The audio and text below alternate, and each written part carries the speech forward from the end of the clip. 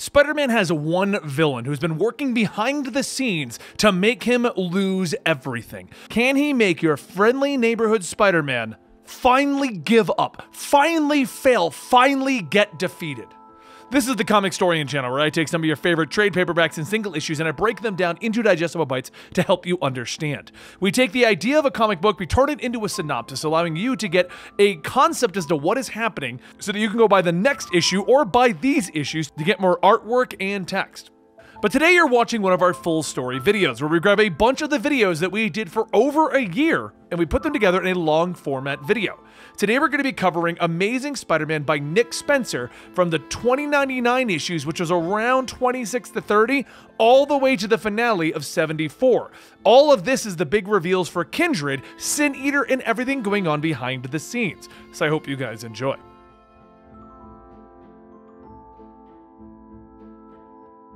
It all started with a fire on an offshore oil rig. The Spider Man of the year 2099 came to fix things, just like always, except he just made things worse. Now, as Miguel wakes up, he finds himself laying on an operating table with dozens of scientists poking and prodding him. Meanwhile, over in New York, Peter Parker tries to focus on his schoolwork, but he can't help but think about how he got to where he is now. MJ has gone off doing her own thing in Hollywood. Kingpin is, well, being Kingpin, and that thing, like someone is looking over his shoulder, watching. But as Peter gets lost in thought, his classmates Kel and Derek ask if everything's okay. They're supposed to be working on this thing together. Derek says they need to all be participating. They can't have someone plagiarizing something. Just then, another student assigned to the group, Jamie, walks up asking when was the last time that Derek's name had been attached to anything meaningful.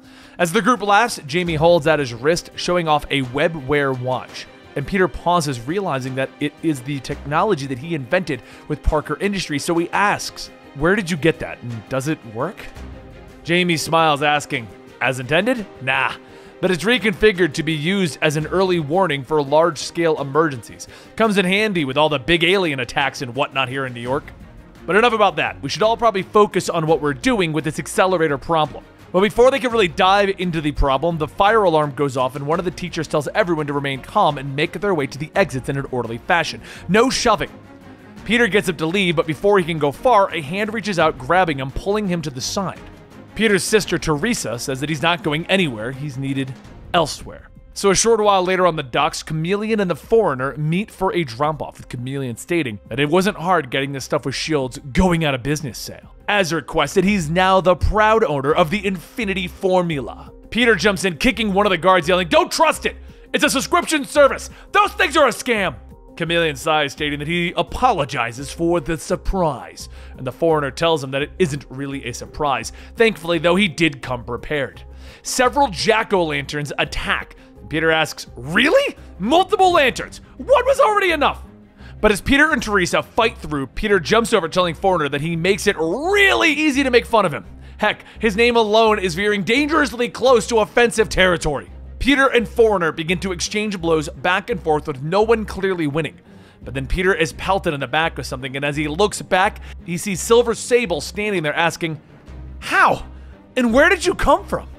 Sable aims her gun at Peter's head, asking, How do we keep meeting like this? Peter tells her, Ah, it's good to see you too, Sable. But I'm kinda doing something right now. No need to be looking through a sniper lens. Just then, there's a click, and Teresa tells Sable that he's right. It's a bad look. With Teresa pointing her gun at Sable, Peter says that they all need to just take this down a notch. We're all good guys here, except Foreigner. He's actually one of the bad guys. Foreigner tells Sable that he can handle the girl, and Teresa says, Really? Then you must not know me. A single gunshot goes off, with Sable's head exploding into a million pieces of metal. Foreigner hurries over to catch the falling LMD and he shouts, You have no idea what you just caused! And Peter says, You knew it was a robot, right, Teresa? Right? Another voice then says, I would hope so. As everyone turns, a van pulls up with the door opening to reveal a badly injured Sable in a portable hospital bed. Foreigner runs over asking her if she's okay, and Sable says that she's fine. So Peter looks at her asking, Okay, I have no idea what's going on. The last time I saw you, you were fine. Sable tells him that she owes him an apology. During their last encounter, she was killed by the Rhino. When she returned, it was thought that she didn't. Truth is, she was badly hurt after that while aboard Otto's ship. The Rhino left her strapped as the ship plummeted to the earth, and well, this is the result. Foreigner smiles, stating, That is when I found her. I saved her life. And Sable laughs, Not much of it, at least. She goes on stating that Foreigner did present her with a gift, an android avatar that she could control with her thoughts. Peter then asks, Why would you go to all of that trouble? And Sable says, Because of Symkaria, my homeland. Right now, Countess Karkov, even after being sentenced to house arrest, is growing her influence. The country is still dependent on the arms manufacturing contracts that I signed during my union with Norman Osborn. Peter says that he doesn't get it. You aren't the one in charge? She laughs, telling him that it's not quite as it seems. My people are torn between poverty and war. Our neighbors to the north have not taken kindly to Symkaria's newfound military power. With the return of Latveria's more aggressive leadership regime, border skirmishes are increasing rapidly. The Countess is going to use this war to destabilize the nation and return herself to power. We have to. Sable then begins to cough, and then says that the Avatar was the only way if people knew her true condition. Foreigner says that that's why they needed the Infinity Formula, with Sable's condition being terminal, it's the only chance they have. Teresa says, right, but at a cost. You're going to be on it for the rest of your life, and that's even if your body can take it. For most patients, it doesn't. Foreigner tells her that that is a price that they would gladly take, so Teresa walks off, waving her hand, stating, The hell with this! I came for Chameleon, and he's not even here anymore. You can sit around and figure out what to do about your whole civil war without me. So sometime later, elsewhere, Chameleon asks how does he use this thing? And Hitman tells him, are you kidding? Point, click, kill. The hitman knows how to do this job. Chameleon begins to fix his tie and changes, stating, All right then, now to slip into something more bureaucratic. But while those events are beginning to unfold, back in New York, Peter rushes to the ESU trying to process everything with Sable when he realizes that he's already late for the presentation. As he walks into the class, he calls out, Sorry, sorry, the coffee bean line was intense. And Jamie calls out, There he is! Come up here so we can begin this thing. Peter tells them that he didn't know that he was the one presenting. And Jamie laughs, telling everyone that Peter here is the real brains behind it.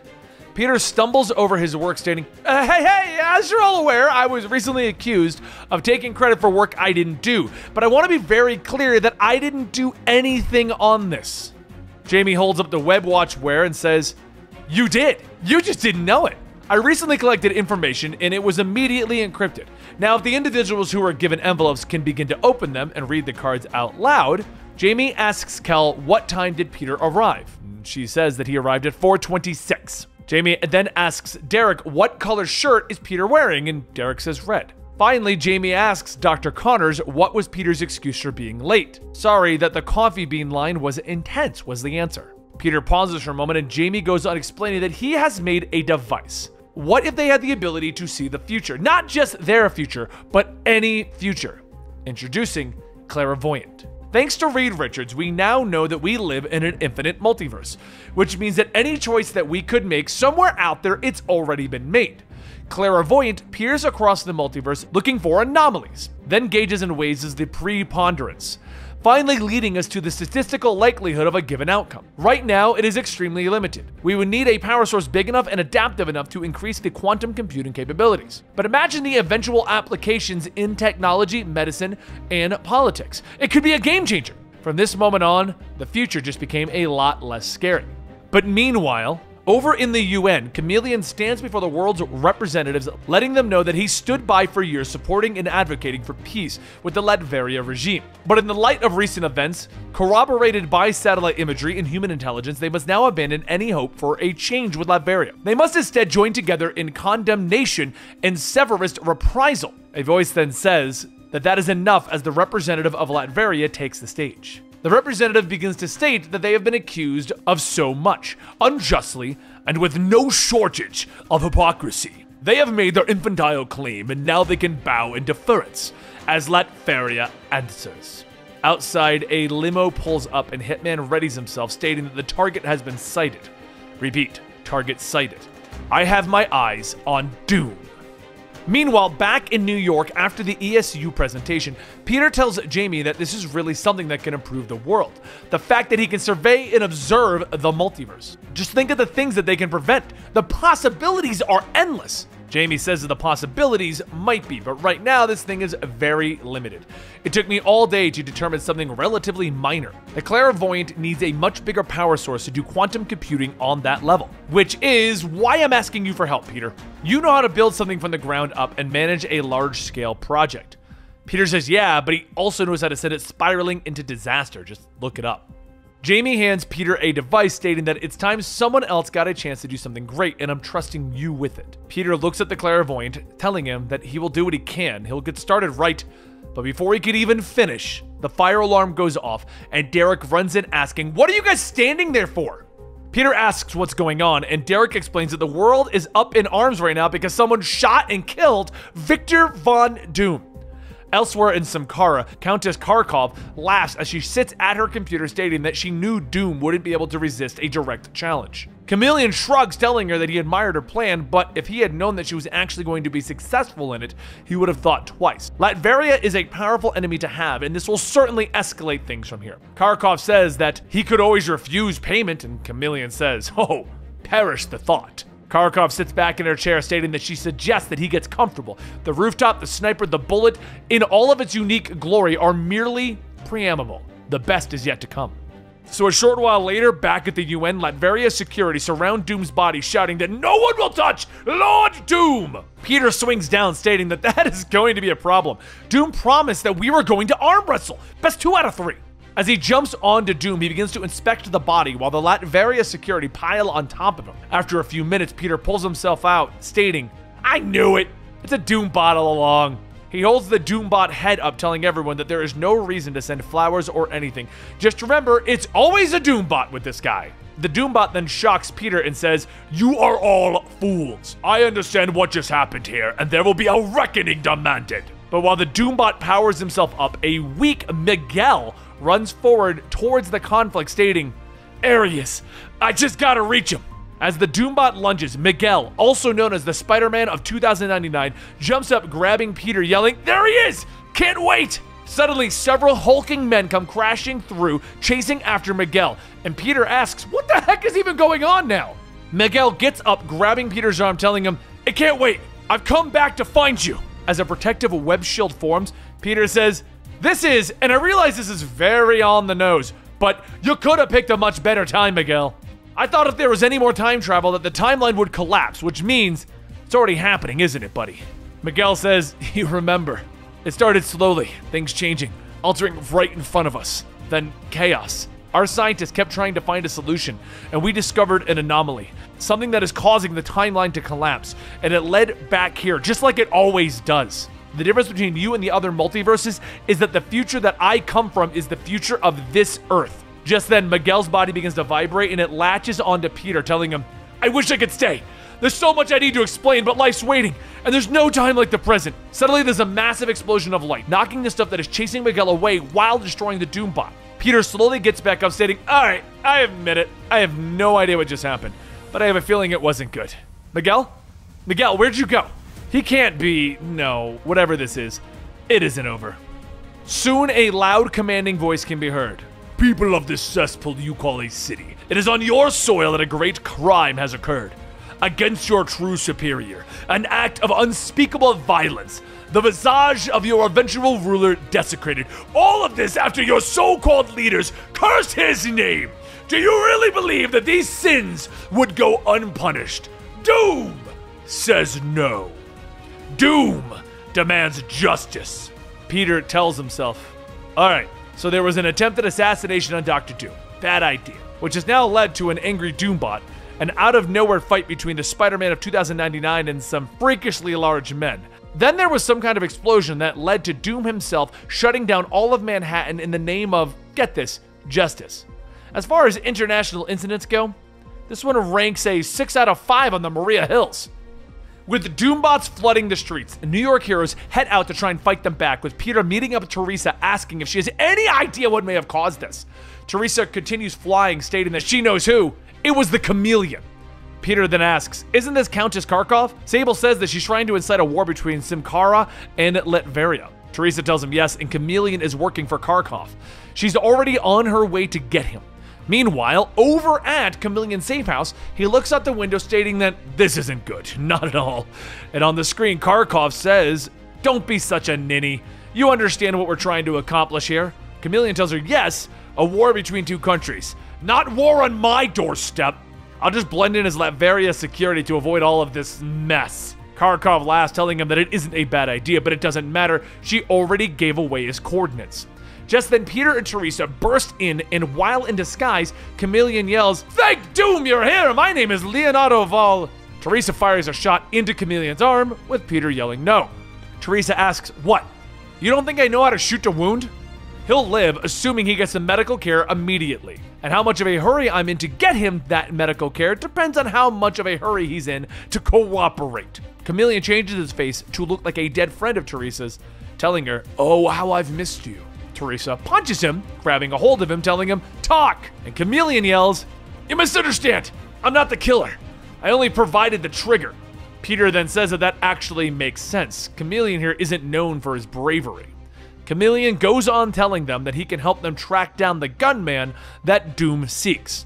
So, about 20 minutes later, in an abandoned warehouse, Peter just simply says, You gotta be kidding me. Because the hitman is looking pretty dead. Chameleon tells him, yeah, he is. Did I forget to mention that? Hitman died years ago, but he was brought back by Ben Reilly, who was going by Jackal then through cloning, the clone conspiracy. But it would seem that we don't have to worry about Hitman being a uh, Hitman any longer. Teresa pulls her gun, but Peter pulls her to the side, telling her that they just need to think this one out. They need to stick together and come up with a plan. The one guy that Doom wanted is now dead, and they can't very well just present Hitman like that. Teresa pauses for a moment and says that he's glowing, by the way. Peter stops her. Really? I didn't think I sold you on the just beat people into unconsciousness, but make sure not to murder them thing. And Teresa tells him, No, your backpack. It's glowing, Peter. He reaches behind, taking out the clairvoyant, stating, Oh, right. This could have helped us if. Wait, it's fully charged? Peter pauses for a few minutes and then says, Miguel. He came back and set off an energy burst. It must have supercharged the clairvoyant. Teresa asks, So you have a device that can predict outcomes, but you don't know what to do about Doom? And Peter looks at the device stating that the diagnostics do look good and are operating in a safe range. Why not? As he begins to use the clairvoyant, he's suddenly swept away to a world of endless possibilities when a glowing person stops and asks him how they can help. Peter asks who she is, and the person says that her name is Lyla, an artificial construct brought to him by Alchemax. Peter tries to come up with something witty to state, but instead he says that he's looking for his friend Miguel O'Hara. Lyla tells him that Miguel isn't here right now, but she can assist him with navigating the infinite reality projections available to him to find the best possible solution to their problem. We do have a problem, right? A minute later, Peter returns stating that he knows what to do, but they're going to need Chameleon. Outside, Doom yells, I grow tired of waiting. Bring me the one who struck my vessel, or you shall pay in his stead. Just then, the chameleon comes out stating that they have caught the assassin.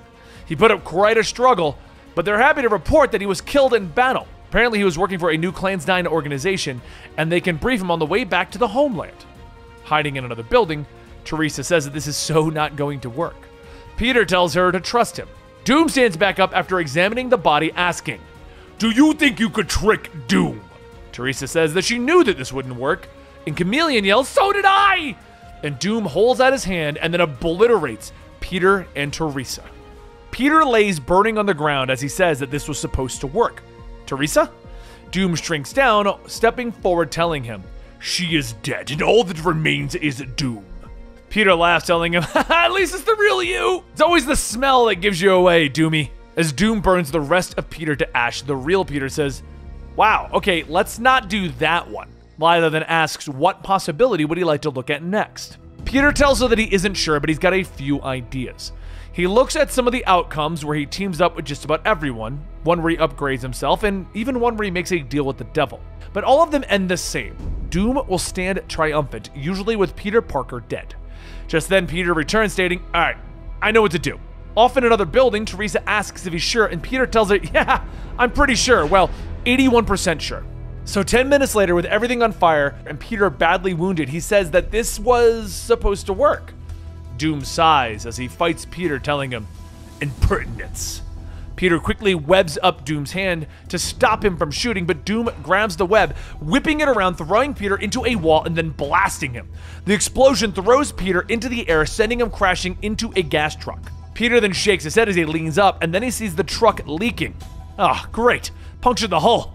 Might as well make use of it. He jumps down, webbing up the truck, throwing it at Dr. Doom. As the truck explodes, Doom walks out of the fire with Peter telling him that he knew that that wasn't going to work. Doom says that he fought valiantly, but his demand was for justice, and he is the one who presented himself. Peter tries to run, but Doom blasts more of the buildings, bringing them down on Peter. He then grabs him by the neck, telling him, Your death will be what defines you life. Back in the clairvoyant, Peter asks, Really? Can't we just tell Doom like the truth? Lyla says that that would have a 38% chance of success. So Peter asks, What if we let Doom beat me up a bit? And Lyla says, 51% chance of success. But back at the hands of Doom, Peter yells, Wait! It was all a trap, don't you see?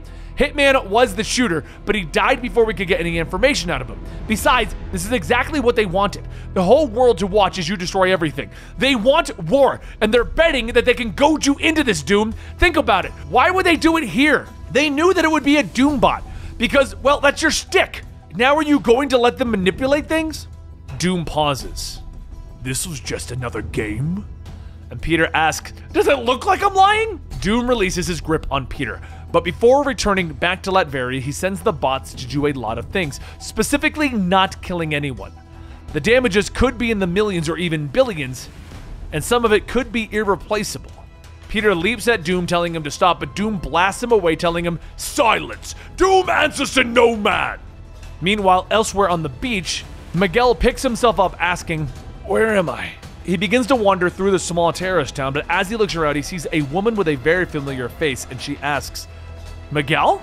But back in the States, Sable is laying in the hospital bed recovering when a voice tells her that the people at the front desk said that she wasn't having any visitors. But she looks up to see Kharkov walk in with flowers, and Kharkov goes on stating, Don't worry, the guards that you're about to call are already dead. Besides, I'm here in celebration. It seems that the Infinity Formula is working quite well, and you should make a full recovery in a few weeks which is a relief. You aren't going to want to miss what happens next. You've seen the news, no? This poor city, attacked by a madman. The international community is now squarely behind Symkaria in our conflict with the Latverians. They can't send enough money or soldiers fast enough. Oh, and the sanctions pass? Easily. Killing Doom is the last thing that I wanted. The gun used was actually a special one. It fired a very unique bullet, one that was designed to infiltrate the Doombot's network. With the payload delivered, anyone can hack into the system and do anything that they'd like to do. Since Doom would never admit that he lost control of his own network, his own army, even for a moment, he'd rather sooner be blamed for an attack that he did not incite than allow his pride to be wounded. Now it is a war. Easy enough. It is man's natural state, after all. And when the shooting starts, who do you think our people will look to? The hypocritical mercenary who preaches peace while they've wallowed in poverty and filth? So, yes, do get your rest, Sable. I'm sure we'll be seeing each other soon again.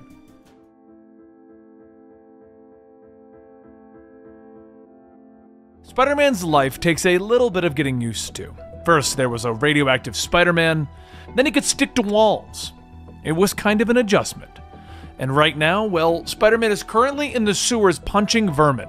Not singular, plural, but they have the same name. The original was already a nasty piece of work, but throw in some cloning and you've got yourself a whole mess of a problem. All of that takes some getting used to, but you know what's not going to be easy for Spider Man? Teaming up with your roommate, who also happens to be a supervillain and also happens to be Boomerang. Partners in not crime? Hopefully. It would stand to reason that they'd have some sort of partnership, seeing as a lot of people are trying to kill them at the same time. People wanted to kill Spider Man because, well, he's Spider Man. Boomerang, however, people wanted to kill him mostly because he had something that Kingpin wanted real bad. It all started when Boomerang took down a Hydra helicarrier all on his own, and the city was throwing him a parade. But during his celebration, there was an old man in the crowd who shouted that he needed Boomerang's help. Boomerang blew it off, but only until the man mentioned something about an object that was too powerful and too priceless. And when you say something is too powerful and too priceless, well, that should have been something you opened with. So Boomerang agrees to help the old man, and the man says that he worked in the city for over 50 years in the public records department. His job was to catalog all of the mystical artifacts and treasures that have found their way into New York. Everything was going well until Kingpin became the mayor.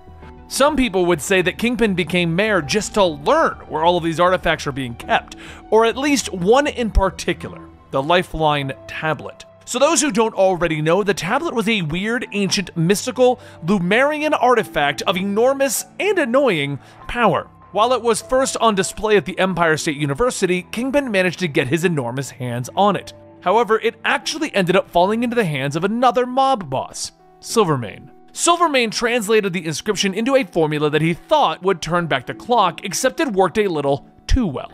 The tablet was then passed to a few others. But ultimately, it got picked up by Doctor Strange, who banished it into another dimension.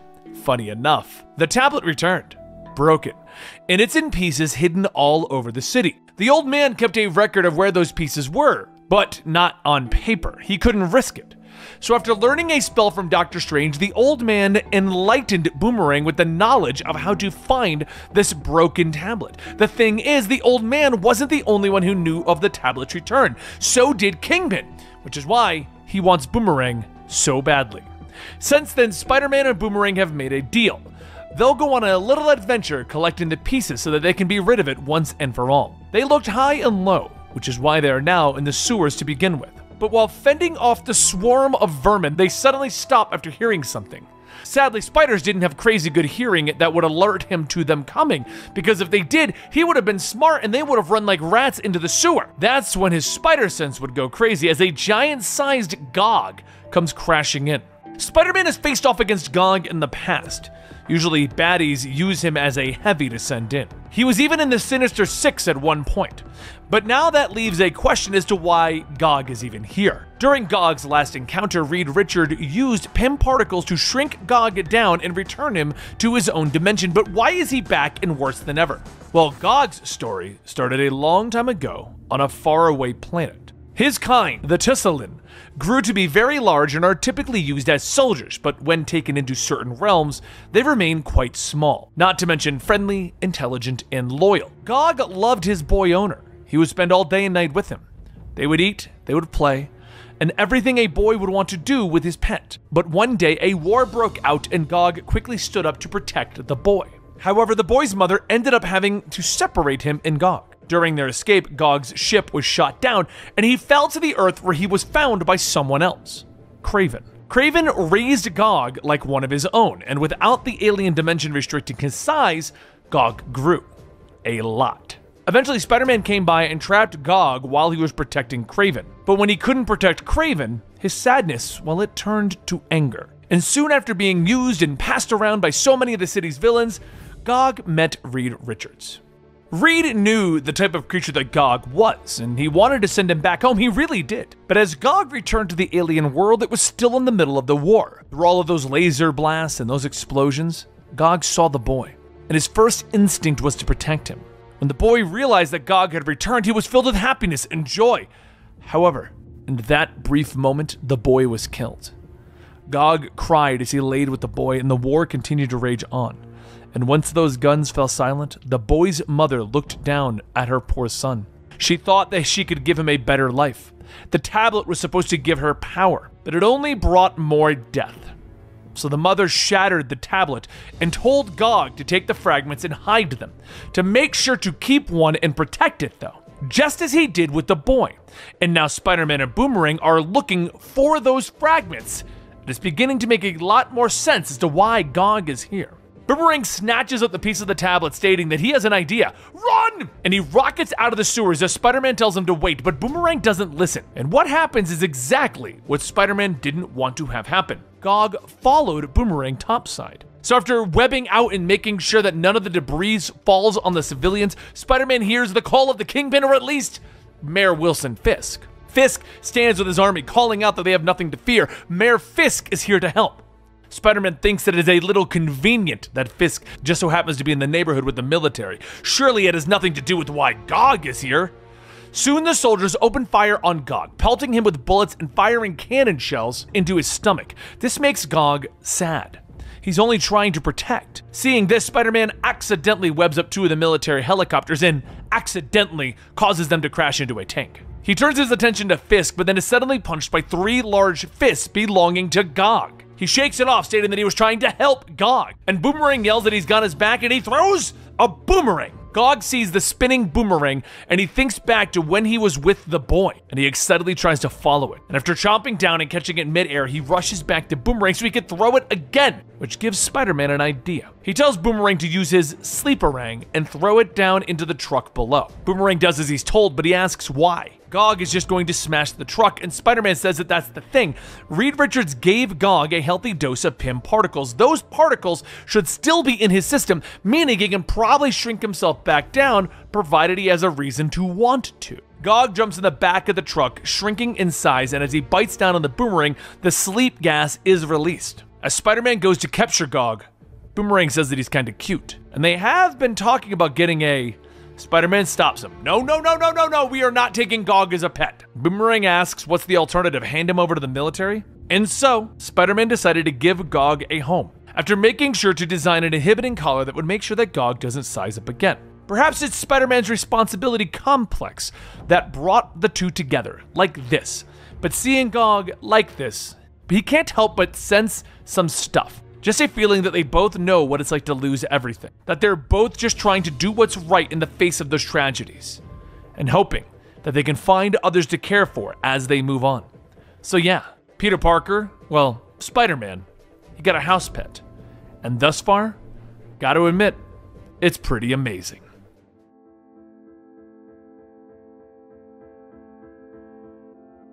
As Spider Man sleeps, he hears something a voice pulling at the back of his mind, telling him that there's so much to show him, so much to talk about. Soon they will meet face to face, but for now, they should just enjoy this. Spider Man blinks and he finds himself in the backseat of a car as Overdrive races through the city. He asks Spider Man what kind of music he likes. Since his powers are supercharging cars, he doesn't really fix the radios. So, how about they do it the old fashioned way and pass time with stories? Eh?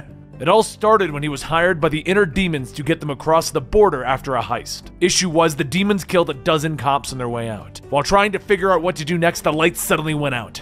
A man came, the Sin Eater. He wanted to cleanse them. Except that there was more to it. The demons turned into real demons, or maybe the Sin Eater did.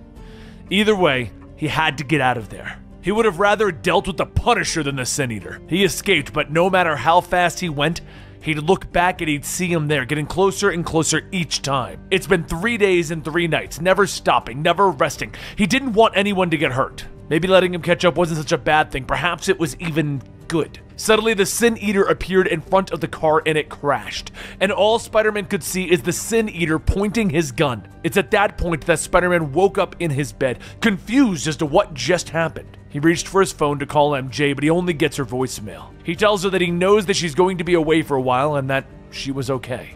But really, he isn't okay. He hasn't been sleeping well, and even when he's awake, things just feel wrong. The other day, he did a podcast with Jonah. Jonah was talking about how Spider Man keeps people at a distance, how he pretends that he doesn't want anyone to get hurt. But the truth is more complicated than that. You see, there was a night that Spider Man came home from patrol. He passed out after crawling through the window. The next morning, he was running late like usual, except when he was outside, he still had the mask on. The line is starting to blur. People are counting on him, and that's always going to be more important. But he needs there to be something, he needs there to be a reason, he needs something out there to have him take off that mask. Why doesn't he take off the mask? There was something he wanted to ask her before she left, but it was not important. They could talk about it when she gets back. Before Spider Man could finish, he feels something crawling inside, and then all of these bugs and these creatures burst out of his stomach. He's dying, and no matter how hard he fights it, he feels like he's sinking. That there's someone pushing his head below. Kindred holds Spider Man's head under the sand, stating that they wonder who he really is, but the real question is what does he want? But then again, it's all just a dream, just preparing him for something truly sinister. And if that isn't enough, that this just wasn't his dream, that there were others who saw the same thing. As Spider Man feels the slithering, crashing, and sinking feelings, getting out to watch a play does help. The only problem is he wasn't supposed to go out alone, there was a plan. MJ was supposed to be back in town and they were going to go to the best restaurant in town, catch Shakespeare in the park. It was a great plan. However, it was just him eating, and it was just him at the play. Something came up that caused MJ to have to cancel, and really, it's kind of refreshing to experience the other side of things. But still, it doesn't make it sting any less. However, before Spider Man could wallow in self pity, his spider sense goes off and he instinctively pushes a man out of the street before getting hit by Overdrive? This isn't Overdrive style. Overdrive sticks to small crimes, in it for the money, but this. this was in that dream. Spider Man quickly changes his costume in the alleyway and he swings over to the speeding car, knocking out its window. Overdrive rolls down the window, shouting, Oh, thank God, it's you! And Spider Man says that that is not the usual response he gets, but he'll take it. He says that Overdrive should probably pull over and return whatever it was that he stole, and but Overdrive yells, I didn't steal anything! Whatever I did, it doesn't matter! He won't stop chasing me! Spider Man tells him it'll all be okay, they just need to slow down. He is right behind us, isn't he? Spider Man looks over his shoulder to see the ghostly outline of Sin Eater telling him, No, please, not him. Overdrive yells again, He's right in front of us! And Sin Eater appears right in front of the car, pulling the trigger. The supercharged car explodes into a fiery ball of metal and debris, and it begins to shower down on the streets. Spider Man quickly grabs two kids that are in the way, tossing them to safety. Not his best work, but they'll be okay. As the car lands, Spider Man quickly rushes over to try and save Overdrive, who keeps telling him, I deserve this. It's my fault. Spider Man tries to use his web shooters, but they got jammed in the collision. Gotta get clear. Gotta get away from all of these people before anyone gets hurt. Also, probably shouldn't be heading into a dark, abandoned construction site while there's a serial murderer coming for me. As the two get inside, Spider Man sets Overdrive down, and then a voice calls out that they should just hand him over. Spider Man looks back, telling him, I don't want to believe that it's you. Of all the bad guys to have gone through the revolving door that is death, I was really hoping that this one would stick. This is the man that killed Jean DeWolff and two other innocent people and nearly killed Betty Brant. He used to be Stan Carter, a police detective that fooled everyone, that sent even Spidey into a fire of rage, almost crossing the line. Had it not been for Daredevil stomping him, Spider Man lunges for the gun, but Sin Eater cracks him in the head with the stock and the two begin to struggle over possession of the gun. It takes everything inside of Spider Man to not just give in and end it, but then Sin Eater stomps it. He tells him, I didn't mean to hurt anyone. This was a part of Sin Eater's story. You see, after killing all of those individuals, after driving Spider Man into that rage, Sin Eater was institutionalized. Stan was treated and released. The doctor said that he was no longer a threat to anyone, but Spider Man wouldn't accept that, so he confronted him, and it didn't end well. Not long after that, Stan baited the police into shooting him, but the truth is, Spider Man always felt like he was partly responsible for that. All of those emotions are slowing him down. Sin Eater headbutts Spider Man, telling him, I should be thanking you. This world would have me believe that I was delusional, insane. But it was only through the fires of hell that my true purpose was revealed. Don't you see? I really am the Sin Eater. I was sent to rescue the lost souls, the ones who could not be saved, and I am here to cleanse them. Spider Man throws himself back into the fight for the gun, wrestling to try and take it from Sin Eater. Seeing his chance, Overdrive gets up, running towards one of the nearby cars, but Sin Eater quickly focuses his aim. He pulls the trigger and Spider Man jumps in front of it, but the slug just passes through him. Before Overdrive could reach the car, he is shot through the chest. Spider Man runs over to help, but Overdrive says, You believe me, right? Spider Man tells him, Yeah, I believe you. Just try and relax, Overdrive. Overdrive tells him it doesn't matter anymore. He isn't scared. It feels good to stop running. Sin Eater walks up, asking, Don't you see? I freed him from his cowardice. I did him a kindness, Spider Man. He was freed of his sins. I have taken them on as my own. Spider Man gets up, clenching his fist, telling him, Are you about to do me a kindness too? Sin Eater tells him, No, you have your sins, but not with me. The one who called me, the one who, well, he has a plan for you. I'll see you soon, Spider Man. The work is not yet done. As Sin Eater fades into a ghostly mist, Spider Man is left wondering what just happened. The words that Sin Eater spoke, his work is not yet done, it crawled around in Spider Man's head. He doesn't know what to do next, but it's only going to get worse. And then there was a feeling that there's something else lurking behind all of this. Later at the morgue, Carly Cooper gets ready to examine Overdrive's cause of death when she notices one small issue. Overdrive died from a gunshot wound to the chest, but now Overdrive doesn't have one. And as she takes a closer look, Overdrive opens his eyes and he gets up asking, What what happened to me? The next day at the Empire State University, Project Pegasus was showcasing their latest project known as the Catalyst. It was developed to be a more promising thing in renewable energy since nuclear. While the hall was filled with observers, it was also visited by Count Nefaria and his lethal legion who wanted the machine for themselves. It didn't take long for Spider-Man to get there and assist, but during the fight there was a gunshot. Spider-Man looks up, just simply saying, Not now but he already knew that this wasn't going to happen. Sin Eater was always going to be lurking around the corner. But there was something different this time. Sin Eater froze him in place, made him watch as he butchered the Legion. One by one, the Lethal Legion was gunned down, and as everyone in the crowd watched, they began to clap. Sin Eater looks at Spider Man asking, Don't you see it now? Your way of handling the problems that you face are over. People want something better. The people want something pure. And soon they'll receive my gift. Afterwards, everyone interviewed was talking about how amazing and awesome the Sin Eater was. He was like the Punisher, but better. However, when the EMTs were interviewed, he told a totally different story. Once everything was cleared, they were allowed to go in and remove the bodies, but the bodies got up. Now, it's not uncommon for this kind of a thing to happen in the world of Marvel. People die, they get revived, they die again. But what made this one different was that Nefaria got up asking if everyone was alright. An hour before, the guy was a stone cold killer, but the second he comes back, he's a harmless puppy. Ever hear anything like that? Nora Winters turns off her camera, telling him, No, she hasn't. Later at the Ravencroft prison, the doctor explains that the individuals that the Sin Eater has shot has come back to life, and since then they've become model patients. They spend most of their time quiet, huddled alone together. But when they take a break from that, it's to perform random acts of kindness for the other inmates. They haven't raised their voices, let alone their fists, in anger since they got here. Hell, Whirlwind ended up in the infirmary after some old associates paid him a visit, and he didn't even try to defend himself. Nora says that she needs to talk to them, and the doctor tells her that there's no chance of that. They have protocols, and at that moment, a voice says, Nonsense. We both know how often the rules are broken around here. Norman Osborn walks up, and Nora says that she can't believe it. Just a week ago, he was locked up in a padded cell just down the hall.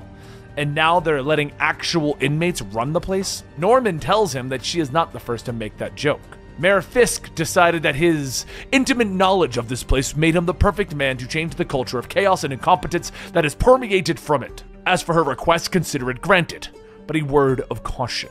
She may be tempted to write about this Sin Eater's otherworldly influence and effect that it's had on the ethereal souls of these criminals. But this is a place of medicine, and he, for one, has no time for superstition. As far as he is concerned, their successful rehabilitation is due to the excellent staff and leadership of Ravencroft, a viewpoint that he would like to see fairly reflected in her article. However, she may consider the resources of this institution at her disposal, including these fine security officers who will accompany her at all times. As the two men guide Nora away, the doctor asks if that was really such a good idea. A reporter on the grounds feels like a bit of a risk. Nora tells him not to worry, given their recent arrival.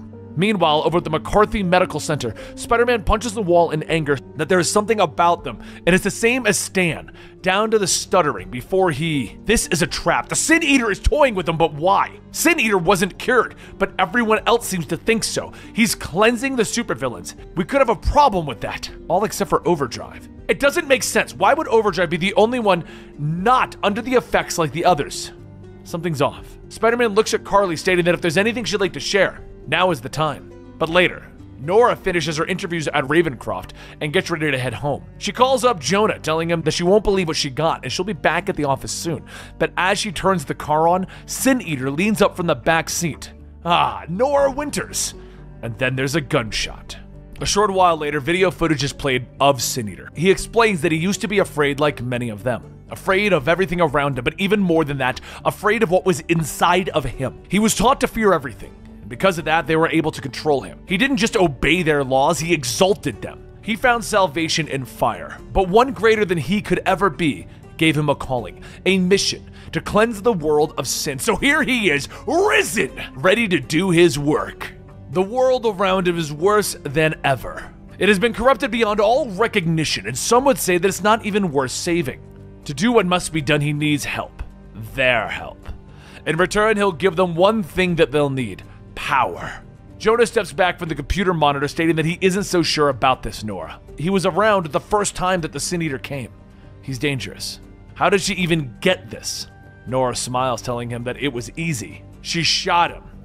He magically pulled the bullet from his chest and said that he wanted to speak to the people. In an interview to spread his message, how could she say no? Jonah says that his message is one that incites violence. They can't give him a platform to spew this garbage. Jonah sighs, telling her that this is why people don't trust the media anymore self appointed gatekeepers deciding who or who cannot be heard. It is time that to let the public decide. Sites like theirs are the new town square. And so, Sin Eater's message goes out to the world on J. Jonah Jameson's platform. Every cell phone, computer, and TV can be heard playing his message, his call to arms that together they can let loose their righteous anger and burn those in their way with purifying fire. That from the ashes of it all, they can build something better. It won't be easy. To put on the mask of the Sin Eaters is to carry the sins of the world. But they will not shoulder the burden alone. He will be there every step of the way. If they ever felt alone, isolated, forgotten, this is their moment. Together, they will be made real. Together, they will build a world without sin. And back at McCarthy Medical Center, Spider Man says that Sin Eater is offering them power, and the people are, well, some people at least are listening. But if they can share what happened to Overdrive, maybe they can change their minds.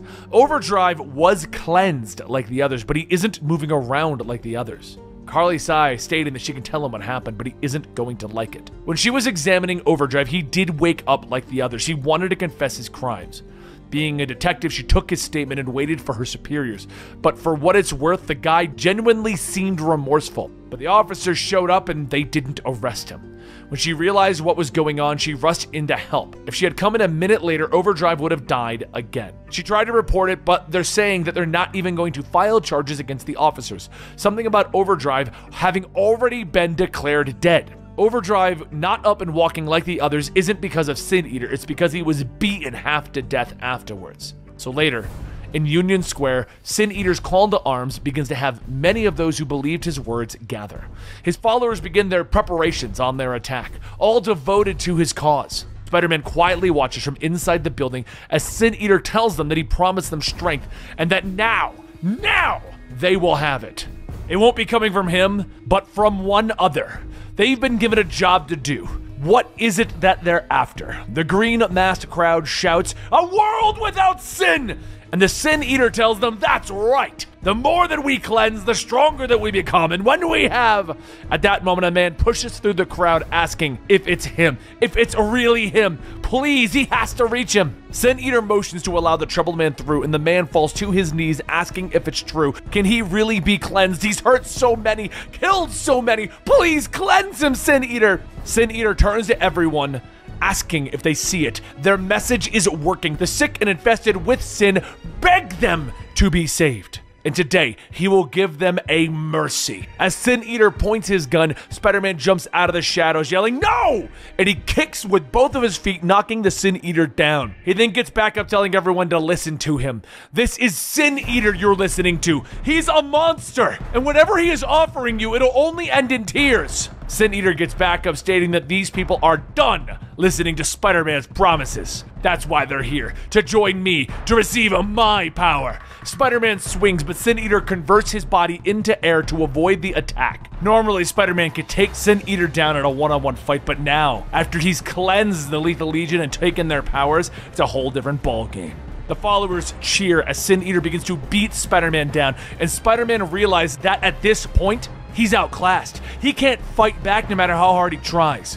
With one final knockdown, Sin Eater walks up asking if he knows what his problem is. He thinks that he's superior, above all of this, above them. The one who called him back as a plan for Spider Man. He is just the vessel, and the next person that must be cleansed is Norman Osborn. The followers begin to take to the streets, inciting the will of Sin Eater's will upon those who disagree. Most of the sins that these people have committed are simply because they didn't go along with them, and that is why Spider Man called on Miles Morales to help take back the streets of New York.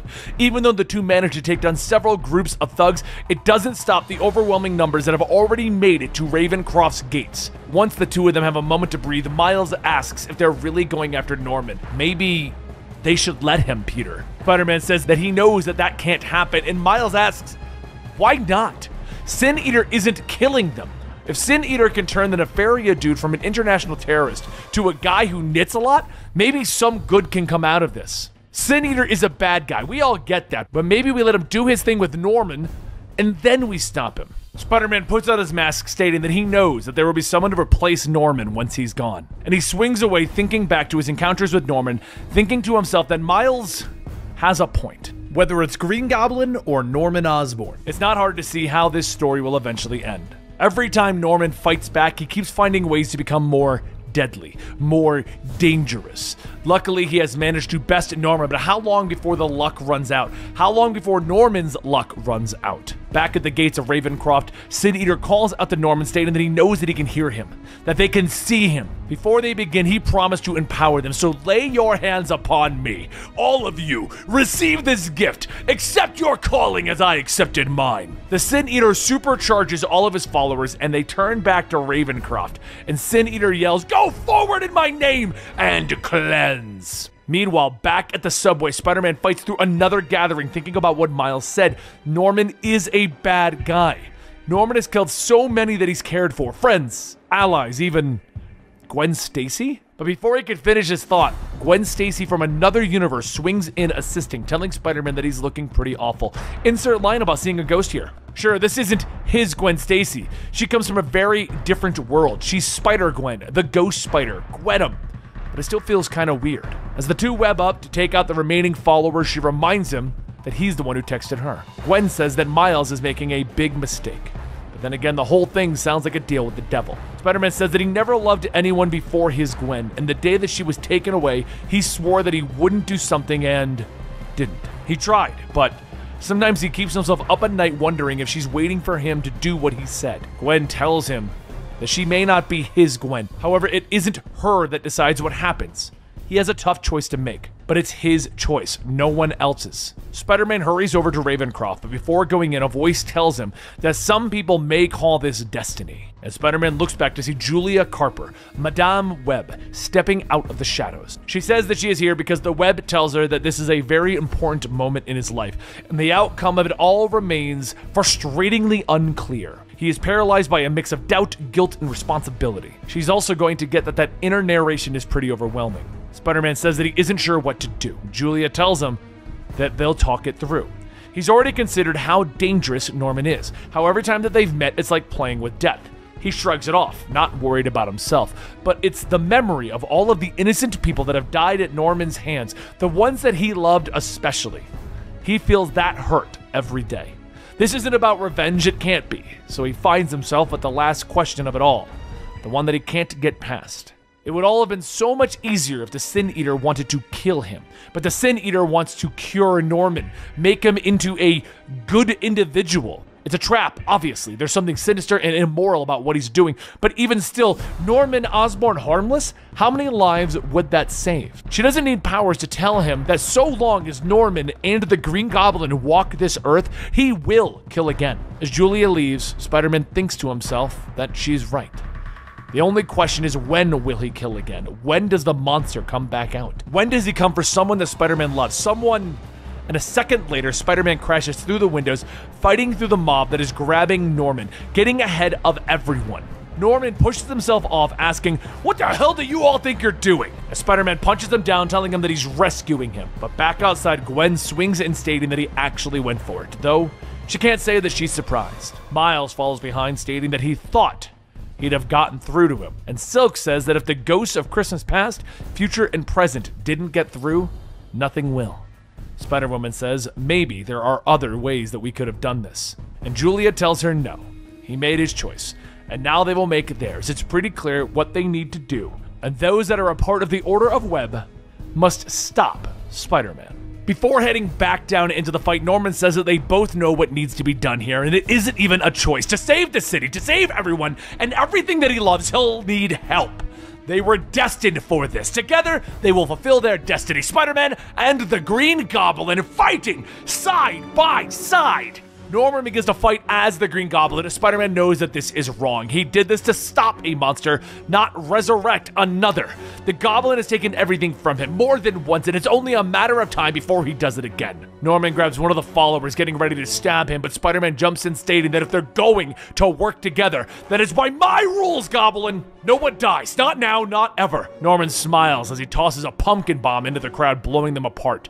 And as the Sin Eater looks back, his missing arm begins to grow back. Norman jumps onto his glider, rushing in, asking, You were saying! As the two fight, those touched by the web of life watch, and Silk says that this is getting a little creepy, getting real Beetlejuice vibe here. Julia says that there's a moment of great conscience about to take place. Anya says that that's the part that she doesn't understand. Why aren't they helping? And Spider Woman says that it isn't time yet. Julia says that this is correct. This is not the fight that they need to be concerned with. They all saw the visions. If they don't stop him, the Green Goblin is going to kill Spider Man. But there is something else standing in the way of that the Sin Eater. Only after he cleanses Norman can they step in. Miles watches stating that that's the problem with that. Spider Man and Norman are pals right now. It kills me to say this, but the guy's not thinking clearly right now. We have to stop him. Gwen then says they have a second option. Don't.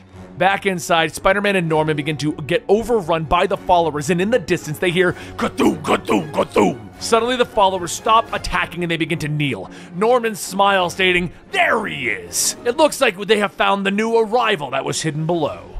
Sin Eater steps out of the shadows, infused with Juggernaut's power, his skin stretched out as though it was the Juggernaut's armor, telling Norman that his sins are many. They consumed you in the end. And Spider Man, so much hatred, such a tortured history, can barely tell you two apart. Spider Man says that he can't let this happen, and the Sin Eater says, Look at where your guilt has brought you. I offer salvation from this monster and it said, You stand in my way. Wish to say that I'd be surprised. Norman laughs. I agree. Spider Man is so predictable, isn't he? Such a bleeding heart. He is, what's the word? Soft. Norman jumps on his glider and he begins to hurl pumpkin bombs, but Sin Eater reaches out, grabbing him by the neck. Spider Man jumps back and swinging, but it's the same as fighting the Juggernaut himself, just with a lot more power. Nothing's gonna stop Sin Eater Juggernaut. As the two are punches away, Spider Man says that attacking from the front is probably a bad idea. Isn't there a hidden layer or something here, Norman? There has to be a way out of this place. Norman sighs, stating that there is a sub basement level, and inside there's a dock station with a small vessel that can get them out onto the river. Spider Man asks, Why would you need that? And Norman smiles. Now is not the time to discuss it. We have other things to be concerned about, like the rampaging Sin Eater Juggernaut. Just then, missile turrets spring out of the walls and ceiling and they begin to fire at the oncoming Sin Eater. As Norman flies off, Spider Man says, You know that's not gonna stop him, right? Sin Eater gets up out of the debris and begins to make his way through Ravencroft's defenses. Try as they might, he effectively takes down both Spider Man and Norman. Sin Eater holds his gun to Norman's head, but during that, Spider Man gets to work webbing up key points in the room. Spider Man then calls out to the Sin Eater, telling him, Sorry, but it looks like we all got off on the wrong floor. Going down? He pulls on all of the tethers, bringing the entire floor down on top of the Sin Eater, trapping him in the rubble, but also trapping himself. Moments go by, and Spider Man hears a voice asking if he remembers the first time that they met, as in truly met, face to face. He bared his soul to him, he confessed his darkest secrets, and what was he given in return? Rejection. He's always hated him for that. Spider Man weakly tells him, I was a kid. I was scared of you, Norman. And Norman shouts, So was I! I may have come off a bit aggressive, but that was the nature of my illness. It broke me, and after being spurned, after being bested in battle, as the lab burned around us, you saved me! Do you know how angry that made me? That after everything I owed you? Well, as of today, consider our debt paid. Norman grunts as he lifts the giant slab, pinning Spider Man down, allowing him a chance to pull himself free. Norman reaches down to tell him to get up, that the plan worked, at least for the moment. The little stunt put them right at the doorstep of the sub basement.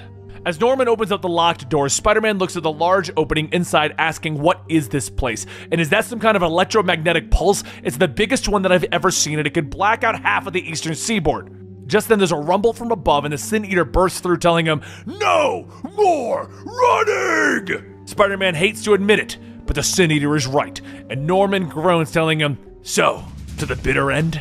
Spider Man follows his lead to the bitter end. Spider Man jumps onto the glider with Norman asking if he's ready, and Spider Man tells him to serve it up. Norman throws several pumpkin bombs, and Spider Man webs them together, slamming them into the Sin Eater's chest, sending him into the ground. Sin Eater gets back up, punching into the ground, sending a shockwave that knocks the two of them off balance. And then Norman asks, How did he defeat the Juggernaut before? Spider Man tells him that it wasn't easy. It took a lot of concrete and. Wait, that's it! The EMP's compression generator! If we direct the vibrations into the ground, it'll create a tremor. With any real tremor, there's a liquefaction. Norman says that that would take some very precise calculations in a very narrow window of time. And Spider Man asks, Can you do it? Norman laughs. I built the damn thing. As Norman runs to the terminal, Spider Man gets up telling the Sin Eater that it doesn't have to be this way. When the whole thing started, he let him down. He knows that. He was just so angry because he was afraid. He was always afraid of what he might lose. He is responsible for what happened. The death of Stan is on his hands. So if there's anyone who needs their sins cleansed, it's him. The Sin Eater stares for a moment and then knocks Spider Man away, telling him, It is not your will, but Norman's be done. Spider Man yells ahead, and as Norman activates the EMP, the computer says, System powering on. A few seconds later, there's a shockwave that rattles everything. The Sin Eater steadies his aim as the next tremors come out, but Spider Man jumps up, pushing Sin Eater's arm away. Sin Eater then pushes down to get his shot, and as Spider Man tries to hold him back, the force is unstoppable. He can't. But he has to try. He has to fight. Even as his bones snap, he has to try. And at that moment, Spider Man begins to feel something. The ground beneath his feet. The EMP is working. The two fall into a liquefied ground, and as the Sin Eater sinks, he shouts, asking, What have you done? You'd give your life for him? As Spider Man sinks down, he thinks, No, not for Osborn, but for everyone else. For what's supposed to be right. Yeah, I can live with that. Then again, how about I just survive instead? He fires a web shot, pulling himself out, but as the line is suddenly cut, Norman is hovering over, watching. Spider Man calls out to give him a hand. But then he sees Norman's smile, and he knows that's not going to happen. Spider Man yells that they had a deal, and Norman asks, Did we? The debt has been paid. Please understand that this is not how I wanted it to be for either of us, but this is what you deserve. A true hero's death, Spider Man. Norman leans down to push Spider Man's head below the concrete, but suddenly he lets go. Spider Man watches as Gwen swings through, pulling Norman back, and Miles follows behind, grabbing him, pulling him out. Spider Man lands, looking around at everyone, asking, Is this like a surprise party or something? If so, you guys have like fantastic timing. Julia says that they would have been here sooner, but there was some controversy along the way. They knew he was in grave danger. It was just a question of when and how to intervene. Spider Man says that he doesn't get it. Were they supposed to save him from Sin Eater, or Miles tells him? The other guy. The debate was whether or not to throw him to Sin Eater first, and they almost did it. Norman says, See? Just like I said, everything would work out as long as we stick together. Everyone piles on to Norman's escape vessel, and as he leans close to Gwen, he says that he is familiar with this person. Did they just call you Gwen? I heard a rumor, of course. But even still, to actually see you, to be near you, well, forgive me, it's just a bit intoxicating. Are you a clone, one of Jackal's, someone from another dimension? Gwen turns back, telling him that she is his nothing. And Norman laughs, telling her, Give it some time. Your original and I had quite a history. Spider Man turns back, grabbing Norman, slamming him back, telling him, You do not talk to her! You do not even look at her!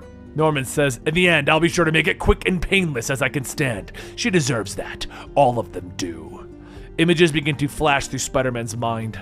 The beginning of Norman, then now. It's his choice. It's always been his choice. They all know what happens next. Someone will die at his hands. Someone always dies. So Spider Man punches the wall next to Norman's head, and Norman tells him, We wouldn't want you to snap. Now, would we? Spider Man pulls his fist back, but this time he slams it into the hatch release, throwing Norman out. And as the hatch closes, Anya asks, What did he just do? Spider Man says that he made a different choice, and Julia tells him no, he didn't, but it's too late now trap laid for Sin Eater served its purpose in allowing the others to escape, but they knew it would only hold him for so long. However, Kindred laughed, telling Spider Man not to beat himself up. One wrong to do so much right, to save so many lives. It's a lesson that you've got to learn, one way or another. This is how it always is without sins. No matter how deep you lay in the ground, you never stay buried.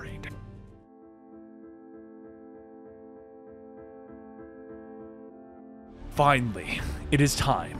This whole process has been frustrating, Pete.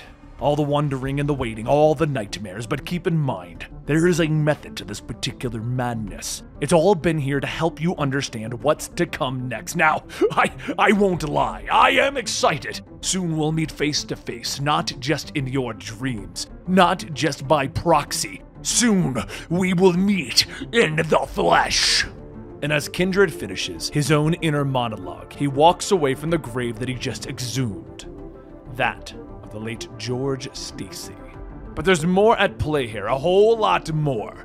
Now, when our last battle ended, Spider Man left Norman Osborn and the Sin Eater alone. He wanted to leave Norman to deal with him, and deal with him he shall. The Sin Eater held his gun as Norman told him that his sins are many, and in typical fashion, Norman taunted him, calling him a deluded zealot. He knows about him. He knows about Kindred, and Kindred isn't who they think he is. They can help him. They can stop him. He doesn't need punishment, he needs mercy. Help him, please. The two sit in silence, and Norman bursts out laughing. I can't do it. He holds up the goblin mask and he tells Sin Do it! Kill me! I'm of no use anymore. Sin Eater holds up his gun and he pulls the trigger, shooting Norman in the chest. Norman's body floats in the water. Sin Eater says that his work here is done. Meanwhile, on the streets of New York, Spider Man wanders half awake, half alive, really. He has to fix this. The trouble is how. All he has to go on is a name, a nightmare with a name Kindred.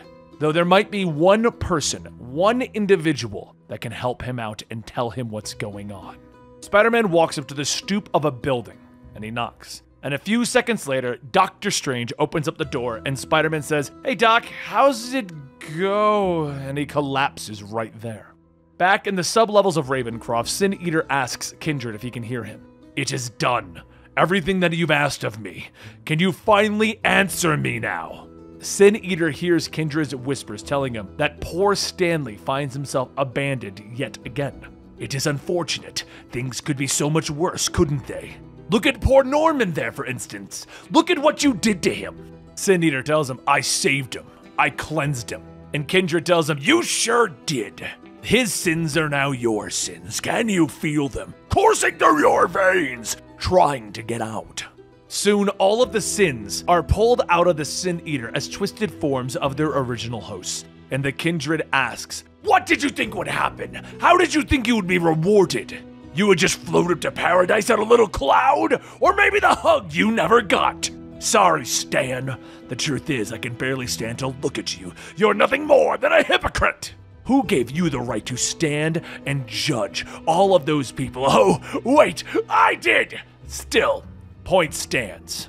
Sin Eater realizes what's going on and he yells, No, my sins were burned in the cleansing fire. I suffered in hell for them. Kindred steps out. No, not all of them. There's one that you've held on too tightly, no matter how hard you tried to push it out. Your partner that was killed, he was doing a little business with drug pushers, made a little extra cash. It wasn't they who killed him, you did! And now it's time that you face what you did, Stanley. As the sins rip into the Sin Eater, he yells for help. Please! Kindred says that he wishes he could, really. But this is the price that we all pay in the end, Stan. You took those sins as your own. You freed all these murderers and monsters of their sins. You remember what the wages of sin are, right? Just know that you're finally free, Stan. Rest now, my good and faithful servant. Those sins, there's someone else's to carry. Now, what happened to Spider Man? Why was he going to Doctor Strange for help?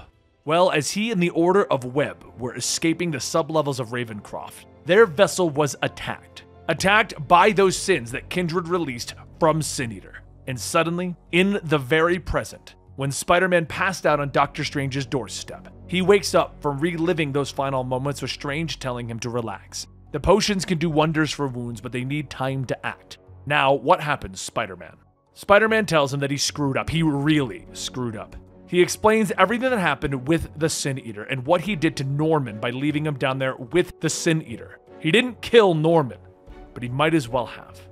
And Strange asks, You did what? Whether it was to save lives or not, you made a deal with a demonic force. Do you really think that that wouldn't come back to haunt you? These friends, where are they now? Spider Man says that that is the part that he isn't going to like.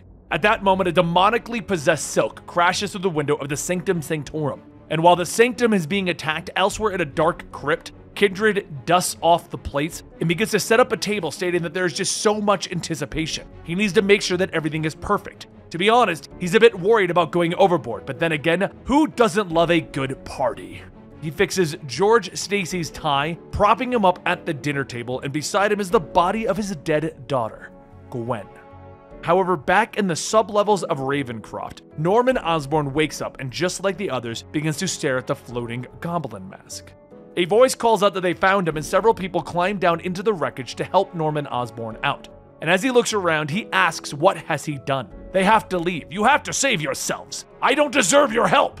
Another voice tells him that they couldn't agree more, and Dr. Ashley Kafka checks off her clipboard, and Norman says that she's right. Right now, they need to listen to him. Something changed inside of him. The Sin Eater turned his weapon and wait, where is the Sin Eater? Kafka tells him that she was actually hoping that he would be able to answer that. The Sin Eater just disappeared, leaving his followers behind. Norman yells that they have to find him. The Sin Eater is just the beginning. Kindred, they have to help him. Kafka asks, why would they help Kindred? Kindred has manipulated all of this. Kindred created the Sin Eater. Kindred made the demons. Kindred made the villains, and he has been provoking everyone in the city. And Norman says because Kindred is his son. As Kindred releases all of the sins stored inside of the Sin Eater, he begins his attack on the Order of Web while they and Spider Man are trying to escape Ravencroft. But as Spider Man begins to fight back, he goes up against six other spider people, all with the same abilities as him. And that is proving a little difficult.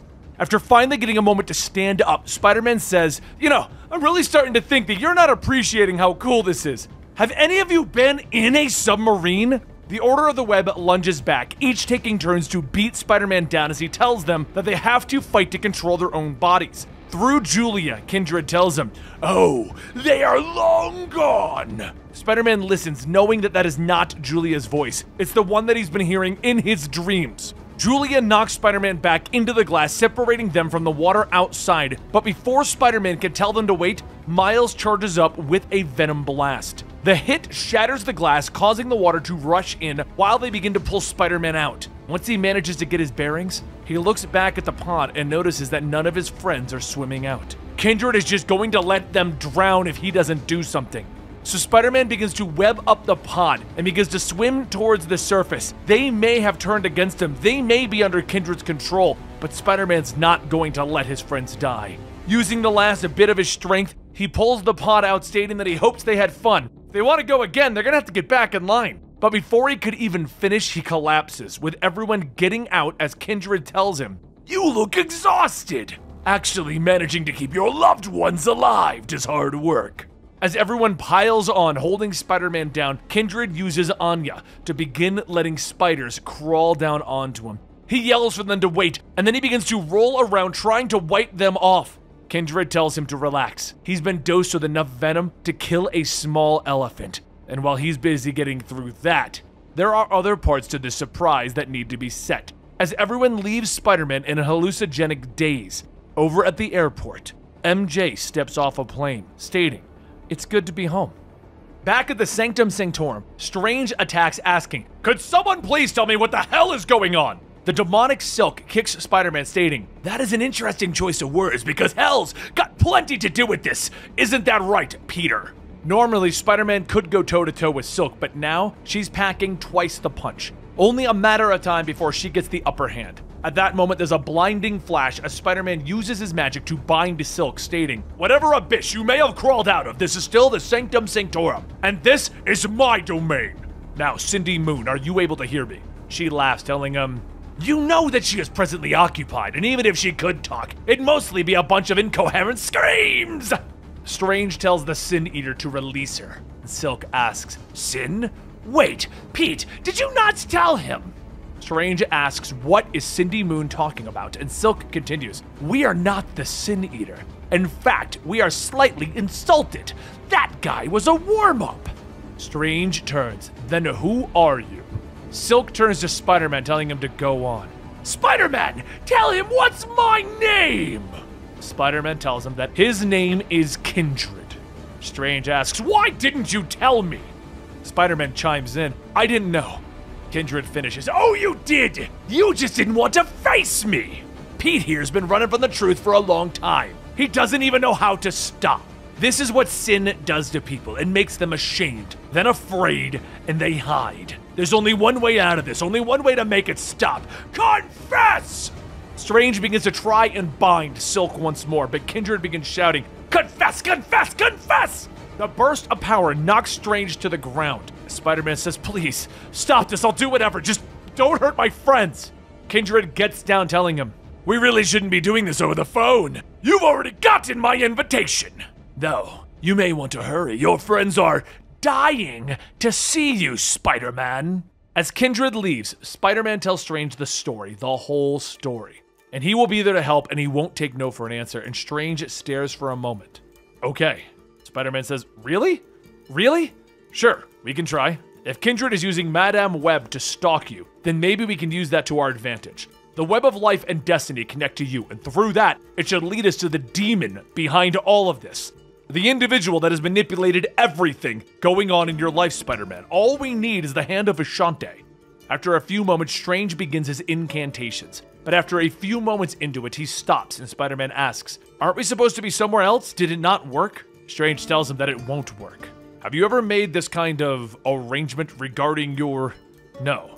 That's impossible. This needs to be investigated. Spider Man grabs Strange by the cloak, asking, What are you talking about? We have to help people.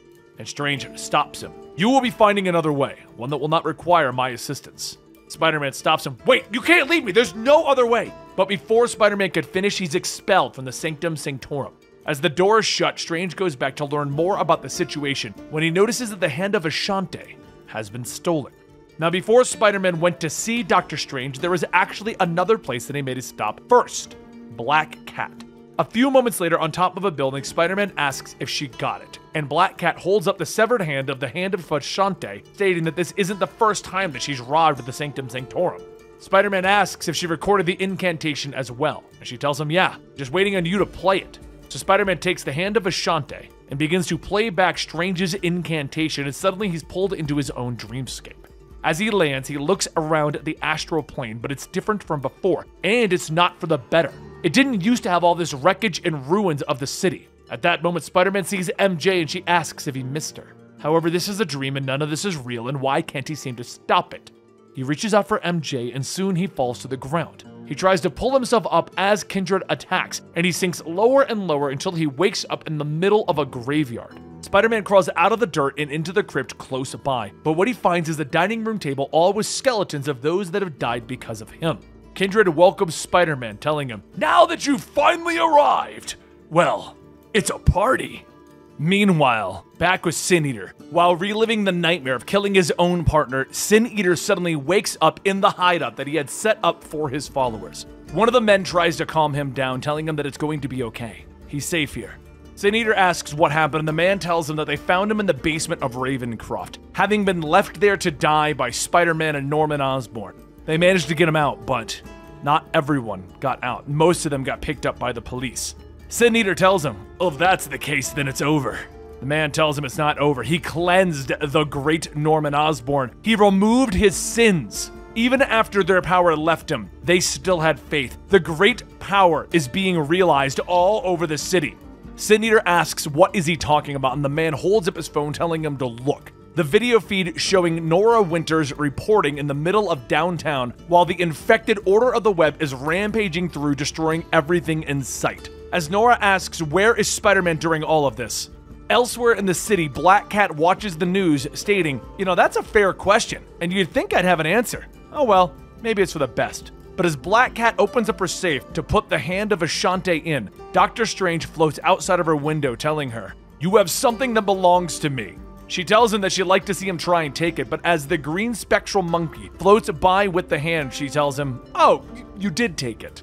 Strange takes the hand of Ashante, stating that if she ever enters his sanctum again, this is fake. You have a fake hand of Ashante. Black Cat says that 3D printers are a pretty remarkable thing, huh? She can get him a great deal on one if you ever wanted. Sure, you'll eventually find the hand, but I'll be happy to speed that up so long as you let me accompany you in saving Spider Man. Strange asks, has anyone told her how exhausting she is? And Black Cat smiles. Everyone! Meanwhile, out on the bridge, the Order of the Web continues their rampage, throwing cars and cutting the support cables that are keeping the bridge up. However, in one of those cars is MJ herself. While the police try to help as many as they can, the door to MJ's car is pulled open and a familiar voice tells her, It's okay, I'm here to help. MJ looks up to see Norman, asking, What is he doing? But before she can even finish, she passes out. Back in Sin Eater's hideout, one of the followers states that they should just cut their losses and get the hell out of there. Sin Eater says that he doesn't know what's going on, but they don't have superpowers anymore. Might as well head downtown to try and rob some stores while everything is, but before he could finish, the follower is beaten down with the butt of a gun. As the man slumps over, Sin Eater asks if anyone else is having a crisis of faith. The remaining followers kneels, asking what do they do now, and the Sin Eater says, What I was called here to do. Though I may have been rejected, I will never renounce the one who brought me here. The sins that I have gathered have taken on a new form spiders. They are fearsome and they are many, and there is someone with great power to hunt a spider. The next one that we will cleanse, that we will take his sins for ourselves, goes by the name of Morlun. Back with Spider Man in Kindred's hideout, he looks around asking, What have you done?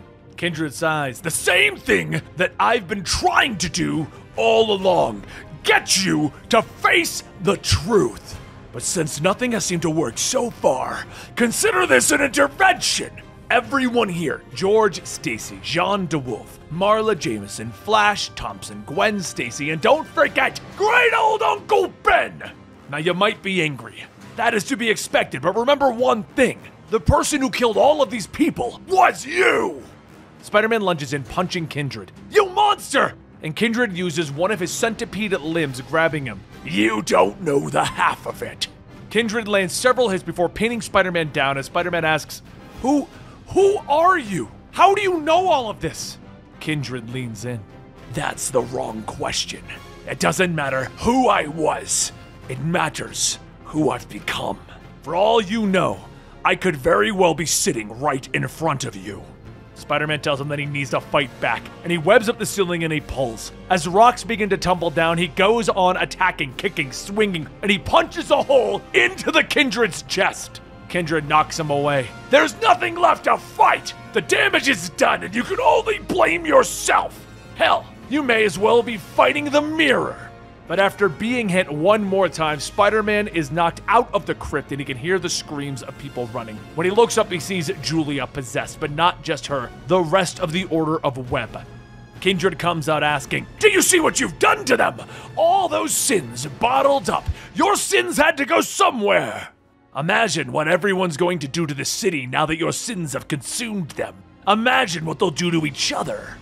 Spider Man looks up towards the bridge and he sees Gwen holding Miles' body and throws him over the ledge. Spider Man screams, asking, begging for him to stop. These people are innocent. If you want to kill someone, kill me. Just take me. Leave the others alone. Kindred pauses. You know what? You got a deal. He waves his hand, and all of Spider Man's sins infecting the others vanish. Miles wakes up catching himself, and everyone begins to revert back to their original selves. Spider Man watches in tears, making sure that his friends are okay, and Kindred tells him, We had a deal. At that moment, he uses his centipede limbs to hold Spider Man in place, and he snaps his neck. Meanwhile, back on the bridge, through the screams of panicked civilians, Silk wakes up looking around asking, Is everyone okay? She's fully aware and Kindred is no longer in her mind. One of the civilians sees her, shouting for her to get away. But Silk says that she is just trying to, and the woman runs off with Silk asking, Spider Woman, what's going on? Spider Woman tells her that she isn't sure. She woke up here and everyone is running. They have to get everyone off the bridge now.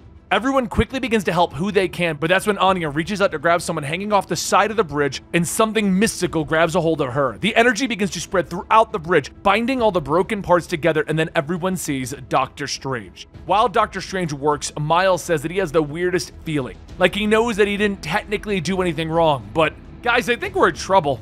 Just then, Black Cat swings in, stating that they're not in trouble, but someone that they care about is. They were being mind controlled, and they need to save Peter Parker. Anya asks, What is she doing here? And Silk says, What are we doing here? And Miles thinks for a moment, stating that the last thing that he remembers is that they were leaving Ravencroft on that ship from the basement, and that's when, oh man, this was us, wasn't it? We did this! A projection of Strange forms telling them, Not exactly you, but you were under the influence of a powerful demon. Gwen screams at the projection, asking, Wait, aren't you over there? That's you flying around. And Strange tells her, Yes, I am multitasking.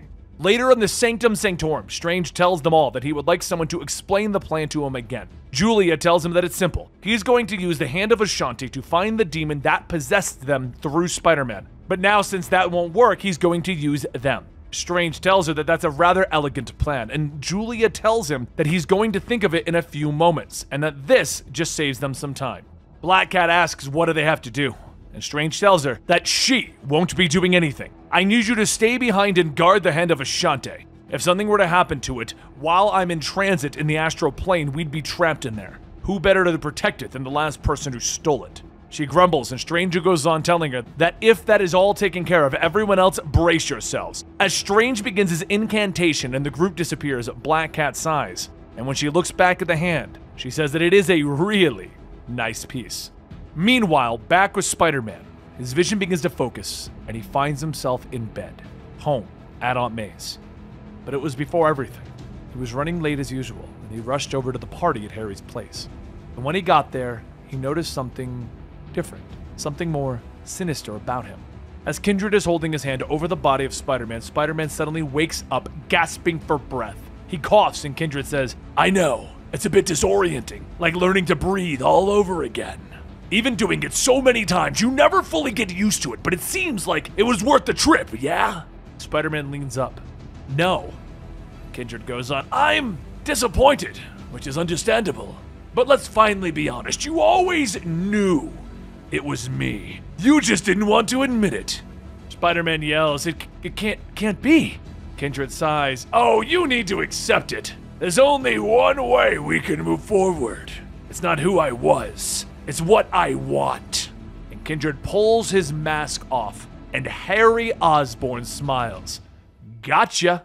Back with our group, their goals all achieved, and the Sin Eater now with the powers of Morlun. A portal opens up in the middle of the graveyard, and everyone steps out. They all begin to walk towards the crypt to save Spider Man from Kindred, but behind one of the tombstones sits Sin Eater.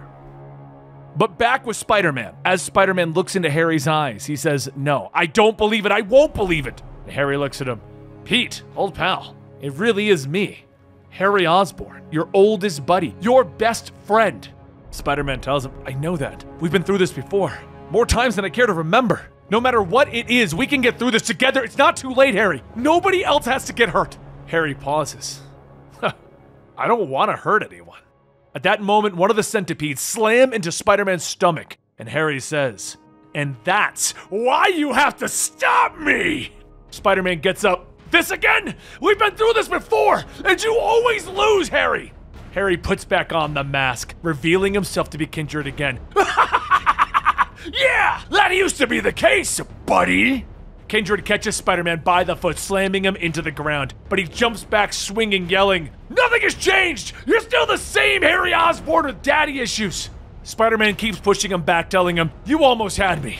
But do you ever get tired of this? Always being the first name that anyone guesses the moment things go wrong? If I really wanted to stop you, I would have left you for dead! Kindred smiles. Dead? Is that what you think that this is about? There's so much more to all of this that you don't understand! Kindred goes on the offensive, striking down Spider Man. This isn't just another breakdown! That Harry is just hearing voices! That he's haunted by the ghost of his father! I am no longer chased by those demons! I am the demon! Spider Man falls to the ground, the centipede arms wrapping themselves around him, and Kindred picks up a rock. I am going to show you what hell looks like. It's something so much worse than death. Here, have a look. Kindred kneels down over Spider Man and begins to bash his face on the rock over and over again, with every thwack, with every crunch echoing throughout the crypt. Once Kindred is finished, he drops the rock and revives Spider Man again. Rise! Spider Man blinks. Wait! And Kindred tells him, No! Again, rise!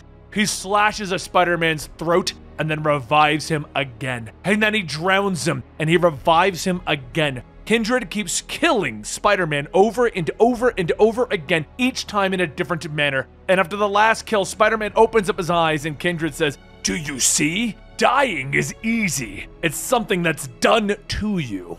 But in hell, we're not just punished for the sins of others, we're tortured by our own. You could blame me for going after those that you loved, but that isn't the case. It isn't the villains who hurt people, it's the hero! Even when the Sin Eater went to the most evil man that you had ever known, you decided that your way was better than everyone else's, that it's your job to be judge, jury, and executioner to decide if Norman Osborn lives or dies. And rather than confront it, you tried to bury it. You still aren't ready, are you? Confess! No. Instead, you tried to bargain. You tried to make a deal with the devil. The same mistake over and over again. Don't you see that it just makes things worse? Even right now, all of your friends are coming to find you, and the Sin Eater is waiting for them with some new powers, by the way. Spider Man yells, We had a deal! They were supposed to live! Oh, I kept up my end of the bargain. These are the consequences of their actions. But you shouldn't worry, your friends are strong. They'll put up a fight. However, not everyone is so lucky. Someone always pays the price! As Spider Man looks into the mirror, he sees not only the others walking through the graveyard, but Mary Jane as well. And up top with the graveyard, as the stillness of the night sets in, MJ gets out of a car and Norman tells her that it's time. She looks at the graveyard asking, How do they even know the Spider Man is here? And Norman says that that's where his family is buried. But do not worry, he can assure her that no harm will come. She scoffs, telling him that that's great. That's a relief. The Green Goblin says that she'll be fine. She might believe that if he wasn't so personally responsible for the deaths of so many people that she loved.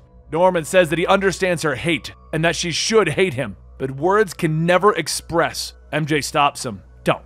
You better not dare try and apologize. Let's be clear about one thing. The only reason why I'm here is that I know Peter is in danger and Harry, despite whatever he's done, is my friend. No matter who Peter has fought, they're all second rate compared to him. That skin that you wear is just how you hide in plain sight, Green Goblin.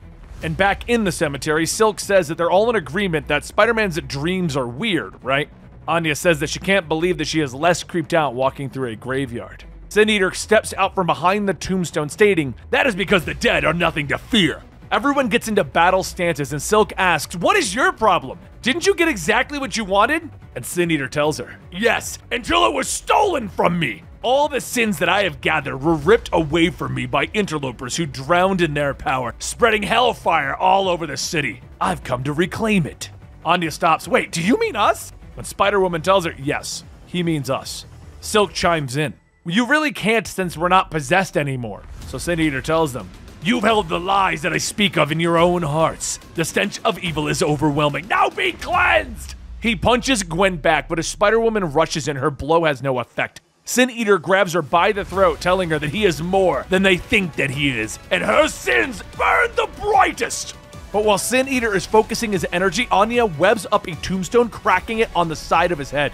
As he stands up unfazed, Anya says that she really thought that that would end things, and Spider Woman begins to get back up, stating that he absorbed the powers of the people that he cleansed. She recognizes those powers anywhere. He has Morlun's powers. Everyone begins to attack again, and one by one, the Sin Eater knocks them down. Gwen eventually gets back up, stating that she really wishes that they could see into the future and find a way out of this. And Julia tells her, Be careful what you wish for. Sometimes my visions aren't always right. Sometimes I misunderstand them, and sometimes something unseen changes. There's always a risk of me looking into the future. Gwen asks what is she talking about, and Julia walks forward, telling her to trust her. She puts her hand on Sin Eater's shoulder, telling him that she is the one that he wants. He turns back, holding up the gun, and he fires.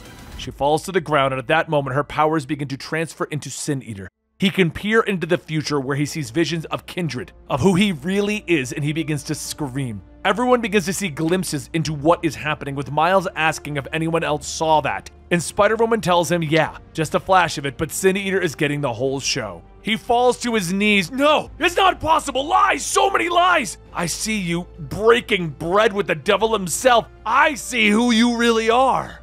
Why did you do this to me then if it was all for nothing, if it was all a lie? Sin Eater takes his gun, turning it on himself, and as the sins are released, Julia shoots up, gasping for air, and everyone runs over asking if she's okay. She tells them to run, but the ground begins to tremble, tendrils springing out, and Kindred tells them, I'm sorry, but that's not happening. With the Order of the Web officially captured, just outside of the cemetery, Norman's driver tells him they are arriving. As the cars pull up, Norman steps out and a voice asks if she did it. Norman says that Mary Jane is on her way to them now, and the shadowy figure asks, She really has no idea what's going to happen then, huh? And with a twisted goblin smile, Norman responds, None. She believes she's going in alone. The trap is set, and soon we'll be able to punish him like the insolent child that he has always been. Just remember, I get my boy first. The figure tells him, So long as I am the one to finish him. Kingpin steps out of the shadows. At last, Kindred will be ours. Before Spider Man even has a chance to realize it, he sits at the table with everyone else from the Order telling Kindred that he has to stop. They've got nothing to do with this. Kindred tells him, Oh, I disagree. They have everything to do with this. They're a symptom of a larger problem your selfishness. Some of them are children, for God's sake. Spider Man struggles in his restraints, and then someone says, If you're going to do it, just get it over with. Kindred looks back. Was that Gwen? Gwen tells him, Spare us a speech about how this is about him. None of us asked him for a permission slip. We chose this life. Based on my unique perspective, you don't remind me of our Gwen at all. Alternate realities and such, right? Does anyone notice how Spider Man always seemed to be staring past you? Ha! It's like the old days, always having his eye on her. As the door to the crypt opens, Spider Man shouts for MJ to leave, but Kindred says, Nonsense! Don't listen to him! Come in, come in! It warms my heart that we'll all finally be together again. MJ looks around. I'm glad to hear it, Harry. Kindred scoffs. You already knew, huh? Well, that's for the best. Come, have a seat. We have so much to catch up on, MJ. Just then, Spider Man manages to free himself from his chair and he lunges, punching as hard as he can through Kindred's skull. Through the opening, Spider Man fires a strand of web beginning to swing and he throws Kindred into the walls, destroying everything in his path. As Kindred gets back up, he grabs Spider Man by the face, yelling, That is enough! through the open space in his head. How many times do I have to kill you before it gets through? Maybe making her watch will help. But just before Kindred could kill Peter again, MJ tells him to stop. You want dinner? Let's have dinner. Spider Man gets back up and everyone sits, and after a few awkward minutes, Harry begins to tell stories. How about paying some attention to the star? ah, we had some good times back then, didn't we? Peter was a great scientist. He was going to inherit the family's empire, and she was going to be famous. The only problem was that there never really was a place for you in her story. Spider Man hesitates and then says, This. This can't be because of some heartbreak. You want to ponder what could have been? Fine, but don't forget who brought you to the hospital that night. That's right. I was wondering where it all went wrong. Maybe it was because someone hid the truth about my father from me. I was trying to protect you. If you knew who he. Harry slams his fist on the table. He was my father! I had a right to know! It was my family, not yours, Peter! Spider Man says that they didn't know it was Norman. They didn't know that Norman was still a threat. He had amnesia after their last fight. He didn't even remember that he was the goblin. Harry stops him. There we are! That's the lie! You didn't let him go because of the amnesia, not because he didn't remember who he was. It was because he would remember who Spider Man was. Sometimes we don't even remember the lies. You had to keep his secret that he was the goblin, or he would reveal who you were. Spider Man begins to state that it wasn't that simple, but Harry pulls down the mask. It was your selfishness and fear. We all paid the price for it, just like they're about to now. Kindred grabs everyone and Spider Man yells, None of this adds up!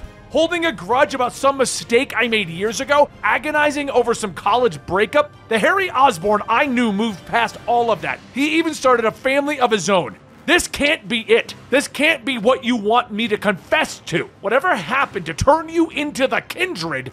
Kindred stops. Turn? Turn? Myself? He lashes, punching Spider Man, shouting, You! You did this to me! But before beating Spider Man to death again, MJ says, He doesn't remember. You see that, don't you? As angry as he is, he would say anything right now to save all of us, so please don't do this.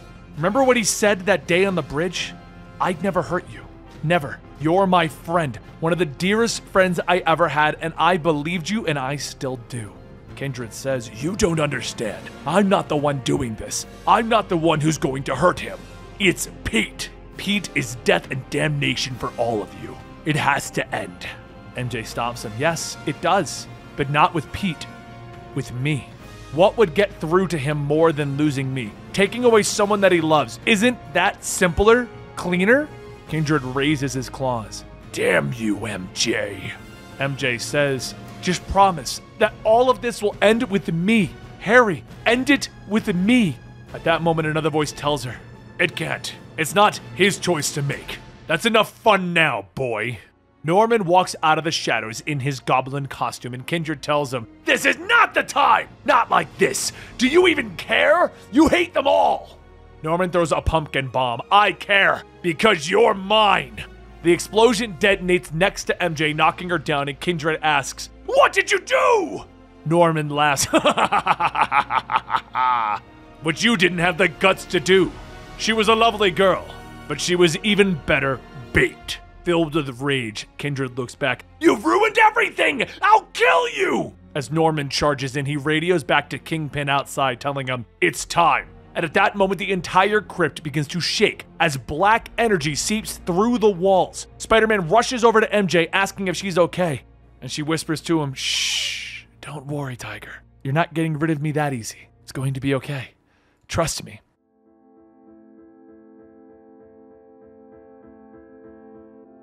Mayor Wilson Fisk stares out the window of his office, Norman Osborn at his back. And you're sure it's him? He questions. Norman nods, placing a photo of Kindred on the table. At long last, I have him. Fisk sighs as he glances at the photo. Yet Norman knows of the two previous encounters and suggests that they meet on more favorable terms. And to what do I do of this most generous offer? Fisk questions, and Osborn smiles. Let's say that Kindred and I have our own history. I thought perhaps that we could help each other. Norman explains that he has set a trap and that he has already found a woman to act as an unwitting diversion. Yet he has no way to trap the demon. And you, on the other hand, well, I've heard whispers of your Project Blank, he says to the mayor. Fisk nods, showing Osborn the small time criminal known as Spot, and how Fisk has harnessed his powers. He first came up with the idea when Hydra took over America and placed Manhattan into the Dark Force dimension. I never forgot the power of that place. So many potential uses, Incarnation being a prime example. The two villains shake hands, coming to an agreement, with one important factor being I get him first, Osborn snarls. It's a short time later that the Green Goblin exchanged blows with Kindred. Now, Fisk! Now! He shouts over the comms, and outside of the ruined building, the spot is activated and his dark dimension powers lash out. The building begins to quake as the dark energy wraps around it, and Kindred turns in surprise. Now we go to the current story. Norman stares at the demon trapped in his dark dimension box. One of the lab technicians steps forward, giving him the report on Kindred's holding cell. And as he reads through the data, he confirms that the cell is holding strong and that Kindred can't break free. The spells that they have used also allow him to hear everything that they say and respond to them. He's just not talking, she finishes. Suddenly, a voice interrupts them from the door. Well, We'll just remedy that. After all, we have much to discuss. Fisk states as he walks into the room. Flanked by his Secret Service, Norman steps forward, welcoming the mayor to Ravencroft. Remember me, demon. Once I came to you with a request, so now I come to you with a fist. Fisk smiles, staring at Kindred, who doesn't respond. He orders the demon to be put into restraint so that they may begin the interrogation. But Norman steps forward, stopping them to Fisk's surprise and anger.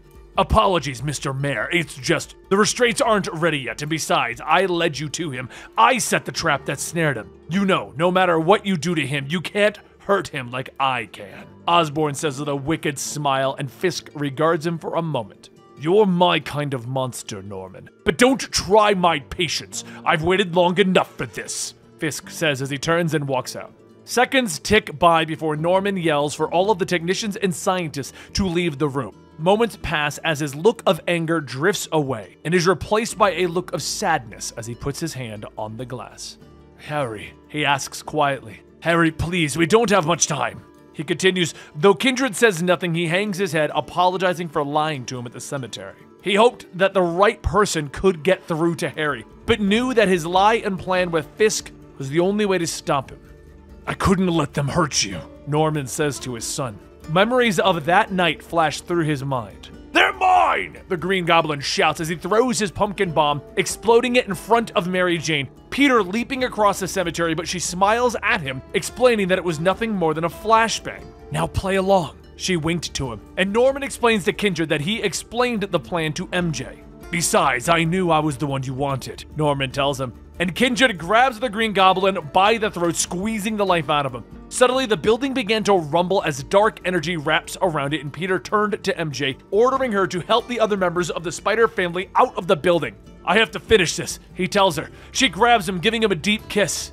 I'll miss you, she whispers. And Peter leaped back into the building where he saw the dark energy swirling around Green Goblin and Kindred. Norman stands before his son's cell, explaining that everything that he did, he did for him. You believe that you become this thing, this monster from the pits of hell, but I know my son is still in there somewhere. Tears begin to glisten in Norman's eyes. It's all my fault. I birthed this sickness in you. So help me, God, I will be the one to free you of it, just as you did to me, he tells him. And he thanks his son for using the Sin Eater on him to free him from the darkness that he had become, for the freedom that he had given him. And Norman knows that Harry wants that freedom as well. You know how I know I'm sure? He questions. And Norman explains that all of the sins that Kindred took out of him were freed and returned to their original hosts. It brought chaos and destruction to everyone across the entire city. In Manhattan, Carly Cooper gets into a taxi shocked that the driver is Overdrive. The villain smiling at her though, as he explains that he awoke from his coma after getting hit by the Sin Eater's shotgun. He tells her that he never wanted to be a supervillain, that he always wanted to be a hero. She is suspicious, but he explains that he knows that she's set by his bedside and he would like to take her to dinner to prove that he has changed. Over at the feast center, there's a knock on the door, and Aunt May opens it up, shocked to find the weakened Martin Li kneeling before her. Please, help me! He's going to find me! And then he gasps before passing out. Norman stands before his son, explaining that all of the sins of the villains were returned, but Norman Osborn's were not.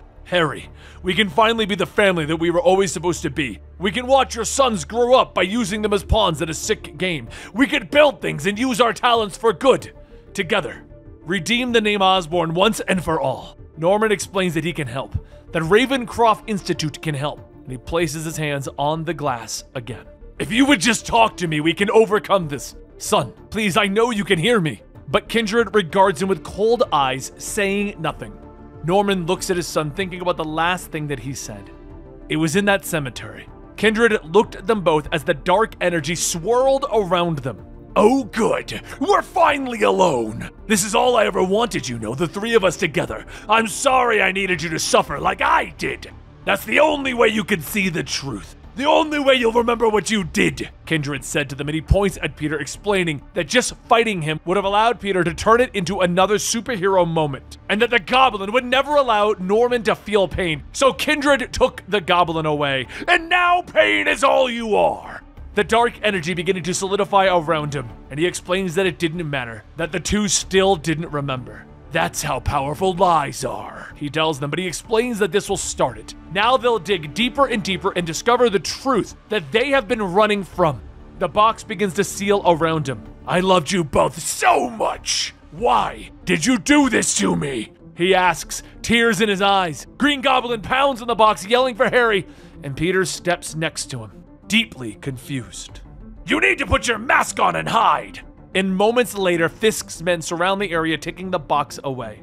And now we go back to the present. Norman turning back to his son.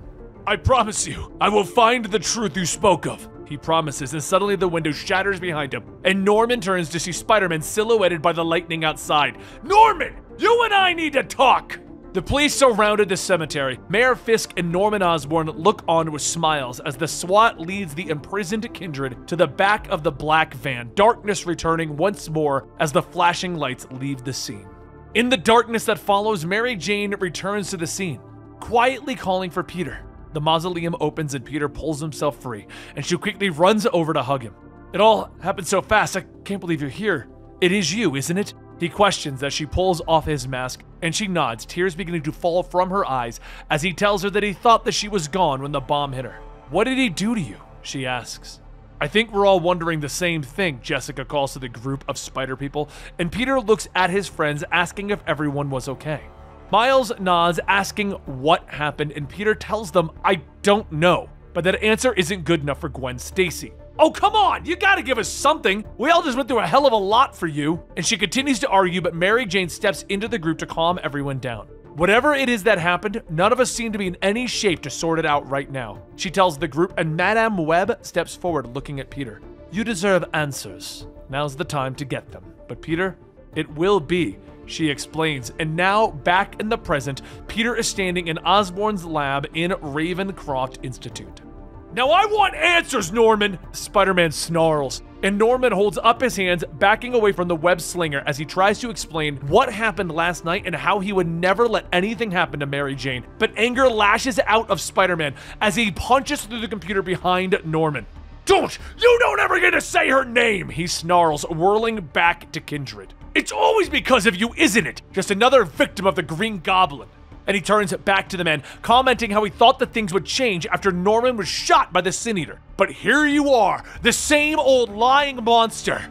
Norman nods, explaining that he knows that Peter is right and can't apologize for what he's done in the past. But he looks at Kindred. I didn't know what to do. He's my son, Spider Man, he says as he looks at Peter. We have to help him. Meanwhile, in the darkness of the cemetery, the spider people have gathered once more. He needs our help, Silk comments.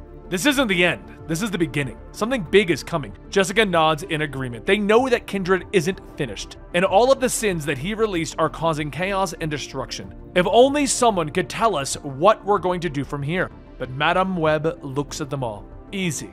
We're going to stick together, she tells them. And Miles looks around at his new team. So what's next? Draw up some bylaws, rent some office space? He asks.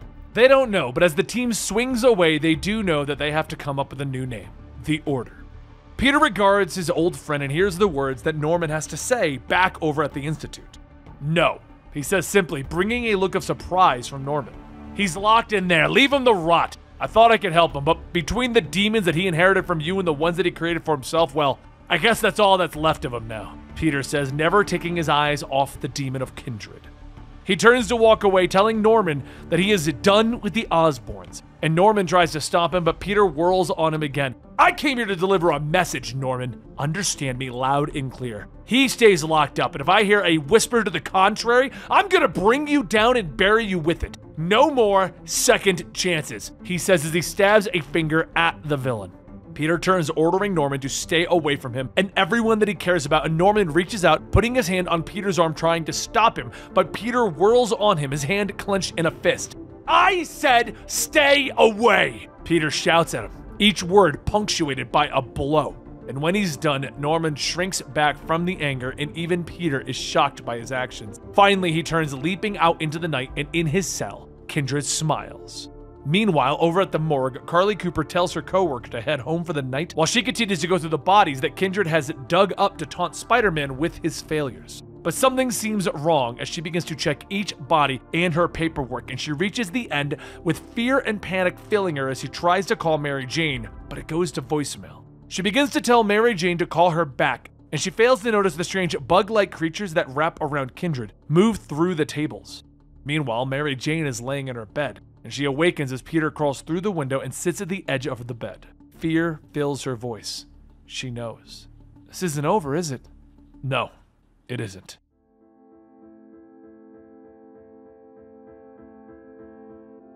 Spider Man readies himself. His costume is torn and he is bloody. Come on then! I said, come on! The negative demons leaping across the room, their swords prepared to turn his skin into ribbons. But a short time earlier, May Parker continued to help Martin Li, who had arrived at the doorstep of the Feast organization. The man pushes her away, though, believing that he is not worthy of her help. Help isn't something the needy earn, Martin. It's something they're owed, she says to him with a smile, repeating the words that she first heard from him. She looks at him, asking what is going on and how he ended up on her doorstep, and Martin nods, explaining that he tried to fight against the aspect of Mr. Negative in his psyche for so long, but he finally gave up. He was buried deep in the villain's mind, losing more and more of himself each day, and yet he saw the Sin Eater on television one day and knew that it was his chance. He fought for control of their body and sought out the Sin Eater, finally getting one he deserved. The blast to the chest ripped the sin out of his body, and Mr. Negative was no more. He lived on the streets, having nothing, and he was happier than he ever thought possible. But it didn't last. Eventually, something happened, and the sins came back, and with it, Mr. Negative. But somehow Martin managed to expel the demon once more, and finally free, he ran to the only place he could think of for help May Parker. But I should have never come. He blacked out once, which meant that Negative was in control again. I don't know what he did with those slivers of time, or what trap he set for me. Outside, looking down on the building from the darkness of the rooftops, the inner demons watch and wait. Meanwhile, across the city, Peter Parker sits down with his old friend Liz Allen. She smiles, happy to catch up and apologize for Harry missing his friend, telling Peter that the last she spoke to him, Harry was in Paris. Peter's face darkens as he explains that that's why he wanted to talk to her. He grows angry as he tells her everything about Kindred, about coming back from the dead, about the sins of the villains being relinquished by Harry. Well, he at least gave her enough information without giving away his secret. She grows angry with him. She calls him a liar. She tells him that she is constantly watching for warning signs. I'm telling you, whoever this is, whoever they have in custody, it is not Harry Osborn. Tears then begin to swell up in her eyes as a voice calls. It's not true, Mom. Normie stands there, and Liz tries to comfort her son, explaining that they were just pretending. But he tells his mother that she doesn't have to lie. I'm not a kid anymore, he says, and Peter believes him, thinking back on the recent events with Norman and the Carnage symbiotes. Dad lies to me too. He lies to everyone. Normie explains, leading them through the house. And inside of one of the closets, he presses a few buttons on a keypad, and the wall slides away, revealing a goblin glider and several pumpkin bombs. Liz is shocked by the sight, but Peter is less than surprised. Suddenly, there's a knock on the door, and Peter turns to answer it, and anger fills his eyes as he sees the one and only Norman Osborn standing in the doorway. Liz storms across the house, shouting at her father in law, You're behind this, aren't you? You're the one that did this to Harry! She yells. She orders the man to leave, and Peter begins to push him out of the door. Actually, Peter, I'm here to see you. Norman explains, asking to speak to Peter in private, and they step into the hallway with Peter slamming him into the wall, demanding to know how Norman knew where he was. I have the house under protective surveillance. Norman explains, but Peter snarls at him to leave him alone. Please, Peter, I'm trying, but this couldn't wait, and it involves someone you love. Norman explains. He goes on to tell him that Fisk was at Ravencroft Institute and he overheard the mayor discussing the impending attack on Feast Center. Isn't that run by May Parker? Norman explains, and panic fills Peter's mind. He gets a pit in his stomach as he shouts to Liz that he'll be back. In moments, he's swinging across the city as Spider Man, and in the center, there's a deep boom against the walls, with both Martin and May looking up. What was that? Many people question, and Martin stands, feeling the presence of his sins outside. Like most evil spirits, he can't enter holy ground. He explains to her, and May nods. If you can't get in, then you're going to stay right here, she tells him. But suddenly there's a crash as the inner demons enter the building, kicking through the doors, destroying everything in their path as they search for Martin Li. As they find the pair in the utility closet, Martin steps in front of May. Get back, May! I'll do the fighting, he tells her. But he is shocked as the demon is yanked back out the door with Spider Man stepping into view. May Parker, are you okay? He asks quickly, and then pauses in shock. Is that Martin Li? He orders them to stay put and slams the door shut as the inner demons descend upon him. Blades slicing through him as he punches the demons away. One slamming into his friend, a sword piercing through his chest. But the demons get back up as Spider Man watches. You know, I almost forgot how hard you guys are to hurt. Normally that wouldn't be a problem for me, but right now, with the week I'm having, That's just what I needed.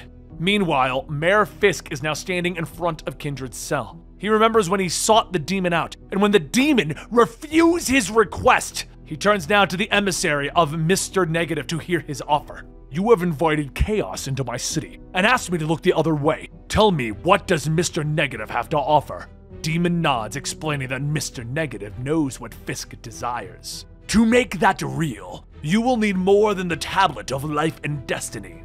Meanwhile, Norman knocks on the door to Liz Allen's apartment, begging her to let him in, hoping to make up for the horrible things that he has done to his family. I didn't come here to ask for forgiveness. I came because I've been put in charge of Harry's progress, and I thought you might want to see him. Tears glisten in Liz's eyes from the other side of the door. Meanwhile, back at the feast center, May Parker opens up a trap door in the floor, motioning for Martin Li to get into the crawl space. We're getting out of here. I've always wondered why you put these crawl spaces under the building, Martin. Now I suppose I have an answer. Outside of the room, Spider Man continues his battle, flipping over the heads of the inner demons, lashing out with his feet and fists. He dodges their blades, kicking out and catching some in the face, but there are too many, and the cuts begin to appear on his costume, blood oozing from dozens of wounds. Meanwhile, over at Ravencroft, Liz is led through the darkened halls until she stands before the creature that her husband has become. She's overwhelmed with terror and grief breaking down, tears streaming out of her eyes as she places her hand on the hardened dark dimension energy. But as Spider Man continues to struggle and fight, one of the demons turns, stabbing down into the floor, almost impaling May and Martin. The floor cracks and breaks as he pulls the elderly woman out of the crawl space, holding her up. Stop, or the woman dies! He shouts as Spider Man stops mid punch, turning to the demon. Let her go! Finally, it is Martin who appears out of the crawl space. That is enough! Do as he says and let her go. I will come along peacefully. May tries to argue as she is released, but Martin shakes his head. This is what is for the best. It has brought me much happiness to see you here and see this place rebuilt. I will not allow it to be destroyed again on my account, he tells her with a sad smile. He walks into the street looking up to see his sin floating like a smoky cloud of evil. He closes his eyes as the monster charges towards him, and there's a bright flash of light, and Spider Man and the others are forced to look away. And when they look back, Mr. Negative turns and smiles at them. Ah, so good to be home.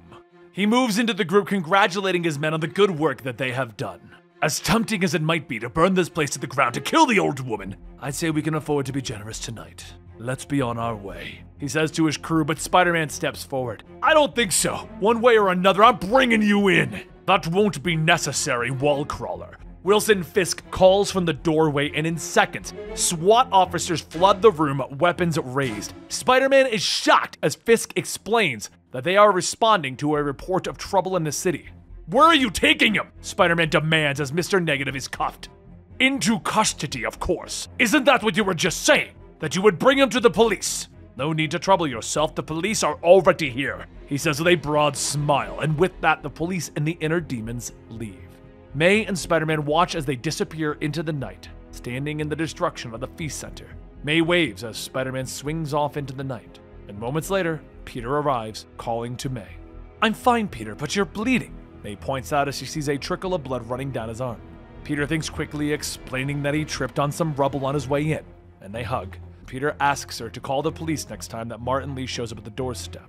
Later, Mr. Negative sits across from Fisk in his office. I have lived up to my end of the bargain, Lee. Now it is time to honor yours.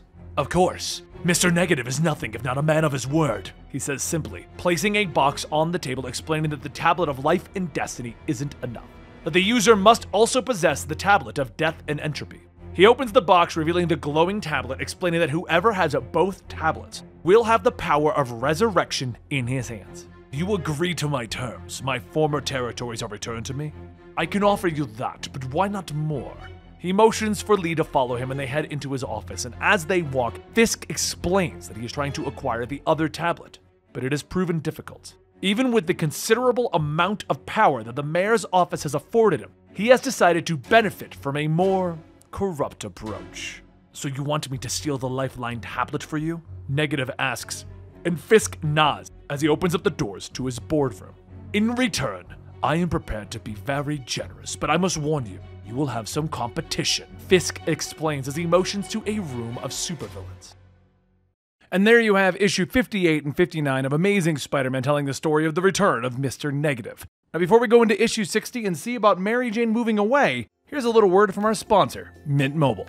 After years of getting ripped off by big wireless providers and tons of fine print contracts, it's time to say enough and get a phone plan that saves money without sacrificing quality. Well, Mint Mobile is just the thing. Mint Mobile offers premium wireless plans starting at just 15 bucks a month. That's it. All plans come with an unlimited talk and text, plus high speed data delivered on the nation's largest 5G network. You can even use your own phone with any Mint Mobile plan and keep your same phone number. And if you aren't completely satisfied, Mint Mobile has you covered with their 7 day money back guarantee. To get your new wireless plan for just $15 a month and get the plan shipped to your door for free, go to mintmobile.com slash complete. That's mintmobile.com slash complete. Cut your wireless bill to 15 bucks a month at mintmobile.com slash complete. Now we go to issue 60. The darkness surrounds the graveyard. Kindred standing over a grave, his centipede tendrils drifting back and forth as they plunge into the ground. And he smiles. Peter wakes up with a startled scream. Oh, good, you're awake, Mary Jane says as she walks into the room carrying a plate of breakfast. Peter shakes his head, apologizing for all the screaming, but Mary Jane interrupts him, shoving food into his mouth. No time for moody narration now, Tiger. You and I have a place to be. She tells him with a smile, and a short time later, the two of them are walking through the city. Have you heard from Carly lately? She left me a weird message. She sounded upset and then texted me to tell me that she had to go out of town. Mary Jane says as they finally stop in front of a rundown theater. Peter is confused as they stop outside of the theater, but it dawns on him that this is the theater that Norman Osborn rebuilt all of those years ago, and Mary Jane smiles, reminding him that this is where she got her big break. The building is run down as Mary Jane leads him in, explaining that she got a set of keys from the owner. I told him that I needed a place to practice while I was out of town, she tells Peter. Peter's a little confused, wondering if Mary Jane wants him to read lines with her or why they couldn't just do the lines back at the apartment. Afraid not. What we're doing requires a bit more of a real thing, she says, pulling a lever and a spotlight suddenly shines down on Peter. And they're not my lines, they're yours. After all, this is your show. She tells him as he looks surprised. He doesn't understand what she means, and she crosses the room explaining that she knows that there is something his subconscious wants to say to Harry. Peter looks away. You want me to pretend that he's here? I want you to believe that he's here, she explains, telling him that this has worked for her in the past. She went and saw a therapist after Gwen Stacy died, and this idea allowed her to finally say goodbye to her friend. She finally sits in the front row, asking him to just try it for her. He feels weird, but he closes his eyes and he tries the techniques that she suggests. He imagines that night at the mausoleum, the night that he fought the Green Goblin and Kindred, the dark energy that seeped through the walls and captured his former friend. And when he opens his eyes, Kindred is sitting in the front row. You've got something to say? The demon asks. And Peter stares at him for a moment, stumbling over his words. I, I, I don't know where to start. I, I don't know how to do this. Just try, Kindred tells him simply. Peter begins to build up steam as he goes, talking about how he heard what Harry said as he was being captured. And he questions why Harry couldn't just talk to him and explain everything. Like, how you got this way. All I know is that it's the same as always. You blame me.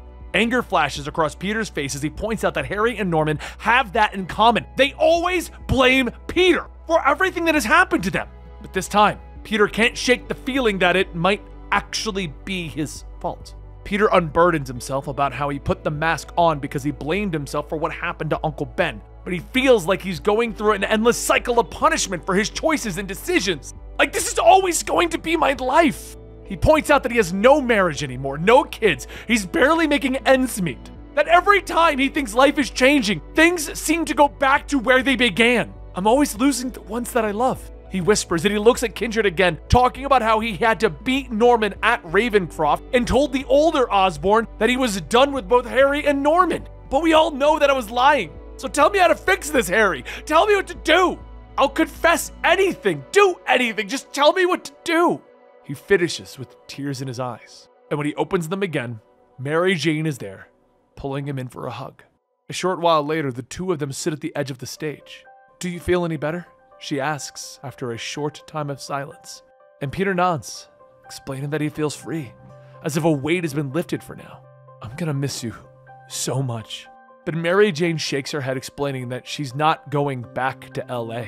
They kiss and he tells her that she's amazing. Oh god, class! He suddenly shouts and Mary Jane smiles as he pulls out his mask and begins to run across the room. You're already late. You might want to change. So a few moments pass as she stands quietly in the darkness of the theater. You're early, she says, turning to the man standing in the darkness. How much of that did you hear? Enough to hear you make promises you can't keep. But MJ shakes her head, explaining how great it will be for the movie to be premiered in the city where it's set. That's not the point. This was supposed to be a creative partnership. Mysterio tells her as he steps out of the shadows in a swirl of smoke. Huh. How do you suppose your date will feel when he learns who you've been working with on your grand performance comeback? He asks, and she shakes her head, explaining that she'll tell Peter soon. She looks at Quentin Beck for a moment, questioning whether he knows something about Kindred and what's been happening, but Mysterio looks at her, telling her that some things are best left unknown. You know what they say about the road to hell. Meanwhile, Doctor Strange steps out of a portal in the front of a casino owner's office, and the guard tries to stop him, but in a moment, he's sent through the doorway, and Strange strides in. Honestly, Stephen, would it kill you to make an appointment? Some of us have a business to run. Enough. I'm not here to play games with you. A powerful demon is running loose, targeting a good friend of mine, calls himself Kindred. Strange snaps and Mephisto shakes his head, admitting, I've never heard of that demon, Strange. Besides, most of my former associates don't leave forwarding addresses. Afraid I won't be of much use to you. Mephisto admits, but Strange shakes his head, explaining, I already have a way to track the demon. No, what I found when I looked is what concerns me. Tell me, devil, what is wrong with Peter Parker's soul?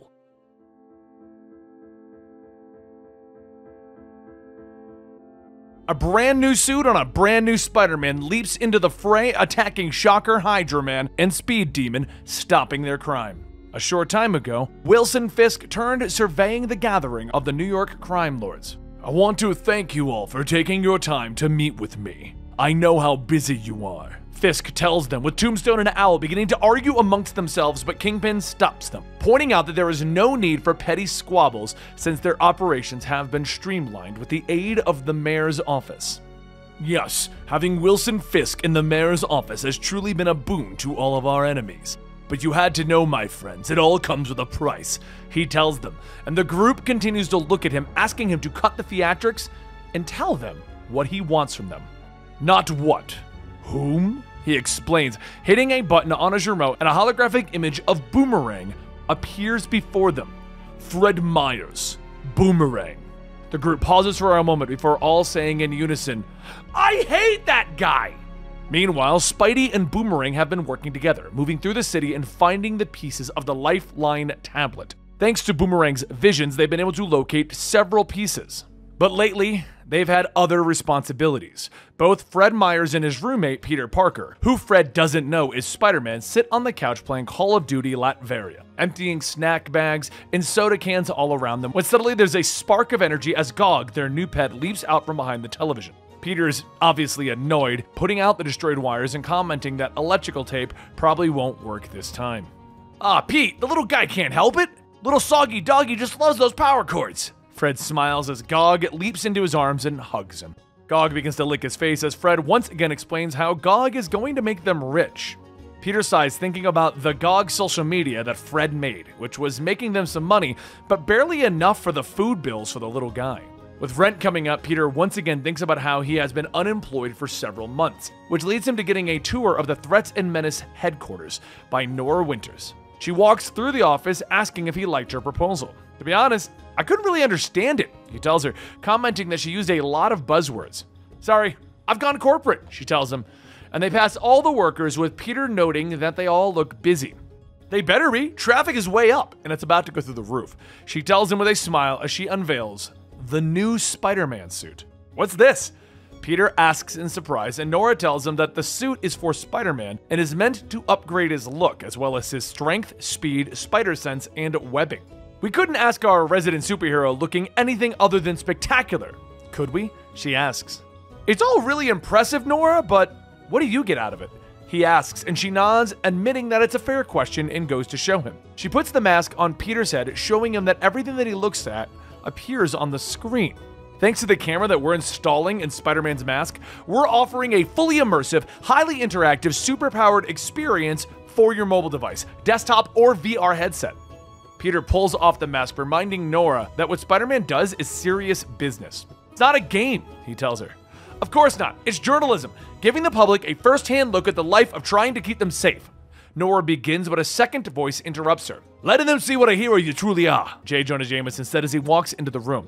What do you think, my boy? Pretty impressive, isn't it? He asks with a smile, and Peter doesn't agree, pointing out that live streaming all of Spider Man's exploits could expose some of the secrets that he's been trying to keep. But Jameson agrees, explaining that the stream would be on a delay and that Spider Man has to agree to it. I assure you, Parker, protecting Spider Man's secrets has been my top priority every step of the way in putting this together, Jameson tells him as he sits at the command console. Peter still isn't convinced though, continuing to point out the potential problems and dangers that could come out of this. This is what we're offering to pay him, Nora says as she dangles a piece of paper in front of Peter.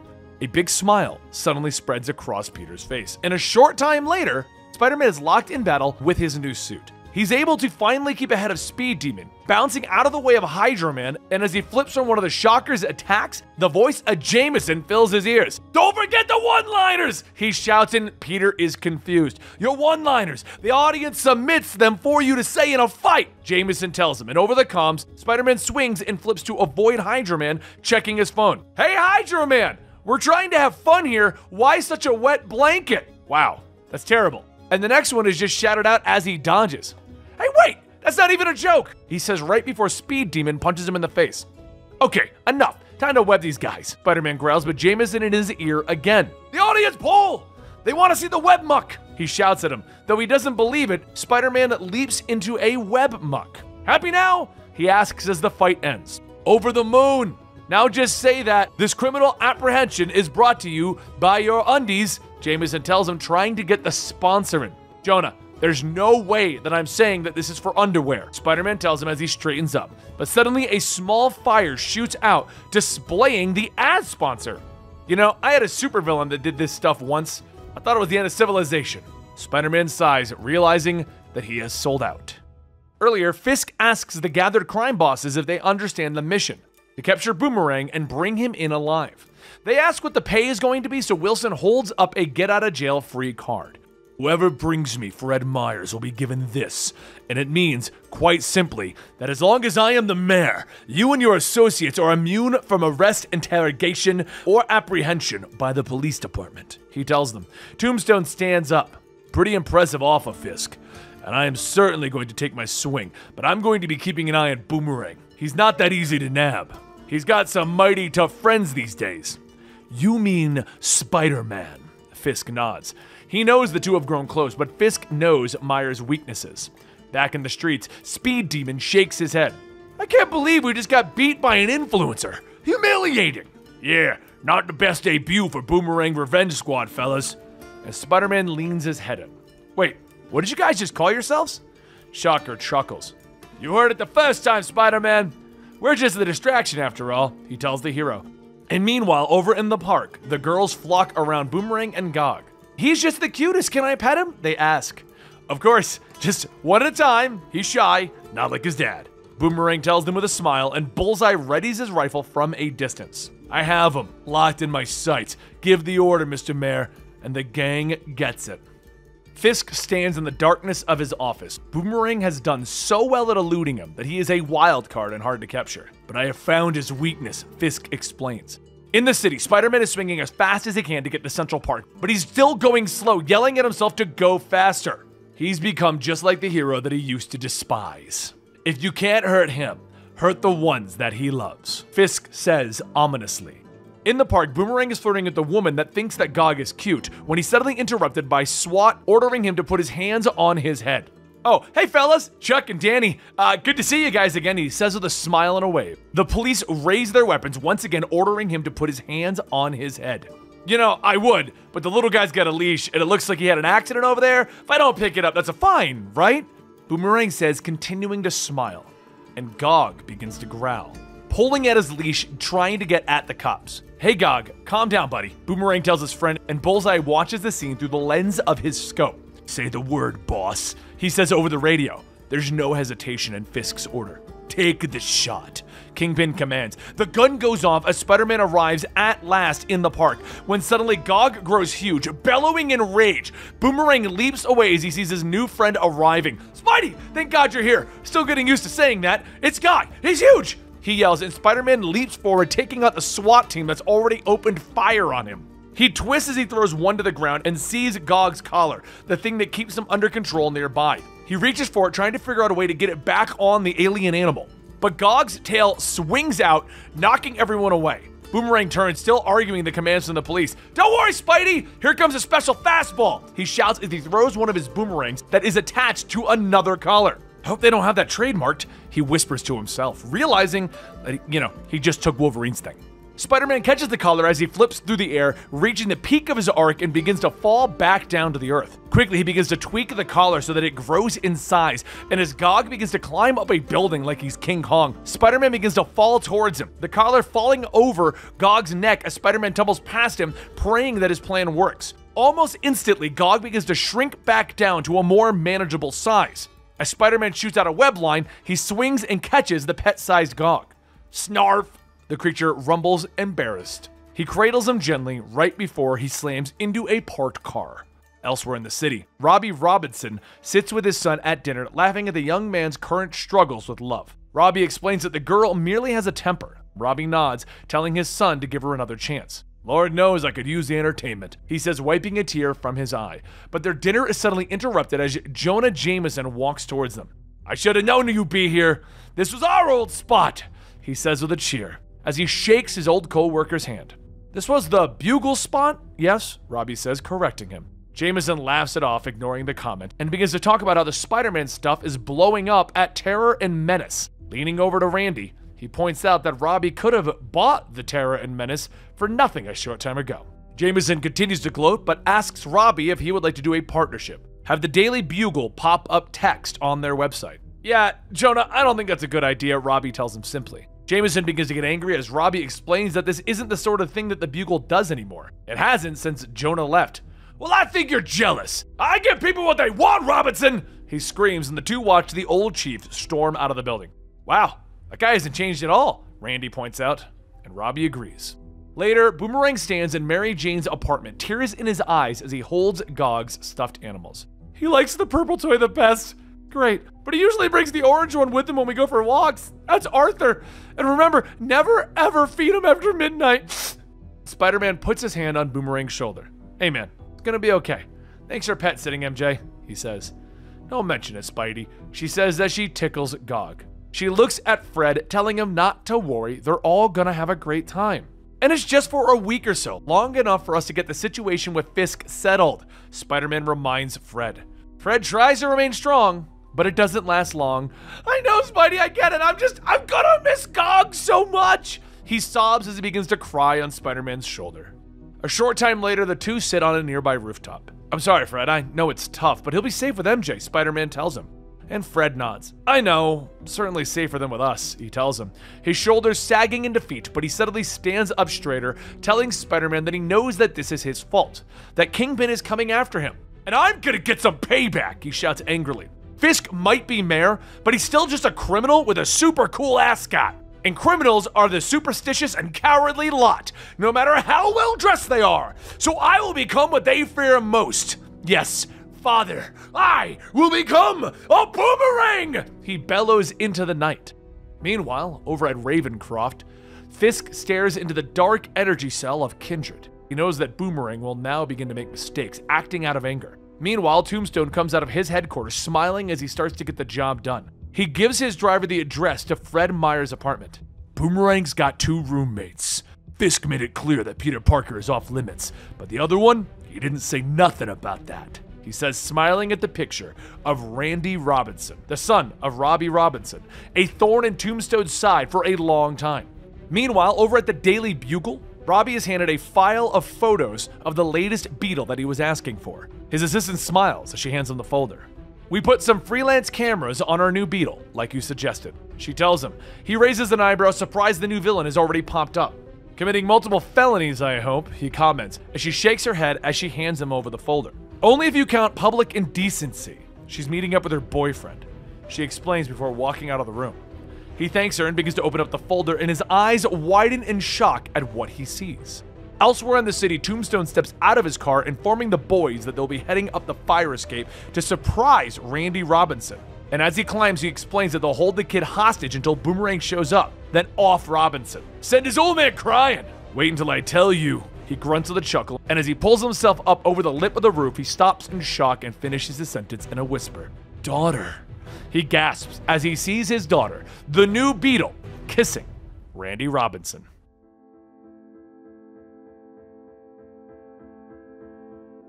Night has fallen over the Ravencroft Institute. Norman Osborn pacing outside of his son's cell. There was something of a breakthrough the other day. With Normie, I mean. Norman explains to his son, and he tells him that he showed the boy an old picture of Norman and Harry from when they seemed almost happy. Do you remember this day?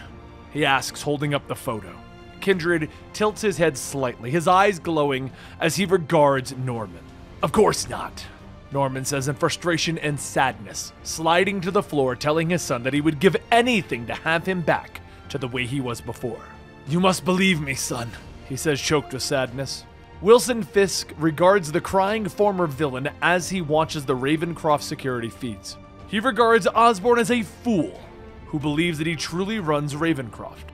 This is your demon? The one you call Kindred? Baron Mordo asks, and Fisk nods as he looks up, explaining to the sorcerer that he requires his expertise. The Hells are a big place, Kingpin. You may not know all of its denizens, but lucky for you, I know how to make them bleed. He tells Fisk, and as Fisk leans over the desk, he explains that he doesn't need Kindred to bleed, just to talk. He tells Mordo that he'll give him the Tablet of Death and Entropy if he can convince Kindred to give Fisk what he wants. And Baron Mordo looks at the demon on the screens. Very well. I do love a challenge. I must warn you, though. Things could get very ugly, he says. Meanwhile, in the city, as Spider Man and Boomerang leap amongst the Hammerhead goons, webbing and boomeranging them while they move to avoid blows and bullets. Fred, up here! Spider Man shouts as he takes a punch to the jaw. Boomerang knocks another of the goons' guns away as he leaps ahead. I see it! Don't worry, Spidey, I'm on it! Go, go, Gadget, boots! He shouts as his rocket boots begin to take him above the fray. Myers rockets around for a brief moment before grabbing a piece of the tablet. Got it! Let's blow this ju- He begins to shout to Spider-Man, but an explosion rocks the fight, throwing Fred away. When the smoke clears, the owl is standing there with his own army of goons. The game's afoot, gentlemen! He shouts to his goons, and the two crews of mobsters rush forward, quickly beginning to battle against each other. Meanwhile, at their apartment, Tombstone is stumbling down from the rooftop after seeing his daughter kissing Randy Robinson. No, no, no, no. It can't be! He mumbles to himself. His thugs are confused as to what is happening to their boss. Over at the Daily Bugle, Robbie Robinson tells his assistant to make sure that no one sees the photos. He ignores her questions as he pulls on his coat, heading for the door. The owl, meanwhile, is moving in to grab Boomerang as Spider Man fights Hammerhead. At last, Boomerang will be mine! Owl shouts with joy, and Hammerhead turns from punching Spider Man in the face. Get your weird blood hands off him, Owlsy! He shouts as he leaps at the villain. Well, that's a lucky break, Spider Man comments as he pulls Fred to his feet, and the two warring group of mobsters begin to shoot at each other, with Spider Man shouting for Fred to run. Using the power of his new suit, he begins to rush towards the crowd. The suit makes him faster, stronger, and quicker with his webs, and in a matter of moments, the entire battle has ended with everyone gunked up. And as Spider Man swings away, he is quickly surrounded by his adoring fans with Jonah shouting out that stick around because Spider Man will be giving off an AMA. Spider Man pauses. Do you know what an AMA is? And Jonah smiles. Nope!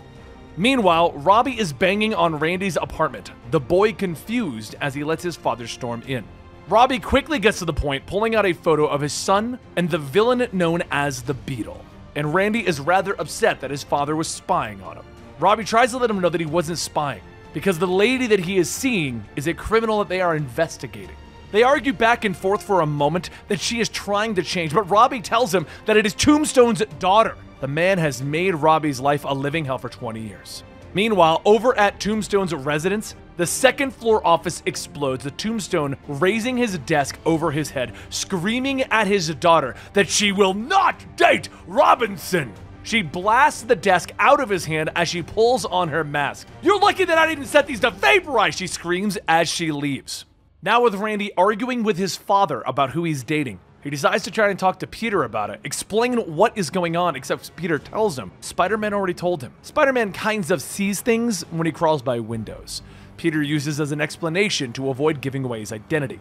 Meanwhile, Beetle is sitting with her own friends, where she tries to explain what is going on. After speaking to their friends, the end result is that Beetle and Randy just need to have a talk about how their fathers feel about this. So, a short time later, Robbie sits up in his bed. Wow, great talk, he tells Janice as she lays next to him. See, who cares what our fathers think, she tells him with a smile, leaning in and kissing him. All that matters is us. And with that, they cuddle in bed, and Randy tells her about his father storming into the apartment. I told him that you were reforming, he continued, and anger flashes across her face as she suddenly sits up. What? That's not what I said! She snaps, getting out of bed, quickly packing up her things, grumbling angrily. I can't believe this! My dad was right! You're never going to change! Randy snaps as she begins to tie up her hair, preparing to leave. They continue to argue until Randy finally stops her. You know, maybe we should. But at that moment, a voice interrupts him from the door. Freeze and come along quietly? Crime Master asks as the rest of his goons begin to walk into the room. Nah, you were gonna say something else, Crime Master continues. Janice quickly throws Randy down as she leaps into combat with the heavily armed thugs. She twists, throwing Crime Master against a wall, but suddenly she gets cracked in the back of the head. This one is not to be trifled with. Madame Mask notes as Janice falls to the floor. Rubbing her head, Janice looks up at the supervillain when suddenly a big smile crosses her face and she begins to gush like an excited fangirl. As she begins to babble, Madame Mask kicks her across the face, knocking her out. I may be getting soft in my age, girl, but not that soft and as Crime Master stands up, he orders his goons to grab the two of them. Randy, you decent man, you got a story to tell, Fred shouts as he and Peter enter the room, seeing both Randy and Janice getting kidnapped. They both stop at the sight before them. It's him! Madame Mask hisses. It's them! Fred shouts, pointing at the criminals. It's not what it looks like! Randy shouts as he struggles out of bed, and the goons open fire as Peter Parker's apartment explodes. Meanwhile, back over at Ravencroft Institution, speak. The magical words echo throughout the halls of Ravencroft as Norman runs towards Kindred's cell. He crashes through the door just as a painful roar is ripped magically from the demon's mouth as Mordo stands over him, Kingpin watching from the nearby.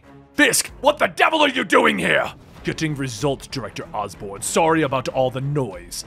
Fisk responds not even bothering to turn around, and the two begin to argue with Norman yelling that they had a deal and that Kindred is his patient. Doesn't seem to be doing very well under your CAD, Norman. As you can hear, Baron Mordo has made quite the breakthrough, Fisk says as he glances over his shoulder, another roar of pain escaping Kindred's mouth. We had a deal, if you heard him! Norman snaps at Fisk, but the mayor merely smiles.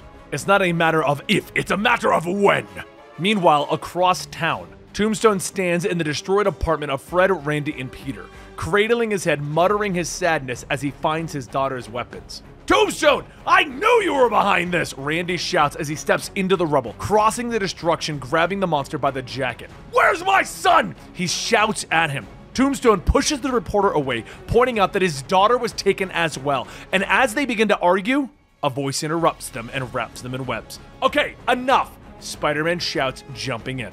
If anyone's going to blame themselves for this, it'll be me, fellas. It's kind of my thing. Spider Man begins to talk down both Robbie and Tombstone, telling them that they can't waste any time, and if they put their heads together, they'll save the day. You see, it was hours ago that Crime Master's goons opened fire on Peter and Fred as they walked through the door. Peter ducked back quickly, dragging Fred with him. No, Pete, wait, I can take him, I'll protect! Fred tried to tell him, but Peter slammed his head into the banister, knocking him unconscious. Now alone, he uses the unstable molecules in his new suit to quickly change. Crime Master and his goons storm the stairwell, but they find nothing. Which way did he go? Crime Master demands. You mean the previous tenants? Looks like they bolted. You fellas here for an open house too? Spider-Man jokes as he leaps in from above, now completely changed from Peter Parker to Spider-Man. They open fire, but Spidey quickly leaped and avoided them. His spider sense going off as he turns in time for the Crime Master to pistol whip him. The blow barely hurts as Spider-Man immediately turns, pummeling the would-be mobster. Suddenly, a blast of energy slams into him, launching him into the wall. The energy wraps around him, pulling him to the ground and trapping him. Let's go, Madame Mask orders as she steps into the hall. I'd love to, but I appear to be stuck! Spider Man grunts from the floor. Crime Master lifted up his pistol and aimed at Spider Man's head. Only for the time being, he says, but Madame Mask stops him, informing him that killing Spider Man would only complicate things. And so Spider Man watched as they took Randy and Janice away. The group of villains escaped and they blew up the apartment behind them with Spidey still stuck in the hallway. He pushed his new suit to the limits, straining the power and flexing. The energy net snaps and he quickly leaps through the destroyed apartment. But as he reached the fire escape, he sees the Crime Master vehicle disappearing into the distance. After Spidey tells the two dads the story, Tombstone grunts. Yeah, Crime Master and Madame Mask, huh?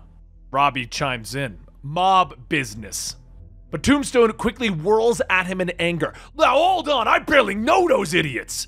He snarls at him, but looking at the photos that Spidey took, Robbie believes he knows a contact that might be able to tell them where the villainous pair are hiding out. Spider-Man nods and he swings away. Great, I don't need to hear another word for legal reasons. You two go see Robbie's contact and see what you can find out. I'm gonna go get some backup. And with that, he swings into the glowing light of the city. As the two kidnapped hostages wake up, Janice and Randy begin to try and figure out what exactly is going on. And while Janice thought that she was going to make an alliance with Madame Mask, Madame Mask turned to her shouting for her to shut up because she has to be the most maddening and irritating hostage that Madame Mask has ever taken. Randy also informs them that they're out of the loop on Peter and Fred's whole tablet scavenger hunt thing.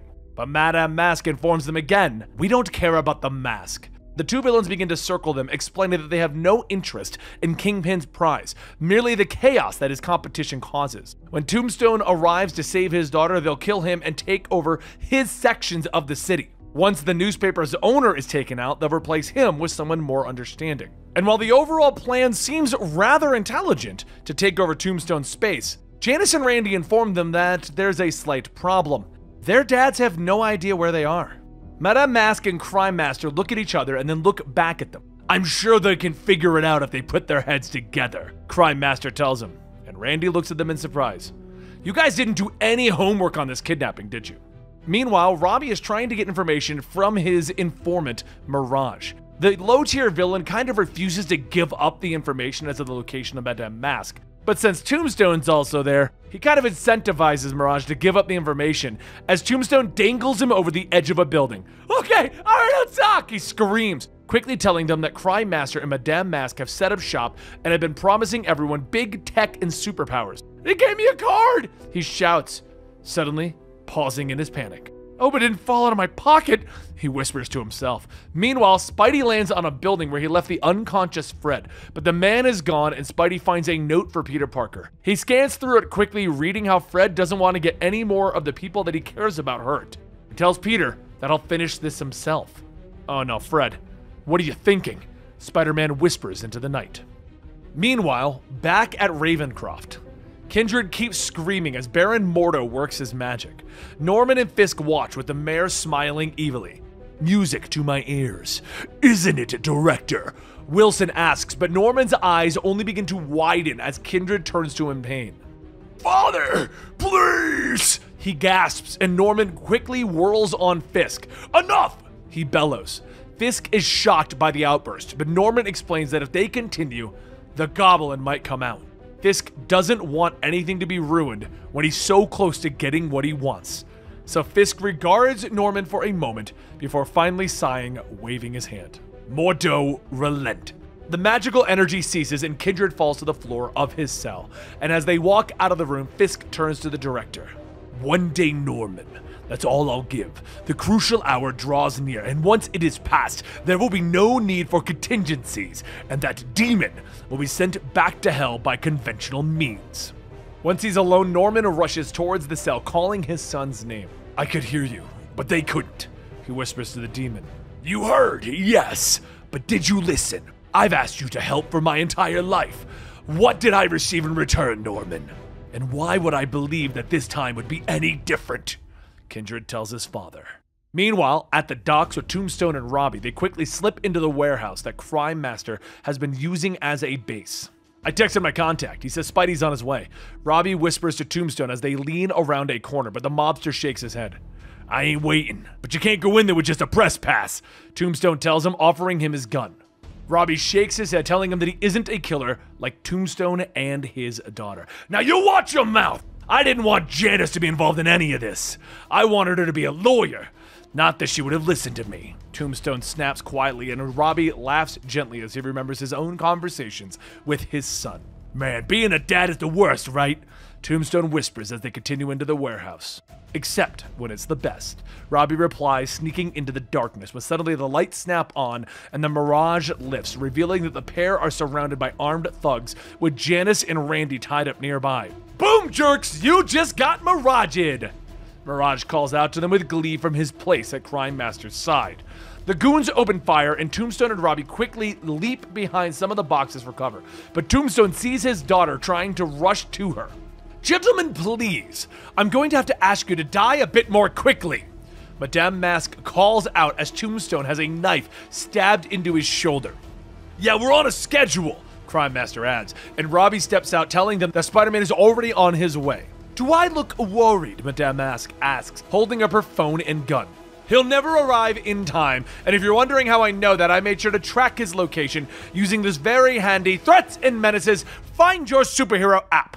Plenty of time to dispose of four bodies, she tells them, but as the goons surround them, Tombstone just smiles. Gonna be more than four. Robinson ain't the only one who called in backup. The wall suddenly explodes inward, and a group of costumed supervillains thunder their way in. The Syndicate! Everyone screams. In moments, the group of villainesses have launched into combat with the Crime Master goons, energy and destruction filling the entire large warehouse. As Tombstone and Robbie rush to the fight, they begin to untie their kids. Believe it or not, Robinson and I talked it over on the way here. If you two love each other, who are we to stand in the way? Tombstone tells his daughter, and the kids look at each other in shock as Tombstone leans over to Robbie. You really think reverse psychology is gonna work? Fingers crossed, Robbie answers. Suddenly, Spider Man flies through one of the windows, joining the fight. Ladies, do you mind if I join in on the rescue? He asks as he leaps into the fray. I can't believe we have to work with him again. Electro snaps as she shoots out a blast of electricity. This time it's gonna be all over the internet. Comments are gonna be brutal, she adds. Spider Man twists and avoids a shot as he slams the head of a goon into the ground. Hey, I get it. It isn't good for the brand. But as someone who's struggled with that for years, take it from me. The public changes their mind all the time. You just gotta focus on doing your job and give me a good show, he tells her. And as he flips through the air, grabbing White Rabbit and pulling her free of the blast, Spider Man and the Syndicate continue to fight around the room, taking out the heavy amount of guards. Meanwhile, Janice turns to see Madame Mask bearing down on her. I suppose it's just you and me, Beetle, Mask snarls, but Janice avoids the woman's first blow. I came to you as a peer, as an ally, and this is how you treat me? I guess what they say is true. Never meet your heroes or villains. Who cares? Janice snaps as she twists out of the way and hits the woman with a blast from her gauntlet. This is for not accepting my LinkedIn request, she snaps, energy crackling across the room, slamming into Madame Mask. Meanwhile, Robbie and Randy are watching the fight, starting to get what you see in her. Robbie whispers to his son. And Crime Master begins to take down Spider Man, punching him hard in the face. But the new suit protects him, and Spidey avoids another blow. Flipping through the air, he kicks Crime Master hard in the face. A short time later, outside, Janice and Randy hold each other closely, kissing as others stand nearby. Tombstone grumbles, trying to get over it, and finally the two turn to everyone standing nearby, from the Syndicate to their fathers to Spider Man. They announce, We're moving in together! They cheer, and everyone's eyes widen with shock. Meanwhile, back at Ravencroft Institute, Norman chases off another one of the night guards, opening up the door to the quiet cell. Darkness fills the room, and a voice speaks from the shadows Osborn, what do you want? The voice asks, and Norman smiles. The same thing that you do, dear patient. The chance to help yourself and your neighbor, he says. Meanwhile, at MJ's apartment, Peter sits there with his note, unable to think of a way to find Fred. It's okay. They'll figure it out, Mary Jane tells him. But Peter shakes his head. All I have is his note and a really slobbery boomerang, he says as he motions to Gog, who sits nearby playing with Fred's boomerang. He really loves that boomerang. Guess anything that's got Fred's scent on it, Mary Jane says with a nod. Suddenly it hits Peter, and he goes to Gog with the note. The animal sniffs it, and a short time later, Spider Man keeps the creature on a web leash as it leads him through the city. Elsewhere, Bullseye watches Boomerang through his scope. Target acquired, Mr. Mayor. Now, for God's sake, can I finally kill him?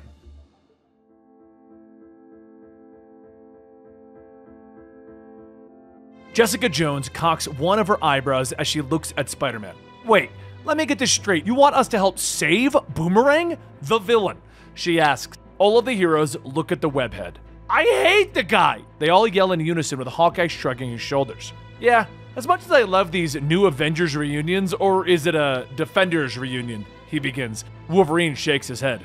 Can't be Defenders. I never did that. He says, and Clint looks at him. Yeah, you did! Oh, hell. You're right. Wolverine sighs.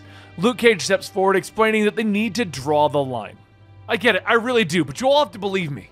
He's changed. Spidey tries to explain to them, and memories of the recent months with Fred pass through his mind. Finding the tablets together, being roommates, raising Gog, Fred has become a friend to him. It was earlier that he followed Gog through the city until the little monster led him to a sewer tunnel where Fred and he fought against the vermin and found Gog in the first place. But unfortunately, Spider Man wasn't the only one tracking Boomerang there. It didn't take long before every crime family in the city arrived as well, preparing to fight each other for the right to capture Fred and bring him to Fisk. It was then that Negative stepped forward. I have no interest in Fisk's games. Allow me to suggest He's all of ours. What if we made this a joint venture, profit sharing? He offers, and the mobsters all look at each other, surprised by what he was suggesting. No way I am making a deal without my lawyer present, a crime boss says simply. But as Spider Man watches, the mobsters make their lawyers present and all the deals are signed. Luckily, this gave Spider Man time to get Gog back to Mary Jane and call a few friends. Meanwhile, at the mayor's office, Dr. Carey, an expert on ancient Lemurian technology and the newest member of Fisk's team, explains that there are reports of high gang activity near the site of the last tablet. Leave public safety to me. Back on the rooftop, Spider Man looks at all of his friends. Okay, so we gotta stop Kingpin, he tells them. And once again, Jessica Jones turns to him. You mean your best pal, Wilson Fisk? Spider Man looks at him, his eyes widening in shock. Hey, guys, come on! You don't believe the whole PR campaign! Does that even sound like me? Maybe you got your brain swapped with Doc Ock, Wolverine says. Or maybe you got corrupted by an alien symbiote, Clint adds. Oh, I got one. Maybe Kraven stole your costume, Jess finishes up. And Spidey sighs. I'm sensing a theme here. They all point out that people might not be so quick to jump to conclusions if he reached out, or checked his email, or, you know, came to one of the reunion dinners. Clint tells him, Wait, there's reunion dinners for the Avengers? Spidey asks, shocked. It was in the email, Logan points out, but finally they explain to Peter that they'll help, but he just needs to reach out once in a while. That's our job. We were just waiting for Luke to say. Clint explains as he gets ready, and all of the heroes leap off of the rooftop, jumping in to fight the mobsters with Luke Cage shouting out, Avengers, assemble! Spidey swings in, but a mobster prepares to punch him. Luckily, Jessica Jones is there, throwing the criminal aside. And as the heroes leap and fight amongst the monsters, Jessica turns to Spidey. Get out of here! She commands as she motions to the manhole cover. In seconds, he pulls the cover free, leaping into the darkness of the sewers. We've arrived! Jameson suddenly shouts into his comms, and Spidey's eyes widen as he listens to all of the background noise in his ear. Elsewhere in the city, Jonah steps out onto a live stage amidst a round of applause. Everyone is cheering and clapping as he introduces the first ever TNM live show. Spider Man's suit is broadcasting everything he sees to the adoring crowds. As Jonah looks over them, he explains that they're introducing a new feature to TNM. Now you can join Spidey out there fighting crime with the Pro Spider Slayers, he announces. Meanwhile, at the fight, the heroes suddenly look up to see strange robots leaping into the battle, swatting aside the criminals. All of the superheroes look at each other in shock. Yeah, I have no idea, Spider Woman says with a shrug. And while the Spider Slayers might have seemed like a good idea, it didn't take long for untrained civilians piloting robots to cause a lot of property damage. And this being the internet, they very quickly began to fight each other. As everything begins to go to hell, J. Jonah Jameson watches, swallowing nervously, pulling up his collar. Meanwhile, in the sewers, Spider Man has finally found Fred. Boomerang continues to climb up the rubble that they left behind the last time, trying to find the last piece of the tablet. Leave me alone, Spidey! Like I told Pete in the note, I got this! The former villain tells his friend, but suddenly the rubble begins to crumble and Fred falls back down.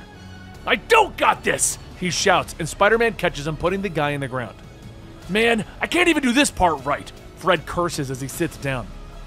No matter what I do, I can never win. Fred says to his friend in Spider Man size, explaining to Fred that he knows all about that feeling. That no matter what he does, he seems to get people hurt. So he began to push everyone away. None of us can live like that. We need people in our lives, otherwise, what are we even doing this for? Point is, you're not alone, Spider Man tells him, and suddenly a voice calls out from behind. He's right, Fred! You're not alone! The Shocker shouts, and the pair turn to see Hydro Man, Shocker, and Speed Demon there. Spidey and Boomerang leap into the fight, and with a couple of well placed kicks and boomerangs, the trio of villains is quickly webbed to the wall. Now, what do you say that you and me power through this rubble and finish this? Spider Man asks, so the two shake hands and turn back to tackle the wall. Once again through, Fred asks what they're planning to do about Fisk's pieces of the tablet. I told you, leave that to me, Spidey once again tells him. Meanwhile, over on the street level, Fisk watches the heroes battling it out with the crime families. This is madness. We have to hurry. Fisk whispers, turning back to his truck, pulling open the doors, calling out for Dr. Carey. But the truck is empty and the doctor is gone. And above them, Black Cat smiles as she swings away with Fisk's piece of the tablet. In a short time, she's handing the piece of the tablet to Spidey. We used to date, Boomerang reminds her. We really didn't, Black Cat shrugs. And as the heroes head back to the wall, Black Cat turns to leave, reminding Spider Man that she'll meet him at the rendezvous. The two get through the rubble, quickly finding the last piece embedded in the wall, and as Spider Man reaches for it, the spirit of the city, Archivist, appears before them. At last, your quest might come to an end if you can pass the test, the spirit tells them. As the spirit floats before them, it explains that only a true hero can take the tablet from him. All the others will face certain death. Boomerang nods, stepping forward, but Spider Man quickly webs him, hanging him to the ceiling. Fred swings there, yelling at Spidey, I won't let you risk your life! And right there tells me all I need to know. As far as I'm concerned, you're a hero, alright? But right this second, maybe we don't need to put too much to the test. Spider Man says as he turns away. On the comms, Jonah chimes in, telling Peter that this is his chance to prove to everyone that he is the hero for this city, that he is not a menace. You can live stream it to the world and let them see Spider Man be a hero, he shouts with glee, but Peter knows that he can't do that.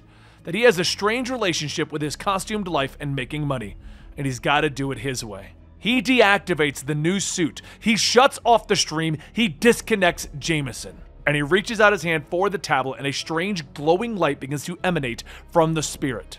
You pass, it tells him. And Spidey looks down to find himself holding the last piece of the tablet. A moment passes, and he turns back to Fred. Are you sure about this? He asks, when suddenly a fist cracks across his jaw at super speed. Speed Demon screech into a hold, holding the piece of the tablet. Before Spider-Man can react, a blast from Shocker's gauntlets would slam him into the wall, and he looks up to see Fred is gone. He thwips into the air, swinging and kicking Speed Demon in the face, but another blast hits him, slamming him into the water. He begins to sink, and as he looks up, he sees Boomerang holding the last piece of the tablet, waving at him. Blackness then clouds his vision as he begins to wonder if he was betrayed. He snaps awake on the couch with Black Cat leaning over him. Peter, easy she says. And he sits up with her explaining that she went looking for him when he didn't make the rendezvous. Fred! Peter shouts, and Black Cat shakes her head, explaining that he is long gone. But he did leave a note. Offering it to him, Peter stands and begins to read the note that explains everything. Dear Spidey, I betrayed you, and I'm really sorry about that, but on the plus side, at least I finally get to come clean. Fred explains that several months ago, the city archivist came to him and asked him to find the pieces of the tablet, but he was already hired by Wilson Fisk to find them.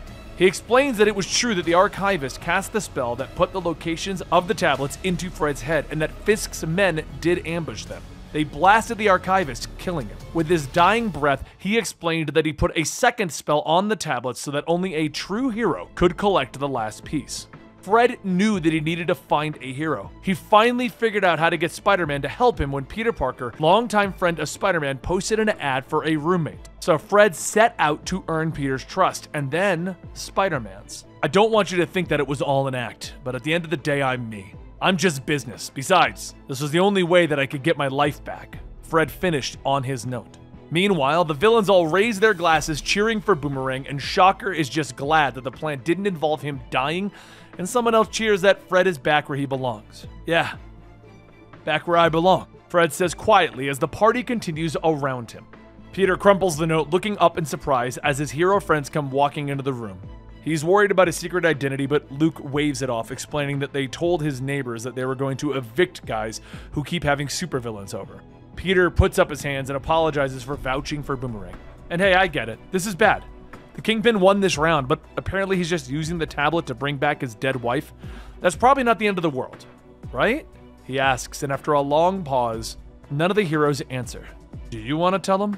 Meanwhile, over at the penthouse, Fisk kneels before the portrait of his late wife, begging her forgiveness. That all he ever wanted was to bring her back, and that is why he searched for the tablet. That's why he sought out Kindred, but the demon's answer was a simple no. What makes you think she even wants to come back?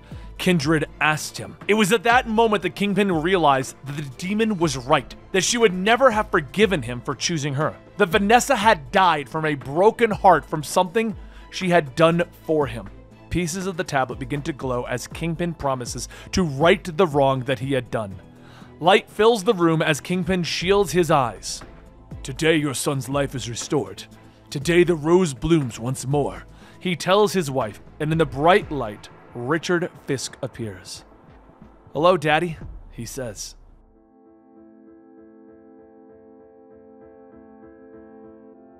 Kindred's body convulses as he screams in rage and pain, the magical energy that courses through him stopping. I admire your fortitude, demon. At this for days and you've never broken, but as I explained, I was trying to help. Too late for all of that now, sadly. Baron Mordo says to the demon as he stares at him, his hands beginning to glow again as he prepares another attack. Kindred looks at him with a blank expression, and Mordo stops long enough to explain. Fisk no longer needs Kindred, as he has acquired the tablets and brought back his son from the dead. In his home, Mayor pulls Richard Fisk close to him for a hug. It'll be different this time, Richard. It'll all be different, he whispers. But back with Mordo, he leans against the dark energy cell, gloating that he can finally end Kindred's life. Father! Kindred gasps, but the word merely makes Mordo smile as he prepares another attack. I'll be sure to relay the message, Mordo says when suddenly he is punched in the back of the head as the spot appears. Mordo falls to the ground unconscious as the spot pulls down the walls of Kindred's prison. Norman Osborn enters the room with his guards, promising that he'll keep his word and set the spot free as he orders everyone out. The room is emptied, and Norman leans in over Kindred's body. It's all right, Harry. I'm here.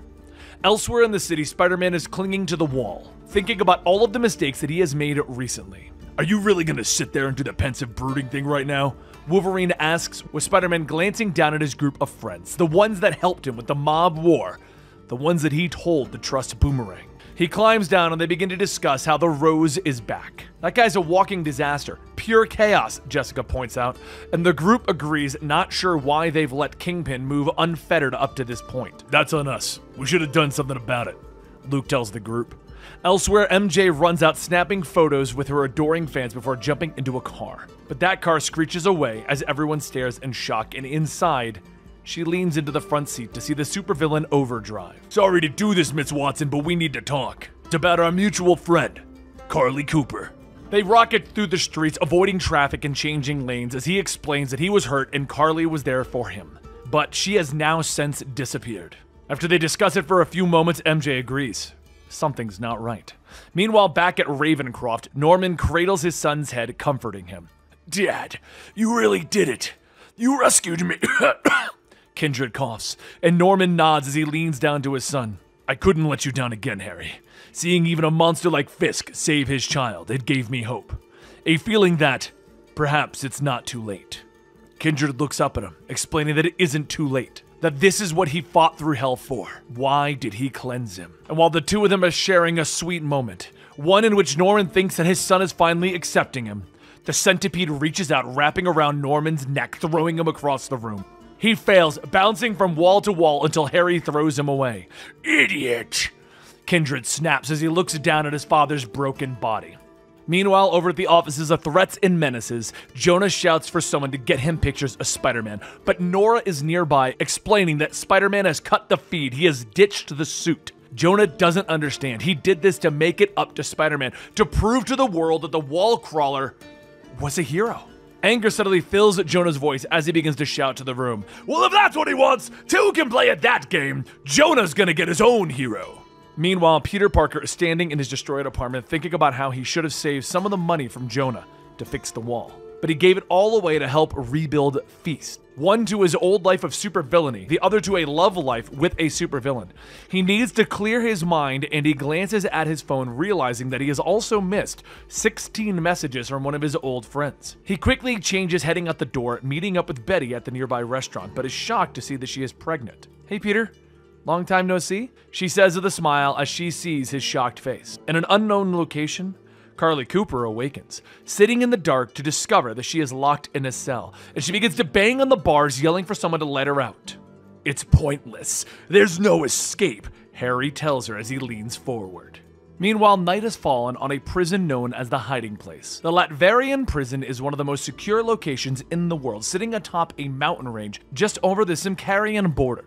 Inside, the guards stand at the ready, but as is the way with all long duties, they have grown complacent and someone descends from the ceiling, swinging back and forth, kicking them unconscious. The door slides open, and the chameleon looks to see Teresa Parker, Peter Parker's sister, staring back at him. Ah, there you are, he says with a smile, and she stares back at him for a beat before pulling out her pistol. Hello, Dmitri, she snaps. Thunder echoes in the room as she squeezes the trigger. Back in New York, Peter's eyes go wide as he stares at a pregnant Betty Brant. What, why didn't you tell me? He finally manages, and she just looks at him. I think you mean, why didn't I respond to your 700 emails and text messages, Betty? She tells him. Finally, Peter gets past his surprise, pulling her in for a hug, giving her a congratulations. The two of them go back and forth for a moment, discussing the story that she is working on and MJ, but finally, Peter needs to know who's the father? And she tells him with joy that it's Ned's. She begins to launch into the story, but the past flashes in Peter's mind. How Ned Leeds had died, but came back from the dead when the Jackal cloned him. Betty explains that an anonymous source was helping her with the story before asking to meet. It was in a dark parking garage when Betty discovered that it was Ned. Reunited, the two shared an impassioned kiss and a night together. But Betty had to keep digging into the story, and Ned had to stay underground. And as she continues with her story, she realizes that Peter looks overly shocked, then stumbling to his feet, he tells her that he forgot a meeting at ESU. As he begins to rush out of the diner, she yells out to him that she does want to talk to him about the story because she could use his help. He quickly rushes into an alleyway, changing into his Spider Man costume. Because what he's afraid to tell Betty is that he didn't tell her when Ned came back because he figured that the clone had died, but later discovered that the clone of Ned Leeds had survived only to be shot by the Taskmaster. I didn't account for the possibility that he might have reached out to her, he thinks to himself as he swings over the city, stopping on a rooftop, angry at himself for what he did, punching a brick. He let a clone reach out to his ex girlfriend and get her pregnant, and then die. Meanwhile, back at the prison known as the hiding place, the chameleon is clutching his wounded shoulder, looking up at Teresa. You shot me! Again! She nods as she steps across the room. She tells him third time's the charm, punching him in the gut but he grins at her, explaining that he knows that appearances can be deceiving. You didn't come here to kill me. He nods, blood oozing between his fingers as he tries to stop the wound in his shoulder. You came because you wanted information. You want to know about your parents. She stares at him for a moment before lashing out and punching him across the room, but he stands again, wiping blood from his mouth. I want you to know! I won't hold this anger against you. That would be unfair. I can't imagine how difficult this must all be for you. He told you about this, didn't he? And you felt it that sinking feeling in your gut recognition. She snarls back at him, yelling for him to shut up, and then draws her pistol, aiming it at his head. But the chameleon smiles and talks. You just want to know if you like them. Back over at the ESU campus, Peter and Jamie begin to work on their project, Clairvoyant. Peter nods to Jamie, marking in the log that they're beginning trial 7.6. Ready when you are, he tells his partner. They activate the clairvoyant system, but the battery quickly begins to overload and the system shuts down. While Jamie tries to come up with an excuse, tries to explain that they just need more power, Peter tells him that it's not going to work. They've used everything they have. They continue to go back and forth as Peter explains that clairvoyant's power source should have lasted longer, but Jamie had apparently been conducting experiments on his own. It gets so heated that Jamie grabs the device and rushes out of the room leaving Peter to wonder what is going on with Jamie. That night, as he headed back to his home, he's greeted by his sister at the door with a smile before stepping into his mother's room. Her medical machines continuing to hiss and beep as they fight the cancer to keep her alive. As he steps into an alleyway to bring up the trash later on, someone calls out, Lucky me! Managing to get the drop of the legendary clairvoyant. You must be slipping.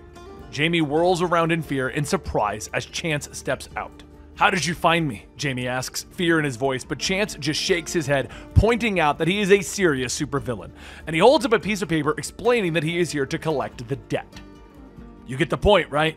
Time to pay up, he says as he tosses the paper away.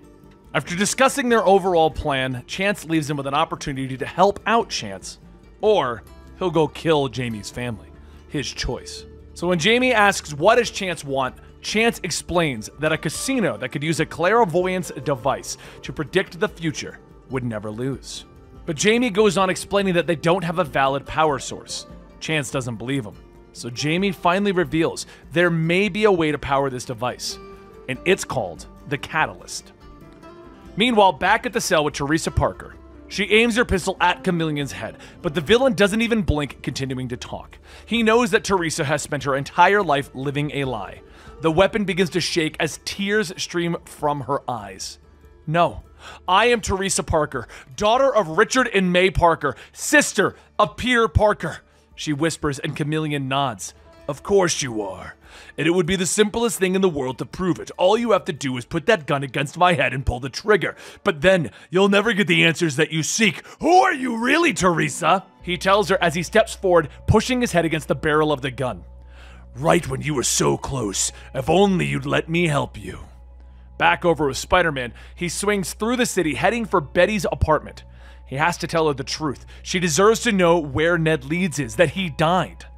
Quickly changing back into his street clothes, he knocks on the door and he quickly apologizes for running out on her and feels like they should talk. She opens the door wider. I agree. Why don't you come in and we can all catch up? She says, and Peter steps through the door, surprised because Ned Leeds is standing there, looking far better than the last time Peter saw him, dressed in a fine suit and clean shaven. Good to see you, old pal, Ned tells him. In the cell, Teresa grabs Chameleon, dragging him out into the hallway, slamming him into the floor, ordering for him to start talking. He struggles, motioning to the next cell, telling her that the answers that she seeks are right there. She then hits the buttons on the keypad, unlocking it. Everything both of us have done in our lives has led to this point. This reunion. The doors slide open, and Teresa stands for a moment in shock as the chameleon gets up behind her. You wanted answers about your parents, Teresa. Who better to give them to you than the man who killed them? The Finisher. The Finisher looks at Teresa, standing in his cell, calm and collected. Teresa, it's been far too long. From the look in your eyes, I can see that there's no need for an introduction. He says to her, so Teresa stares at the man that killed her mother and father. She raises her pistol and fires, but he merely laughs as the bullets pass through him as though he were a ghost. Chameleon pushes Teresa into the cell and she discovers that it is actually a well furnished and expensive apartment and his prison suit is now replaced with a fine suit as he begins to mix drinks. I asked Chameleon to bring you here so that we could talk. All about what I can offer you and what you can do for me. Meanwhile, back at Betty's apartment, Peter is in shock at seeing Ned Leeds standing before him. Ned, you're what? Uh, about to be a father. Yeah, he was pretty shocked, Betty says with a smile. That's an understatement, Ned says with a nod. Peter is still shocked, straight up pointing out that Ned died. It's a bit more complicated than that, he says, offering Peter a seat, promising that it is really him, and he'll try to explain. It was long ago that he was brainwashed into believing that he was the Hobgoblin by Roderick Kingsley. But the stress of the mind control led Ned into a destructive spiral. However, he came to blows with Flash Thompson, who easily defeated him. Ned's mind couldn't understand how Flash could have easily beaten him, so he took a trip to Germany to search for more Goblin serum. He drank as much as he could, but it still didn't change anything. The foreigners' men found him and they killed him, but the serum managed to bring him back after a couple of days. Someone found him and helped him, though Ned explains that he can't tell them who that was. Betty then steps in explaining that her and Ned had always worked towards the same goals and never realized it. She was working on a story that would expose misinformation that was coming out of Russia. They were having problems finding the proof though, and the source reached out to her for help. When she asked the source if she could meet them, they agreed and she discovered that it was actually Ned this whole time. And Ned explains that he now wants to rebuild his life right here back in New York with Betty. So that brings us to why were they reaching out to Peter Parker? Well, they've discovered that Jamie, his partner who created clairvoyance at ESU, is connected to the foreigner. Getting this information, Peter rushes out of the door, apologizing once again. Meanwhile, elsewhere in the city, Jamie moves through the building towards the catalyst. Chance speaking into his ears, telling him that it will be a piece of cake. Get this power source and create the ultimate device for a casino. As Jamie tries to defend himself and explains how difficult this really is, we see Chance is actually in the van outside, sitting next to the foreigner, and a group of jack o' lanterns are watching from a nearby rooftop. Jamie enters, sees Doc Connors in his lizard form. He begins to escort Jamie over to help with his experiment, but that's when Jamie sees the doctor's security badge hanging out of his lab coat. Chance yells over the comms to take it. So, Jamie grabs the badge off the coat and he quickly runs to the door, telling Connors that he has to use the bathroom. After a little bit more back and forth, he then walks into the Catalyst security room using Connors' badge. He immediately begins yelling at the guards, demanding to know which of them has been messing with the temperature controls. And as the guards turn away, Slide launches himself into the air ducts. He slips and slides through the tight spaces, eventually exiting directly over the guards' heads. He drops from the ceiling, landing in front of the laser grid guarded catalyst. The guards are still distracted as he pulls out a pistol that is charged with Pym particles. The catalyst shrinks down, he reaches in, grabbing it.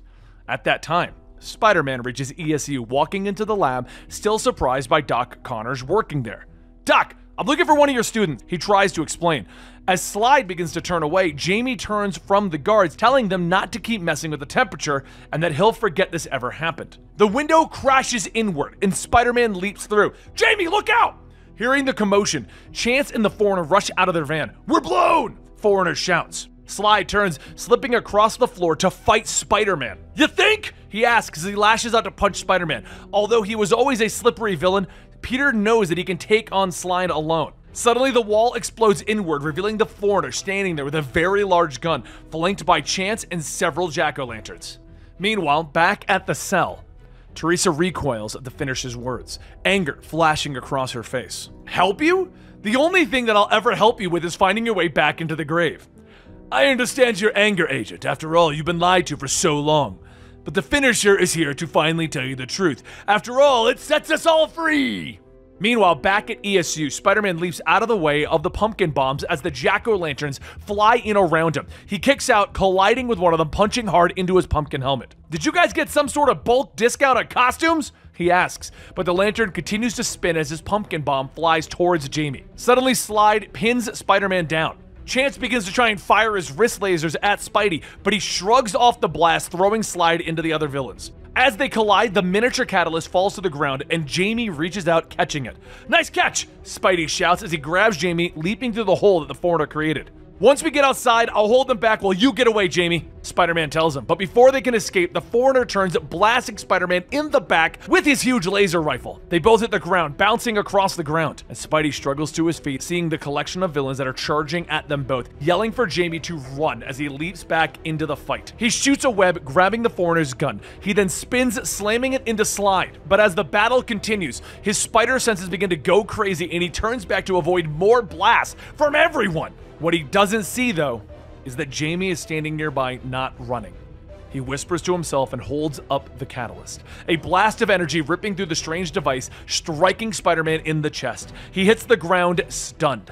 Foreigner comes over, kicking him for good measure. And then they all walk away, with Chance throwing his arm over Jamie's shoulder. You did good, kid. We'll make a proper villain of you yet. Meanwhile, back at the cell, the finisher looks back at Teresa and begins his truth. We'll start with the truth about me and my much presumed death. He explains how Spider Man was seeking the murderer of Richard and May Parker, and that led him to the finisher. At the time, it was believed that Spider Man had killed him. But the finisher explains that he barely survived and was taken care of by the chameleon. Meanwhile, back with Spider Man, he awakens to find all of the villains gone and Doc Connors rushing out to make sure he's alright. Doc Connors tries to explain that he would have helped, but the chip keeps him from being aggressive, and Spider Man waves him off, agreeing that the chip is a worthy trade. He then leaps into the air and swings away, and very quickly finds himself in front of Betty Brant's apartment window. Ned Leeds! He shouts as he sees his old friend slash enemy. Boy, are you a sight for sore eyes. Peter Parker sent me. Someone needs your help. They let Spider Man in, and in a short time, he catches them up to speed on everything that has happened with the foreigner, with Chance, with the Jack O' Lanterns, with everything. So he picks up Ned and they head off to their objective. But back at the cell, the finisher pours himself another glass and explains that they aren't in his apartment. The images shift and suddenly she is in a command center. Another truth. I'm wherever I need to be Teresa is shocked as he tells her that he brought her here to talk about the future. Meanwhile, at the palace, the casino where they're going to use the clairvoyant device, Jamie has finished hooking up the clairvoyant device to the catalyst. He activates it at Foreigner's command. The villain steps forward as the device activates and demands to know how it works. Jamie nods, explaining that you merely ask the device a question and it'll give you the best possible answer based on the data that has been pulled from a vast multiverse. So far, we have found the success rate to be in the upper 80s, lower 90s range, Jamie tells them. We're gonna be so rich! Chance shouts with glee. But what they don't see is that one of the jack o' lanterns is turning away and begins to make a phone call. The foreigner looks up at the strange lights that are swirling over the clairvoyant. So many possibilities that the mind races to choose one, he whispers to himself, and suddenly pumpkin bombs begin to explode all around them as the jack o' lanterns race through the room, grabbing a hold of Jamie and beginning to fly away. And that's when the lanterns shout back, explaining to the foreigner and to Chance that actually they and half the people in this casino work for the finisher, the very villain that is currently explaining to Teresa Parker her actual origins.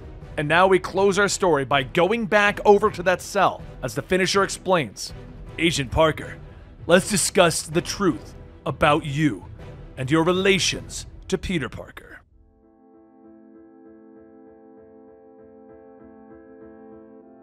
Night falls as Spider Man and Ned swing across the skyline, Ned pointing up to a patch in the sky.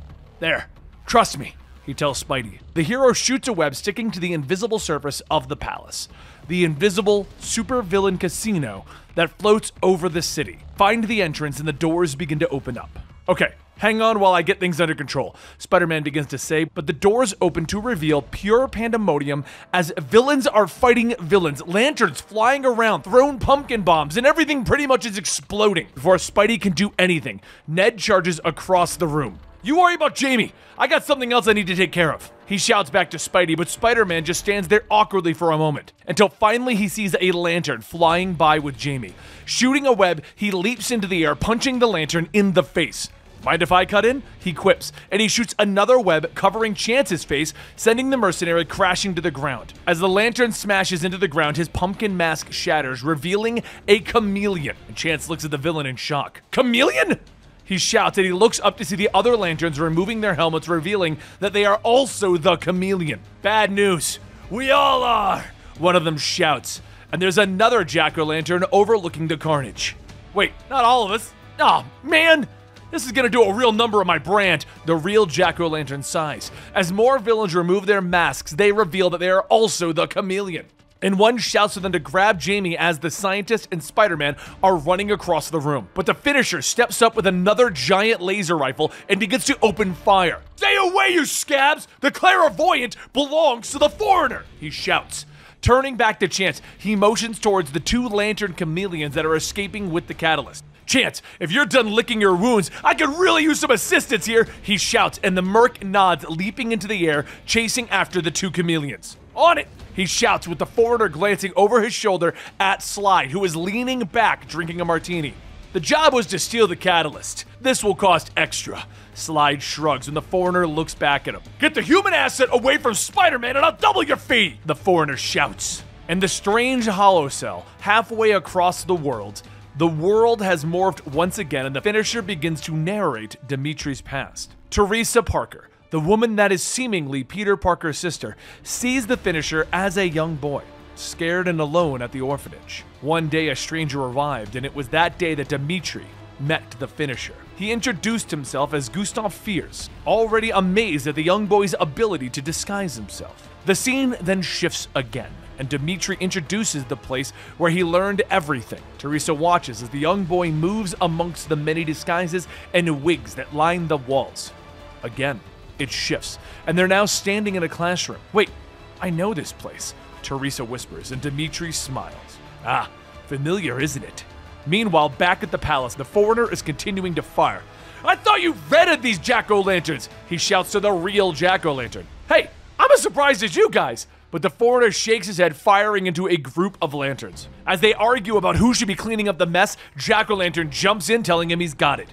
Outside, Chance continues to chase after the catalyst, blasting into one of the chameleons, knocking him out of the sky, causing the other to jerk on his flying disc.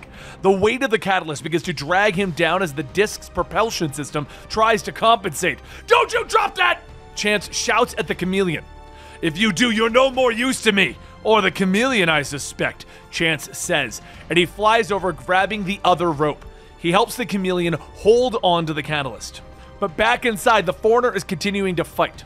He's unaware of the person that is lurking in the smoke behind him. Ned Leeds says hello and goodbye, Ned shouts as he lashes out, punching the foreigner in the jaw. The villain then hits the ground, looking back in surprise and anger. Spidey swings by, grabbing Jamie, bringing him to safety. But one of the larger chameleons that used to be the Grizzly sees him hiding.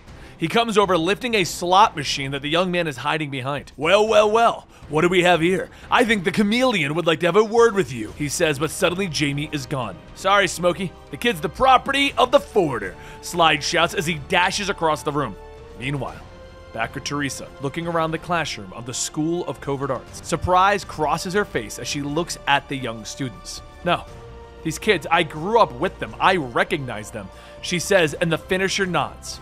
Or perhaps you only think that you do. None of us are who we seem to be after all. These are children who trained to one day be whoever is needed. He tells her as the children's true nature as chameleons is revealed. Images of who the chameleons have taken over flash in front of Teresa, including an image of herself. No, that's impossible, she gasps, and the finisher shakes his head. That's where you are very much wrong, girl. There are many possibilities. More images flash of what could be. Perhaps she is really Teresa Parker, pulled from the wreckage of her parents' plane. Or perhaps the finisher found her at an orphanage and took her in, trained her for this role. Or perhaps she is the child of the two chameleons that replaced Richard and Mary Parker. He smiles at her. This is what your training taught you. Who you are, where you come from. These things are interchangeable, simply a matter of belief. And you are never to be believed, he tells her. She grabs the sides of her head as all of these images and thoughts go through her mind. No! You're lying to me! You're trying to manipulate me! Certainly another possibility, Finisher confirms. But Teresa knows who she is, knows that she saw a picture of herself as a baby with her mother. Dmitri nods. That picture you found by accident and it was all the proof that you needed. But a chameleon disappears into their roles, programmed to believe the reality that is required of them. Who's to say that you didn't plant that picture yourself, only to discover it later? No! She screams, and when she opens up her eye, she is still sitting in the cell, and the hologram of the finisher is still before her. I will help you, Agent. I will tell you who you really are, but you must bring me the clairvoyant. As he tries to convince her that this is who she is, that this is what she has to do, she reaches for her gun. Meanwhile, back at the palace, the chameleons continue to destroy the airship, finally ripping free the power source and throwing it out the window, cutting the power and bringing the ship down. The foreigner is fighting against Ned, trying to convince him that they need to stop this right now or they will both die. But Ned informs him that if he doesn't get to kill him, at least I'll let the crash do it. Meanwhile, Spider-Man is swinging outside, snapping a web onto Chance's face, throwing both the Merc and the Chameleon onto the deck of the palace. As the catalyst begins to fall again, he grabs it with a web and lifts it back up onto the ship. Alright, time to save the day. Part 2. Inside, Slide is continuing to fight through the destruction of the palace to bring Jamie to the foreigner. Jamie begs and pleads to let him go, that they need to find a way off or they're going to die. And that's when Spider Man appears with the catalyst webbed onto his back, handing Jamie the clairvoyant. We don't have much time. Do you think you can use this to find us a way out? Meanwhile, Ned has the foreigner pinned to the ground and continues to rain blows down upon him. You took everything from me! I had to live in hiding because of you! I had to let my own wife think that I was dead! He shouts as he punches again and again, the foreigner looking up in fear, blood already beginning to choke him. And that's when a web grabs Ned's hand. Ned, it's over! We have to move! Spider Man shouts to his friend. Broken from his rage, Ned turns back to the foreigner and is shocked. Oh god, what have I done? At that moment, Jamie runs over, informing them that the ship is going to crash, that they are all going to die, and almost every possibility that the clairvoyant can present to them shows them crashing into Manhattan with thousands of casualties. There's a slim chance that they're going to be able to prevent it. Ned growls that Slim is better than none, and the trio begin to move as Spider Man introduces everyone. By the way, Ned meet Jamie, Jamie meet Ned. Maybe we'll live long enough to get brunch sometime. As Ned and Jamie run off to do their own portions of the plan, Spider Man makes it to the cockpit only to see it blocked by the real Jack O' Lantern. As Spider Man jumps over his head, kicking him, he simply tells him, Sorry, I'm all out of quips right now. And then he grabs the stick in the cockpit and begins to haul back. Please don't crash, please don't crash, please don't crash. He repeats repeatedly, the palace managing to pull out of its dive, barely grazing the tops of buildings as Spidey manages to get it over the bay and crash it onto the other side. Moments pass and the trio begin to exit the palace. Thanks for flying Last Chance Airlines. We're sure you had other options when choosing airborne illegal gambling dens. We're glad you chose us. Please watch your step as you exit the aircraft. Spidey jokes. And outside, Jamie pulls away and sits on a fallen tree. He goes on explaining that he wanted this to be used for good, that he didn't mean for any of this to happen, and then he hands it to Spider Man. He doesn't know what to do with it other than destroy it. The police eventually arrive and they arrest everyone, and Ned isn't happy that the foreigner and his crew got away, but is happy that he gets to go home to Betty. She smiles as he walks through the door. Later, Spider Man sits on the rooftop while Teresa suddenly lands behind him with her glider wings. Hey, Pete. Sorry I'm late, but I had some business to attend to. No, no worries. You sure you're alright handling it? I just figured my super spy sister would have a better idea where we can hide this. Keep it safe. And with that, Spider Man hands Teresa Parker the clairvoyant device. She nods and tells him that she loves him. You see, she had left Chameleon in his cell, her gun pointed at his head as she thought about forcing him to tell the truth, but tears welled in her eyes as she realized that she was afraid that he would, and she fell to her knees. The gun clattered hard on the floor, and she knew that whatever the truth was, it would break her. She convulsed. Her hand reached behind her head, and Dmitri smiled as her true nature was revealed a chameleon. But that's not what happened. Teresa watched as Pete swung away. She doesn't need the finisher or Dmitri to tell her who she really is, because she is Teresa Parker. She looks down at the device in her hand, and in one motion, she slams it into the ground, destroying it.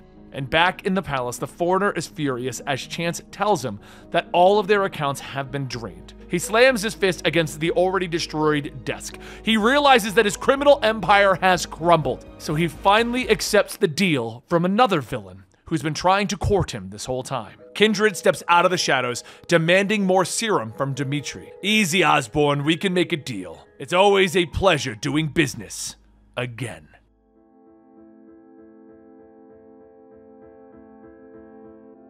Lights flash, cameras pop as Peter follows MJ down the red carpet to her big reveal. He tries to loosen his tie, unaware that he's not nearly as comfortable on this side of the camera when he's not dressed as Spider Man. His thoughts are interrupted as a hand falls on his shoulder and he turns around to find a smiling Cage McKnight, the director and friend of MJ, finally introducing himself to Peter before apologizing and pulling her away to do some interviews. She kisses Peter on the cheek before walking away. I can't believe you still haven't told him, Cage whispers to her, but MJ shakes her head, asking Quentin Beck what he thinks her superhero boyfriend will do when he discovers that she's been working with Mysterio this whole time. Reformed supercriminal, he reminds her. As Peter watches her walk away, his hand drifts into the pocket of his suit and he feels an engagement ring that he's been carrying around for far too long. He nods, promising himself that tonight, tonight is the night that he's going to pop the question. But unknown to him, the Savage Six are looking down from a nearby rooftop. Vulture smiles, promising the others that they won't allow Mysterio to humiliate them in his movie. Give him a twist he'll never see coming in the darkness of his mausoleum. Kindred the demon stands ready for the final battle, preparing the end of his plans. All of it is coming together. But back with MJ, she finally finishes her interviews, finding Peter in his seat in the theater. She kisses him on the cheek again as she sits down, and they both get ready as the lights dim in the theater. The screen lights up, and then there's suddenly a loud boom. Peter's spider sense begins to go haywire as he looks up as the screen tears, revealing the Savage Six.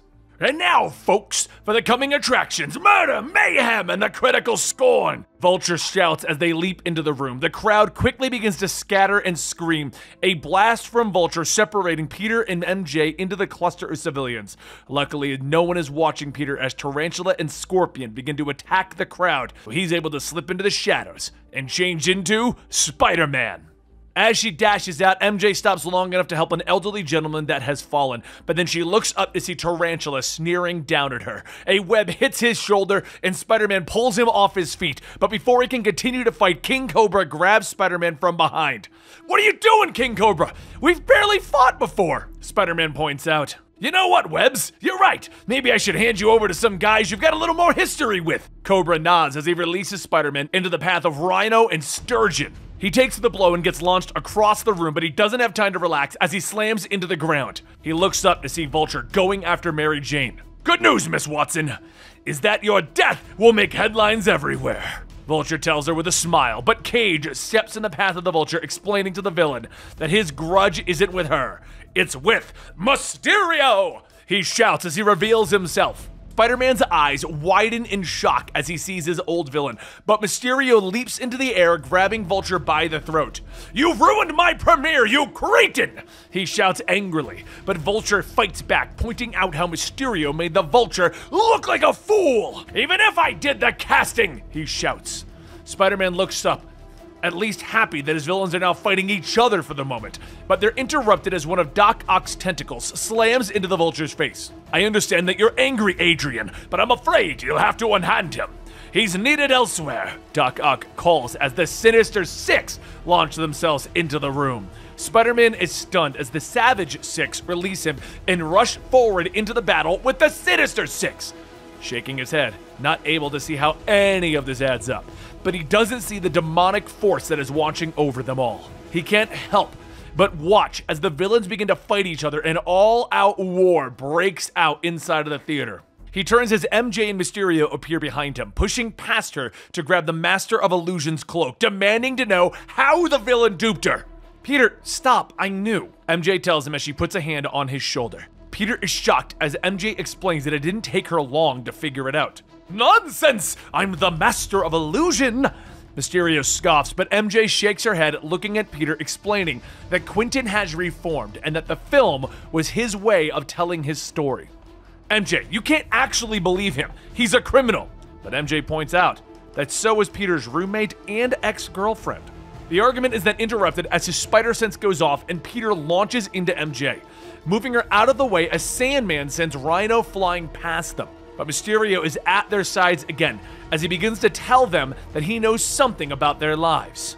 The reason why all of this is happening, he tells them that a demon is watching over his shoulder. But Spider Man doesn't have time leaping into the fight. I gotta do a little crowd control first. He tries to reason with Doc Ock, but is quickly knocked away from the warring supervillains. Otto tries to move to Quentin, telling his former cohort that it's time to go home. I came here to rescue you and to offer you an opportunity to rejoin the Sinister Six and make the circle complete. Otto tells Mysterio, and he points at MJ. All I ask in return is her. Mysterio shakes his head. Kindred put you up to this, but Otto informs him that it is simply the best available option. I have been rest assured that no harm will come to her, Quentin. He promises as he looks over his shoulder to see Spider Man continuing to fight, and Mysterio finally nods as they watch the battle unfold. He reaches out, taking MJ's shoulder as the smoke begins to swirl around them all. I'm sorry, but trust me, it has to be this way, and remember, the devil always gets his due. Mysterio tells Spider Man as the hero reaches for them, but in the swirl of smoke, they disappear. Meanwhile, Doctor Strange is standing before Mephisto demanding the demon to end what has begun. Oh, come on, Doc. You know me better than that. My hands are tied, the demon says with a smile. But Strange points at him, knowing that Mephisto is lying and that Peter would never make a deal with him. But Mephisto continues to smile, telling Strange, Are you open to a game of chance? In a flash, they both appear before a roulette table inside of Mephisto's casino. What do you say, Strange? Your side against mine. Red versus black. Are you feeling lucky? The battle continues inside of the theater as Spider Man continues to leap and flip amongst the gathering of villains. But as he is attempting to battle against the villains, he finds himself thrown outside into the rain, soaking him. Elsewhere, Mysterio appears from his smoke, releasing MJ into the darkness of a studio backstage, surrounded by props from films and plays long past. Also, she's now in a hoodie for some reason.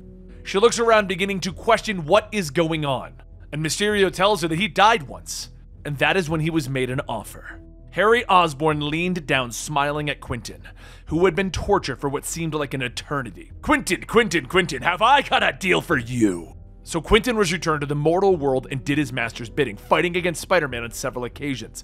But his master would visit less and less, and the old ways returned. I thought it was over. I didn't understand.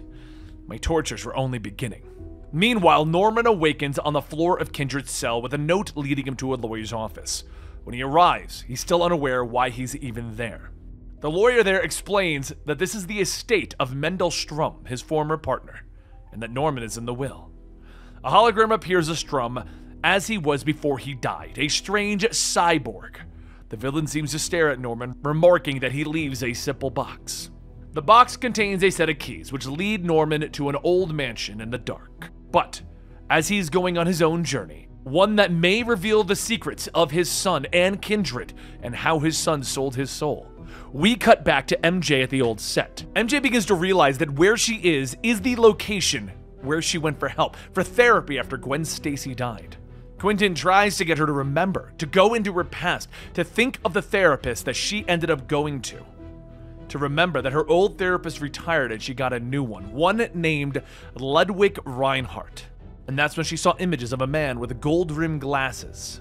Meanwhile, we cut to a cell. A cell that contains an individual who has been missing since issue 56 of Amazing Spider Man, one Carlie Cooper, who was working in a morgue and seemingly came across the dead body of Harry Osborn. The same Harry Osborn who is supposed to be Kindred, the villain with the centipede tentacles and the one manipulating everything going on with Spider Man. But it gets even more confusing and more intriguing, my dear viewer. Because Carlie Cooper is not in this cell alone. Carlie Cooper is in this cell with Harry Osborn, the same Harry Osborn who was supposed to be dead on her morgue table and be kindred. And Harry explained to her that he was finally happy and that he was finally going to get answers from Oscorp. But that's when Kindred kidnapped him and threw him in this cell. They're both trapped in this dark cell, and after they both go over their own origins as to how they ended up in this cell and how they're linked to the overall plot, she begins to yell, trying to find someone to help them, but Harry shakes his head, telling her that it is no use. She sits next to him, asking how he can give up on his family that is still out there. He told her that he was happy, so why is he just sitting here useless? They argue for a moment, but as he motions to the cell door, it swings open on its own and they step out into the darkness, shocked that they are now free. She asks him, What do they do now?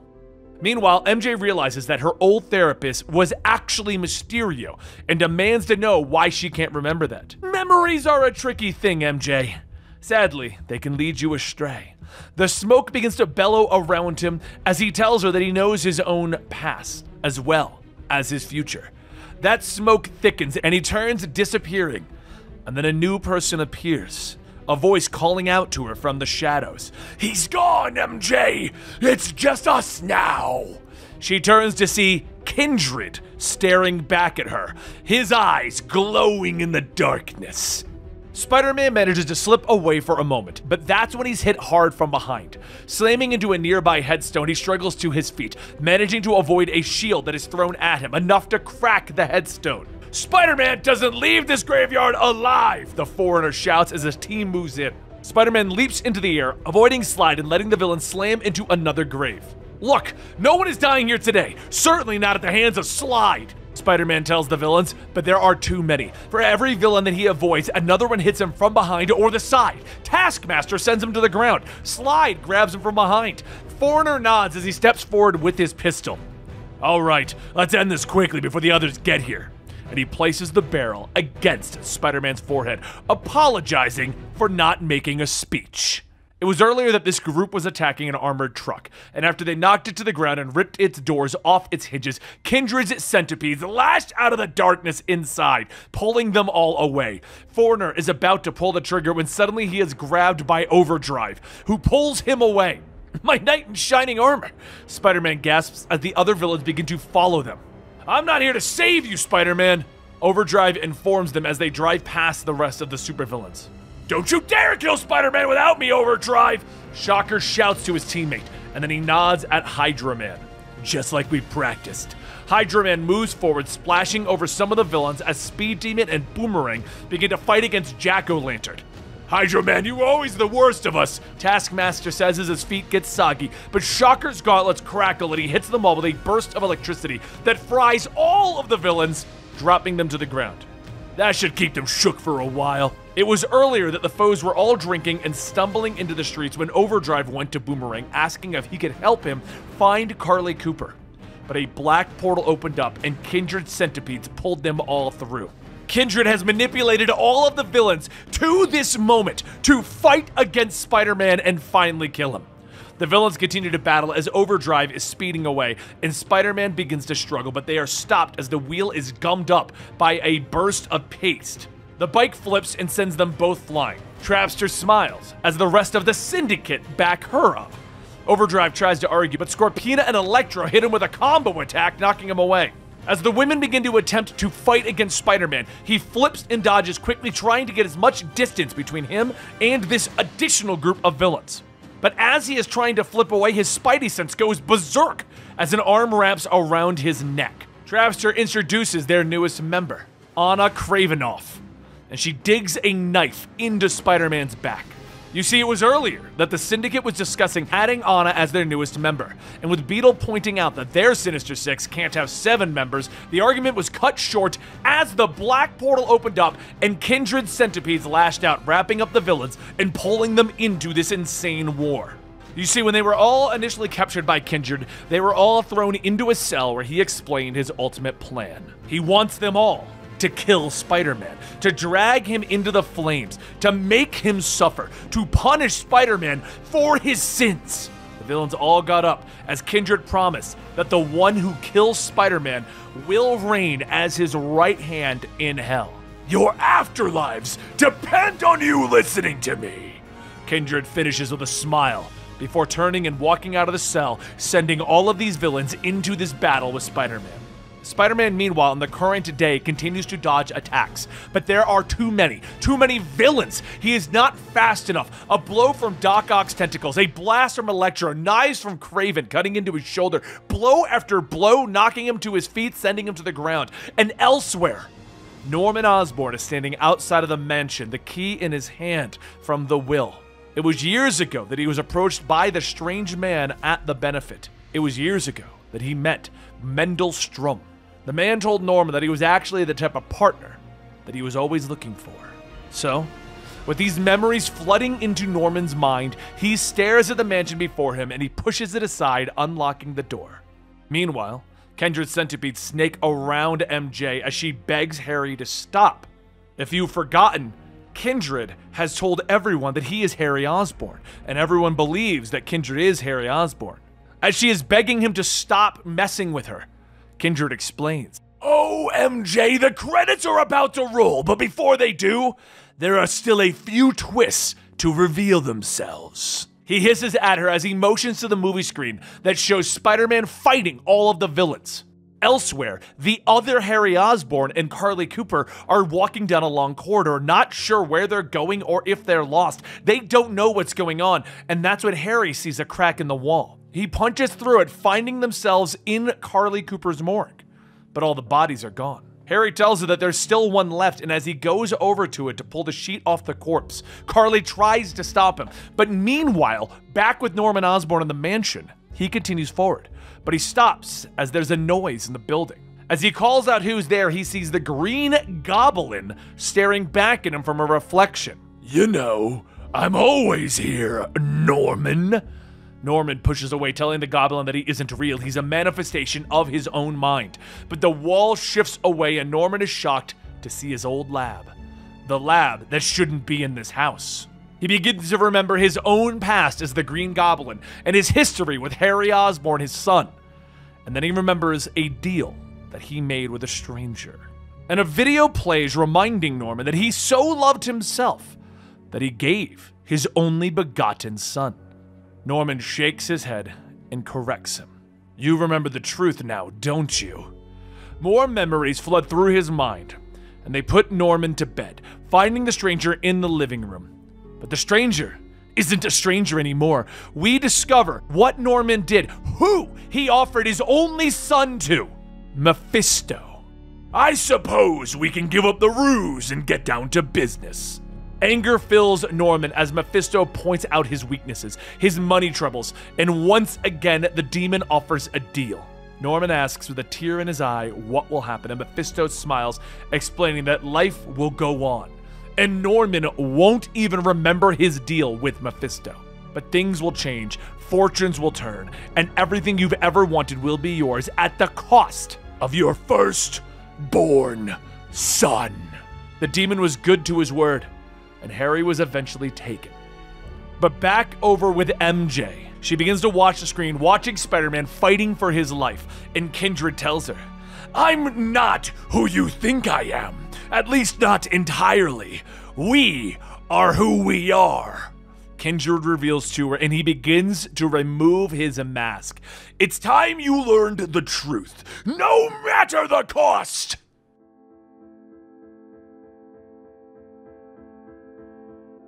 The rain falls from the sky, mixing with the trail of blood that Peter leaves behind as he tries to move through the cemetery, and he crouches behind a statue, trying to keep his blood inside with his hand and a webbing bandage. There are too many villains. He can't take them all. He needs to get away, and when he looks up, he sees a smiling black cat walking towards him, a smile on her face. He's shocked, but she explains that the fight is all over the radio. He struggles. He struggles. Cat, it's it's not safe. We've been in worse pickles than this before. Besides, I didn't come alone. She tells him as she motions to the group of superheroes that have come to Spider Man's aid. Hey, you kid. Wolverine nods as he moves forward, and Spider Man responds with another nod, happy to see his friends. But we're gonna need more help. He begins, but Wolverine suddenly snarls, rushing forward. The smoke clears, and it's actually Lizard who is leaping at Spider Man, knocking him through a gravestone. Lizard, you mindless moron! Another minute and we would have had him! Black Cat shouts as she shifts, becoming Mysterio once more. The rest of the original Sinister Six rush in, attacking Peter while he's weakened.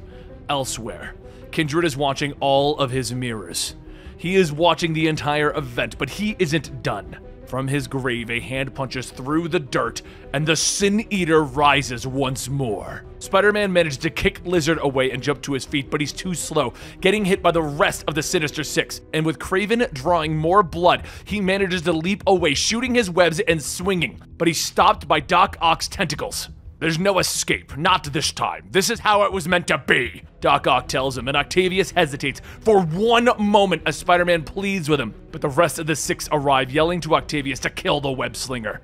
At that moment, the Savage Six arrive, knocking Ock away, freeing Spider Man for a moment. The villains all begin to battle each other once again, deciding who will be the champion to finally kill Spider Man. But with Spider Man trying to crawl away in the confusion, he sneaks into the shadows and is kicked in the face by Tarantula. The two then begin to fight as Boomerang flies overhead with his rocket boots. Damn, never seen him this bad before.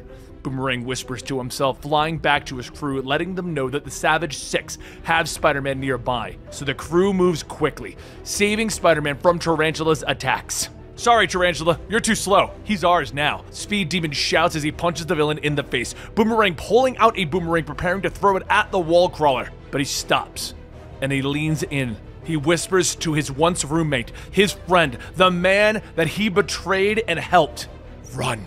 He nods, pushing a button on his boomerang. Oh no, Spider-Man hit the button on me! He began to shout and the boomerang explodes as he throws it. Boomerang is tossed back but quickly picked up by Overdrive. Damn, he's fast. Didn't see which way he went. He gasps to his teammate, but in a matter of moments, the two once again join the fight as the villains all crowd together and continue their battle with each other. Spider Man has managed to escape to the cemetery, heading down into a dark alley to catch his breath, and that's when he collapses against a dumpster, trying to hold his wounds together. Hello, dumpster, my old friend. He gasps to himself and then he looks up to see Sin Eater and another group of villains, powered by their original sins. Spider Man, don't you know there is no hiding from your sins? Spider Man has no choice. He turns, fleeing, shooting a web, leaping off into the rain. But the rest of the power villains rush after him. Deep cuts, whirlwind, living laser, gray gargoyle. The villains that Spider Man has pretty much forgotten that he ever fought. He shoots his webbing, managing to tackle Whirlwind, sending him into the other villains. But the Sin Eater cracks him in the back of the head from behind, knocking him to the ground. The undead villain snarls at him, blaming Spider Man for him being ripped out of hell, where he could pay penance for his sins. All because you couldn't face your own sins, Sin Eater snarls. But the villain readies his shotgun, promising to take Spidey back with him so that they can pay penance together. But Spider Man shoots a web, hitting the end of the barrel, and when Sin Eater pulls the trigger, the gun explodes in his hands. The monster is launched away, shocked that his hands have been blown off. The rest of the villains catching up, continuing their ongoing brawl as Spider Man tries to leap away. He tries to get them clear of civilians, but as he hides in the shadows of a construction building, he doesn't realize that Sin Eater brought Morlun, the vampire smiling as he senses Peter. This way! He hisses at the others and they leap towards the spider. And in a matter of moments, the villains surround him again, with Spider Man once again fighting for his life. There is no end to this! Morlun grabs Spider Man, beginning to drain the life force out of him, but Boomerang shouts for his friend, leaping into the battle, knocking him away. Spider Man, please, run! He shouts again, saving his former roommate but Morlun grabs him by the throat, draining the life out of him, tossing Boomerang's useless, lifeless body away. Peter looks down at his friend. Fred! Anger suddenly wells up in him as he launches himself at Morlun. You killed him! He screams, knocking the life force vampire away. Adrenaline and anger surging through his body as he pushes himself past the pain, past the exhaustion. He pulls down scaffolding on the villains, leaping into the air, kicking Jack O'Lantern in the gut, knocking him out of the sky. He whirls, punching Morlun again as the villains continue their battle. But it's not enough as Spider Man begins to falter. The villains begin to pile on top of him, blow after blow, bringing him down. And Octavius hits a button. Pain leaps through the mind of the gathering villains, and they all drop to their knees, Kindred bellowing in rage as he watches the villains fall. Ock, what'd you do? He questions, and Octavius looks at him with anger. I threw off Kindred's chains. Otto Octavius is no slave to anyone. He quickly explains to Peter that Kindred's centipede controls everyone, and how he used the antenna from Black Ant's helmet to rework this signal, causing the centipedes to explode. Not elegant, but I did what I had to do with the time that I had. He explains that he did this because Kindred backed out of their deal. With that, Spider Man makes himself scarce. Meanwhile, at Mephisto's casino, the ball lands in the wrong spot and he frowns at Doctor Strange, who is still standing behind him. Well, that's a disappointment. All those meaty souls wrenched from my grasp. I guess the house does lose sometimes. And Spider Man? Doctor Strange asks as Mephisto moves away. The demon merely waves his hand over his shoulder. He survived. He's walking away from the fight where the odds were devastatingly stacked against him. Perhaps he should celebrate his small victories, but I have a feeling that a big loss is imminent. Time passes, and Spider Man limps forward, finding himself outside of the mausoleum. He looks up into the darkness, seeing Kindred. The monster moves away, and Peter follows. They go through a hall of mirrors, and they find one with a large cloth pulled over it. Spider Man pulls it down, and memories begin to flood his mind as a door creaks open. Meanwhile, MJ is still with Kindred, who is finally revealing to her his true face Gwen Stacy and back with Norman in his lab where he found out that he had made a deal with the devil long ago. He's shocked as Harry reveals the twin test tube fetuses of Stacy and Gabriel, his half siblings. Don't you remember them, Dad? The video of Harry asks. What have you done? Norman demands, but the AI of Harry just smiles. That's what I've been dying to tell you, Dad. Harry reveals that years ago he drank the Green Goblin serum, and it was then that he came up with the perfect plan to get back at Spider Man. He had the help from Chameleon, who helped him design LMDs of Richard and Mary Parker, Peter's parents. But that wasn't all. Harry also enlisted the aid of Mysterio and Mendel Stromm to trick Norman into believing that he had a relationship with Gwen Stacy. He never really did. Norman is shocked, demanding to know if it was all a lie. She was way too classy for you, Dad. But hypnosis, whether administered by Mysterio or piped into the walls of the mansion, can be tricky if the subject is hesitant. Norman glares at the screen as his mind reels. Then Stacy and Gabriel aren't, he begins, but Harry shakes his head. Your children? No, you only have one son. Meanwhile, Carlie Cooper and the other version of Harry Osborn stare down at the corpse of Harry Osborn that they found in the morgue. This doesn't make any sense, she tells him, but he shakes his head, telling her that it's time he faced the truth. Harry Osborn never came back from the dead. He begins to realize that nothing that he thought had happened happened. It was all Mysterio. He turns on the screen trying to plead with his son that the version of his son that was uploaded to this computer wasn't him. It doesn't make any sense, Carlie tells Harry, and he shakes his head, telling her that it's time that he faces the truth. Meanwhile, back at the mansion, Norman continues to look at his son's video, realizing that the day in the morgue so long ago never happened. It was all Mysterio. He turns to the screen, pleading with the AI of Harry Osborn, telling him that the version uploaded isn't him. You died a hero. You died loved. And back with MJ, she looks at Kindred, realizing that it wasn't Gwen, but actually Sarah. Sarah is gone. She was always just a vessel, Kindred tells her. She was raised to believe that she was a lie, that she and her brother were special, that they had fatal flaws and aged too rapidly, but no matter how many times Kindred tried, Sarah and Gabriel kept dying. But Gwen told me about them. I remember them, MJ tells Kindred, but the demon shakes their head. All illusionary, I'm afraid. Sarah's face begins to morph again, and Harry Osborn once again stands before Gwen. Difficult, isn't it? Your sins staring back at you, reminding you of everyone that you have let down. Now I think I have this right. It's time for you to face your sins, MJ. Meanwhile, Doctor Strange floats near Mephisto. I'm tired of your games, demon, the sorcerer tells him. But Mephisto smiles. We only have one wager that truly concerns you. Yes, the virtue of a hero for the corruption of a soul.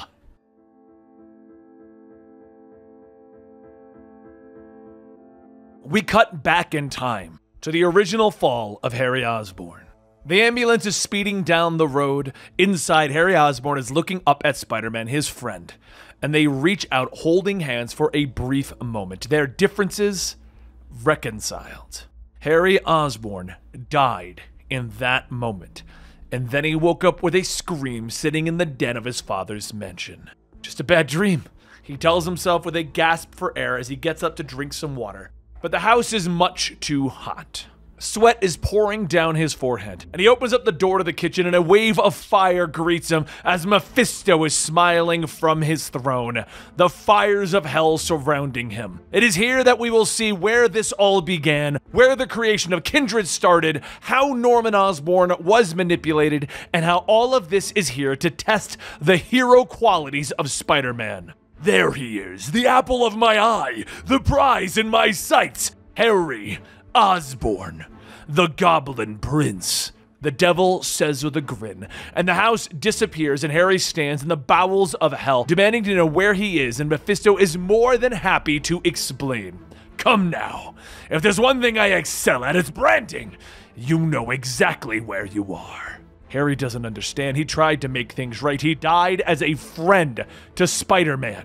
Tell me, with your dying breath, did you confess your plot to destroy your friend's life by making him think that his parents were still alive? Or did you explain that you were making him believe that nonsense about Norman and Gwen Stacy having children together? Did you explain that you were manipulating every aspect of Peter Parker's life? Because that's low, even for me.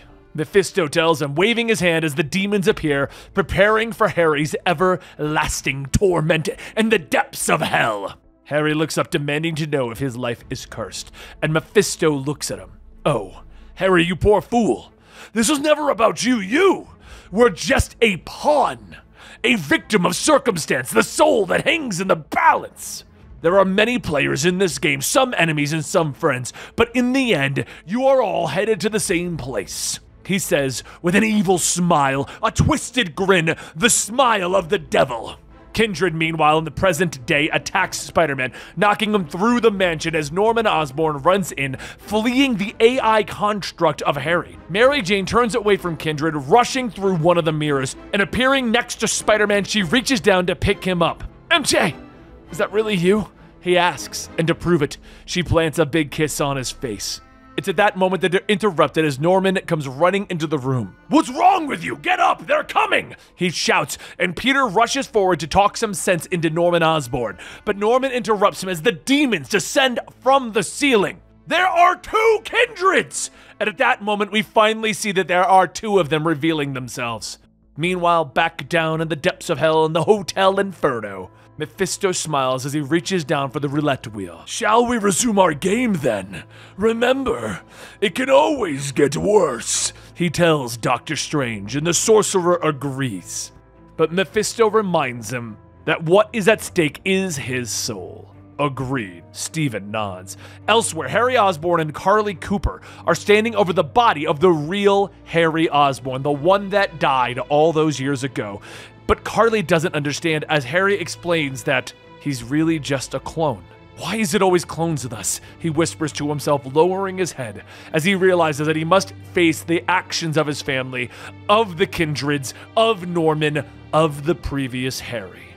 Meanwhile, back at the mansion, the two kindreds are laying into Spider Man, trading blows back and forth, beating him until he's blue. Blow after blow, cracking his face and his ribs. And back in the morgue, Carlie Cooper asks Harry what they need to do next. He looks up, shouting to the nothing that he is ready, and the door suddenly bursts open, and they step through to arrive in Harry's apartment. His family asleep, and he goes to each room saying goodbye to them. Carlie tries to talk him out of it, tells him that he doesn't have to do anything, and he opens up a secret door to his goblin armory, explaining that he hid this from his family with the thought that someday he might need it to defend them but he knows that he only hurts them. But now I'm going to put it to good use. When I face Kindred, not as the Goblin, but as Harry Osborn, he says as he hops onto the glider, minus the armor, arming himself with pumpkin bombs and flying out of the apartment. Meanwhile, Kindred keeps beating into Spider Man, and MJ shouts for him, but Norman grabs her arm, telling her that this is Spider Man's fight as the two demons throw Spider Man into the ground again and a shout interrupts them. No! A voice yells as an explosion rips through the wall, throwing the kindreds away. Not just his fight! Harry shouts as he flies into the room on his glider. He hovers over Peter, giving him a hand. Is it really you? He asks, and Harry nods, reaching out for his friend as they clasp hands and the flesh, he confirms, and the two launch back into the fight, each taking a kindred, throwing bombs and webs. Norman is watching the fight with MJ, confessing to her that he made a deal, and he sold Harry's soul to Mephisto. Now we're all going to burn together, he confesses to her with a shocked face. Meanwhile, in the Inferno Hotel, Mephisto smiles and picks up the ball, dropping it into the roulette wheel. I'll release Harry's soul. All you have to do is win, Stephen. Spider Man punches again, knocking his kindred away. How many of you are there? Is this a clone thing? Please don't let this be a clone thing. He shouts to his friend, and Harry just tells him, You don't know the half of it, buddy. The demons rush forward, plowing through the flames of the pumpkin bombs. You think flames can destroy us? We were forged in the flames of hell. They bellow, and Kindred knocks Harry out, slamming him into the ground, drawing blood as he tries to crawl away, rolling over onto his back. Pete, Kindred, they're Gabriel and Sarah. They were never real. I made up the kids. It was all a lie he gasps. Spider Man whirls around, hitting his kindred again. I knew it! Somehow I always knew it! There's no way that Norman Osborn and Gwen Stacy would get together and have children. Harry tries to defend himself, explaining that the kindreds act as vessels for the will of the AI Harry that he uploaded before he died. And the fight is interrupted as Norman steps out shouting for everyone to stop. They all pause to look at him as he confesses everything. He tries to apologize to Gabriel and Sarah. He tells them that he never rejected them, that he truly thought of them as his children, and just like Harry, he let them down. He then grabs Harry and tells his son that even in his madness and everything horrible that he did, he always loved his son Harry. He turns back to Gabriel and Sarah and explains that he isn't their father in the traditional sense. They are both just clones implanted with memories from the AI Harry Osborn but Harry is the one who created them, and he was under the control of Mephisto. Liar! The kindreds shout as they both leap at Norman in anger. They attack him, trying to strangle and bite him, and even though he's wounded, Harry looks up at Peter. Are we doing this? He asks, and Peter nods. Yeah, he whispers. He turns, leaping at the demons. Let's go save the Green Goblin. He sighs with Harry and Peter fighting back against the monsters, yelling for Norman to run. The fight continues back and forth with Spider Man and Harry trading blows, but Norman tries to leave as one of the kindreds knocks Peter away. It charges at Norman, prepared to stab its tentacle through his chest. But Harry leaps in the way and the tentacle pierces him in the chest. He looks down, the bloody wound in shock, falling to the ground. But as he's about to fall and hit his head, alone in his final moments, Peter is there, catching him. It's okay, Pete. It's how it's supposed to be. And he dies in his friend's arms one more time. Anger wells up in Spider Man as the kindreds taunt him for crying for a clone. But he turns, rushing at them, leaping back into the fight, roaring at them as he beats them back, hitting them over and over again. He dodges out of the way of the tentacle blows, allowing one kindred to hit another, and the building begins to crumble around them as the fight grows more and more heated. But as he finally beats one of the kindreds down, slamming him hard into the ground and knocking him out, Peter suddenly stops. Oh god, Harry. In that moment, the anger leaves him and the kindreds renew their attacks. And Peter's slower, now tired. He tries to fight back, but the adrenaline is gone. The kindreds wrap up their tentacles around him, slamming him into the ceiling. Let this monument to the Osborns crumble into dust! And at that moment, Mephisto's eyes begin to blaze. Ah, the low point. The dark moment when it all seems to be lost for our hero. But he rallies. We've seen it before. Pointing out that this is when the past and the darkness weigh on Peter more than the mansion ever could. But like every other time, the hero will rise, reach deep within himself, find untapped reserves of courage, strength, and hope. He will lift the impossible weight. But as Peter struggles, pushing up the rubble that traps him, he realizes he can't do it. The mansion will fall on him. It will crush him. It will bring him down like the weight of everything that has happened in this entire saga. And Mephisto grins. Oh dear. It seems our champion's a little short on hope for the moment, Stephen. Stephen turns to him, raising a finger. May I point out, deceiver, that like you, I am entitled to two champions. Mephisto turns sharply, pointing out that Harry is dead. And Strange smiles. We never named our champions, though, did we, devil? The rubble shifts from on top of Spider Man, and he looks up to see his savior. There you are, Tiger. Mary Jane says as she pushes the wood off of Spider Man and reaches out her hand. Do you need a hand? She pulls him free, explaining that she managed to escape with Norman and came back for Peter. He tries to run to her, though he can barely stand. He knows that if he manages to survive, so do the kindreds, and the rubble shifts again as they reveal themselves. But they are weakened, growing older by the minute as clones do. Don't be afraid. It's over. You've won.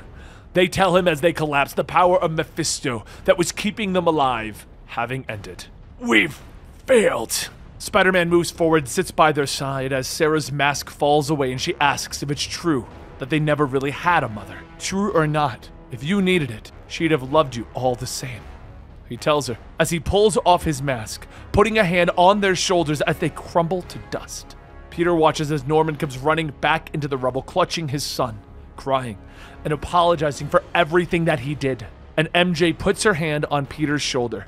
He just turns and hugs her tight. Back in the Inferno Hotel, Strange and Mephisto are sitting at their bar. Why him? What is your strange fascination with Peter Parker?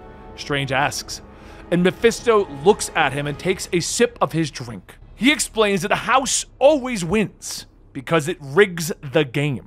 But he never chooses to intervene on a soul without knowing their past, present, and future, their hopes and their dreams. I know my own destiny, you see the world that awaits me. I see my throne and my dominion. He says, and in his mind, he can picture his future. A world where Mephisto has won and the heroes of Earth have fallen before him, the demon army ruling the planet. And then he sees Spider Man coming for him, determination in his eyes. And then I see the one who ends it. A vision that I've had many times over since before Parker was ever born. So I meddle. I risk aversion, I suppose. He tells Strange, and Strange stands, but as he looks over the shoulder, he knows that Mephisto is lying. You never just attacked Peter Parker. You've always gone after something greater than just one person. he tells him. And Mephisto smiles, and the heroes of Earth in his vision aren't around yet. You see, his vision is the future, because he sees the heroes of the future. And the web slinger that defeats him isn't Peter Parker, it is the daughter of Peter and Mary Jane, Mayday Parker, the one who isn't born yet, the one that he is trying so hard from becoming a reality, the reason one more day exists in Peter Parker's history. So Peter and Mary Jane return to their lives, their apartment, the next day, and he wakes up next to her gently, taking her swinging through the city. And at the top of a very tall building, he removes his mask and he embraces her, kissing her, for they are unbreakable. And there you have it, guys, the full story. Give yourself a cookie if you made it to the ending, and if you really want, I'll give you a cookie. Just ask for your cookie in the comments down below. Don't forget to follow us right here by subscribing to the channel, hitting that like button, and turning on your notifications. And I'll see you next time right here at the Comicstorian channel.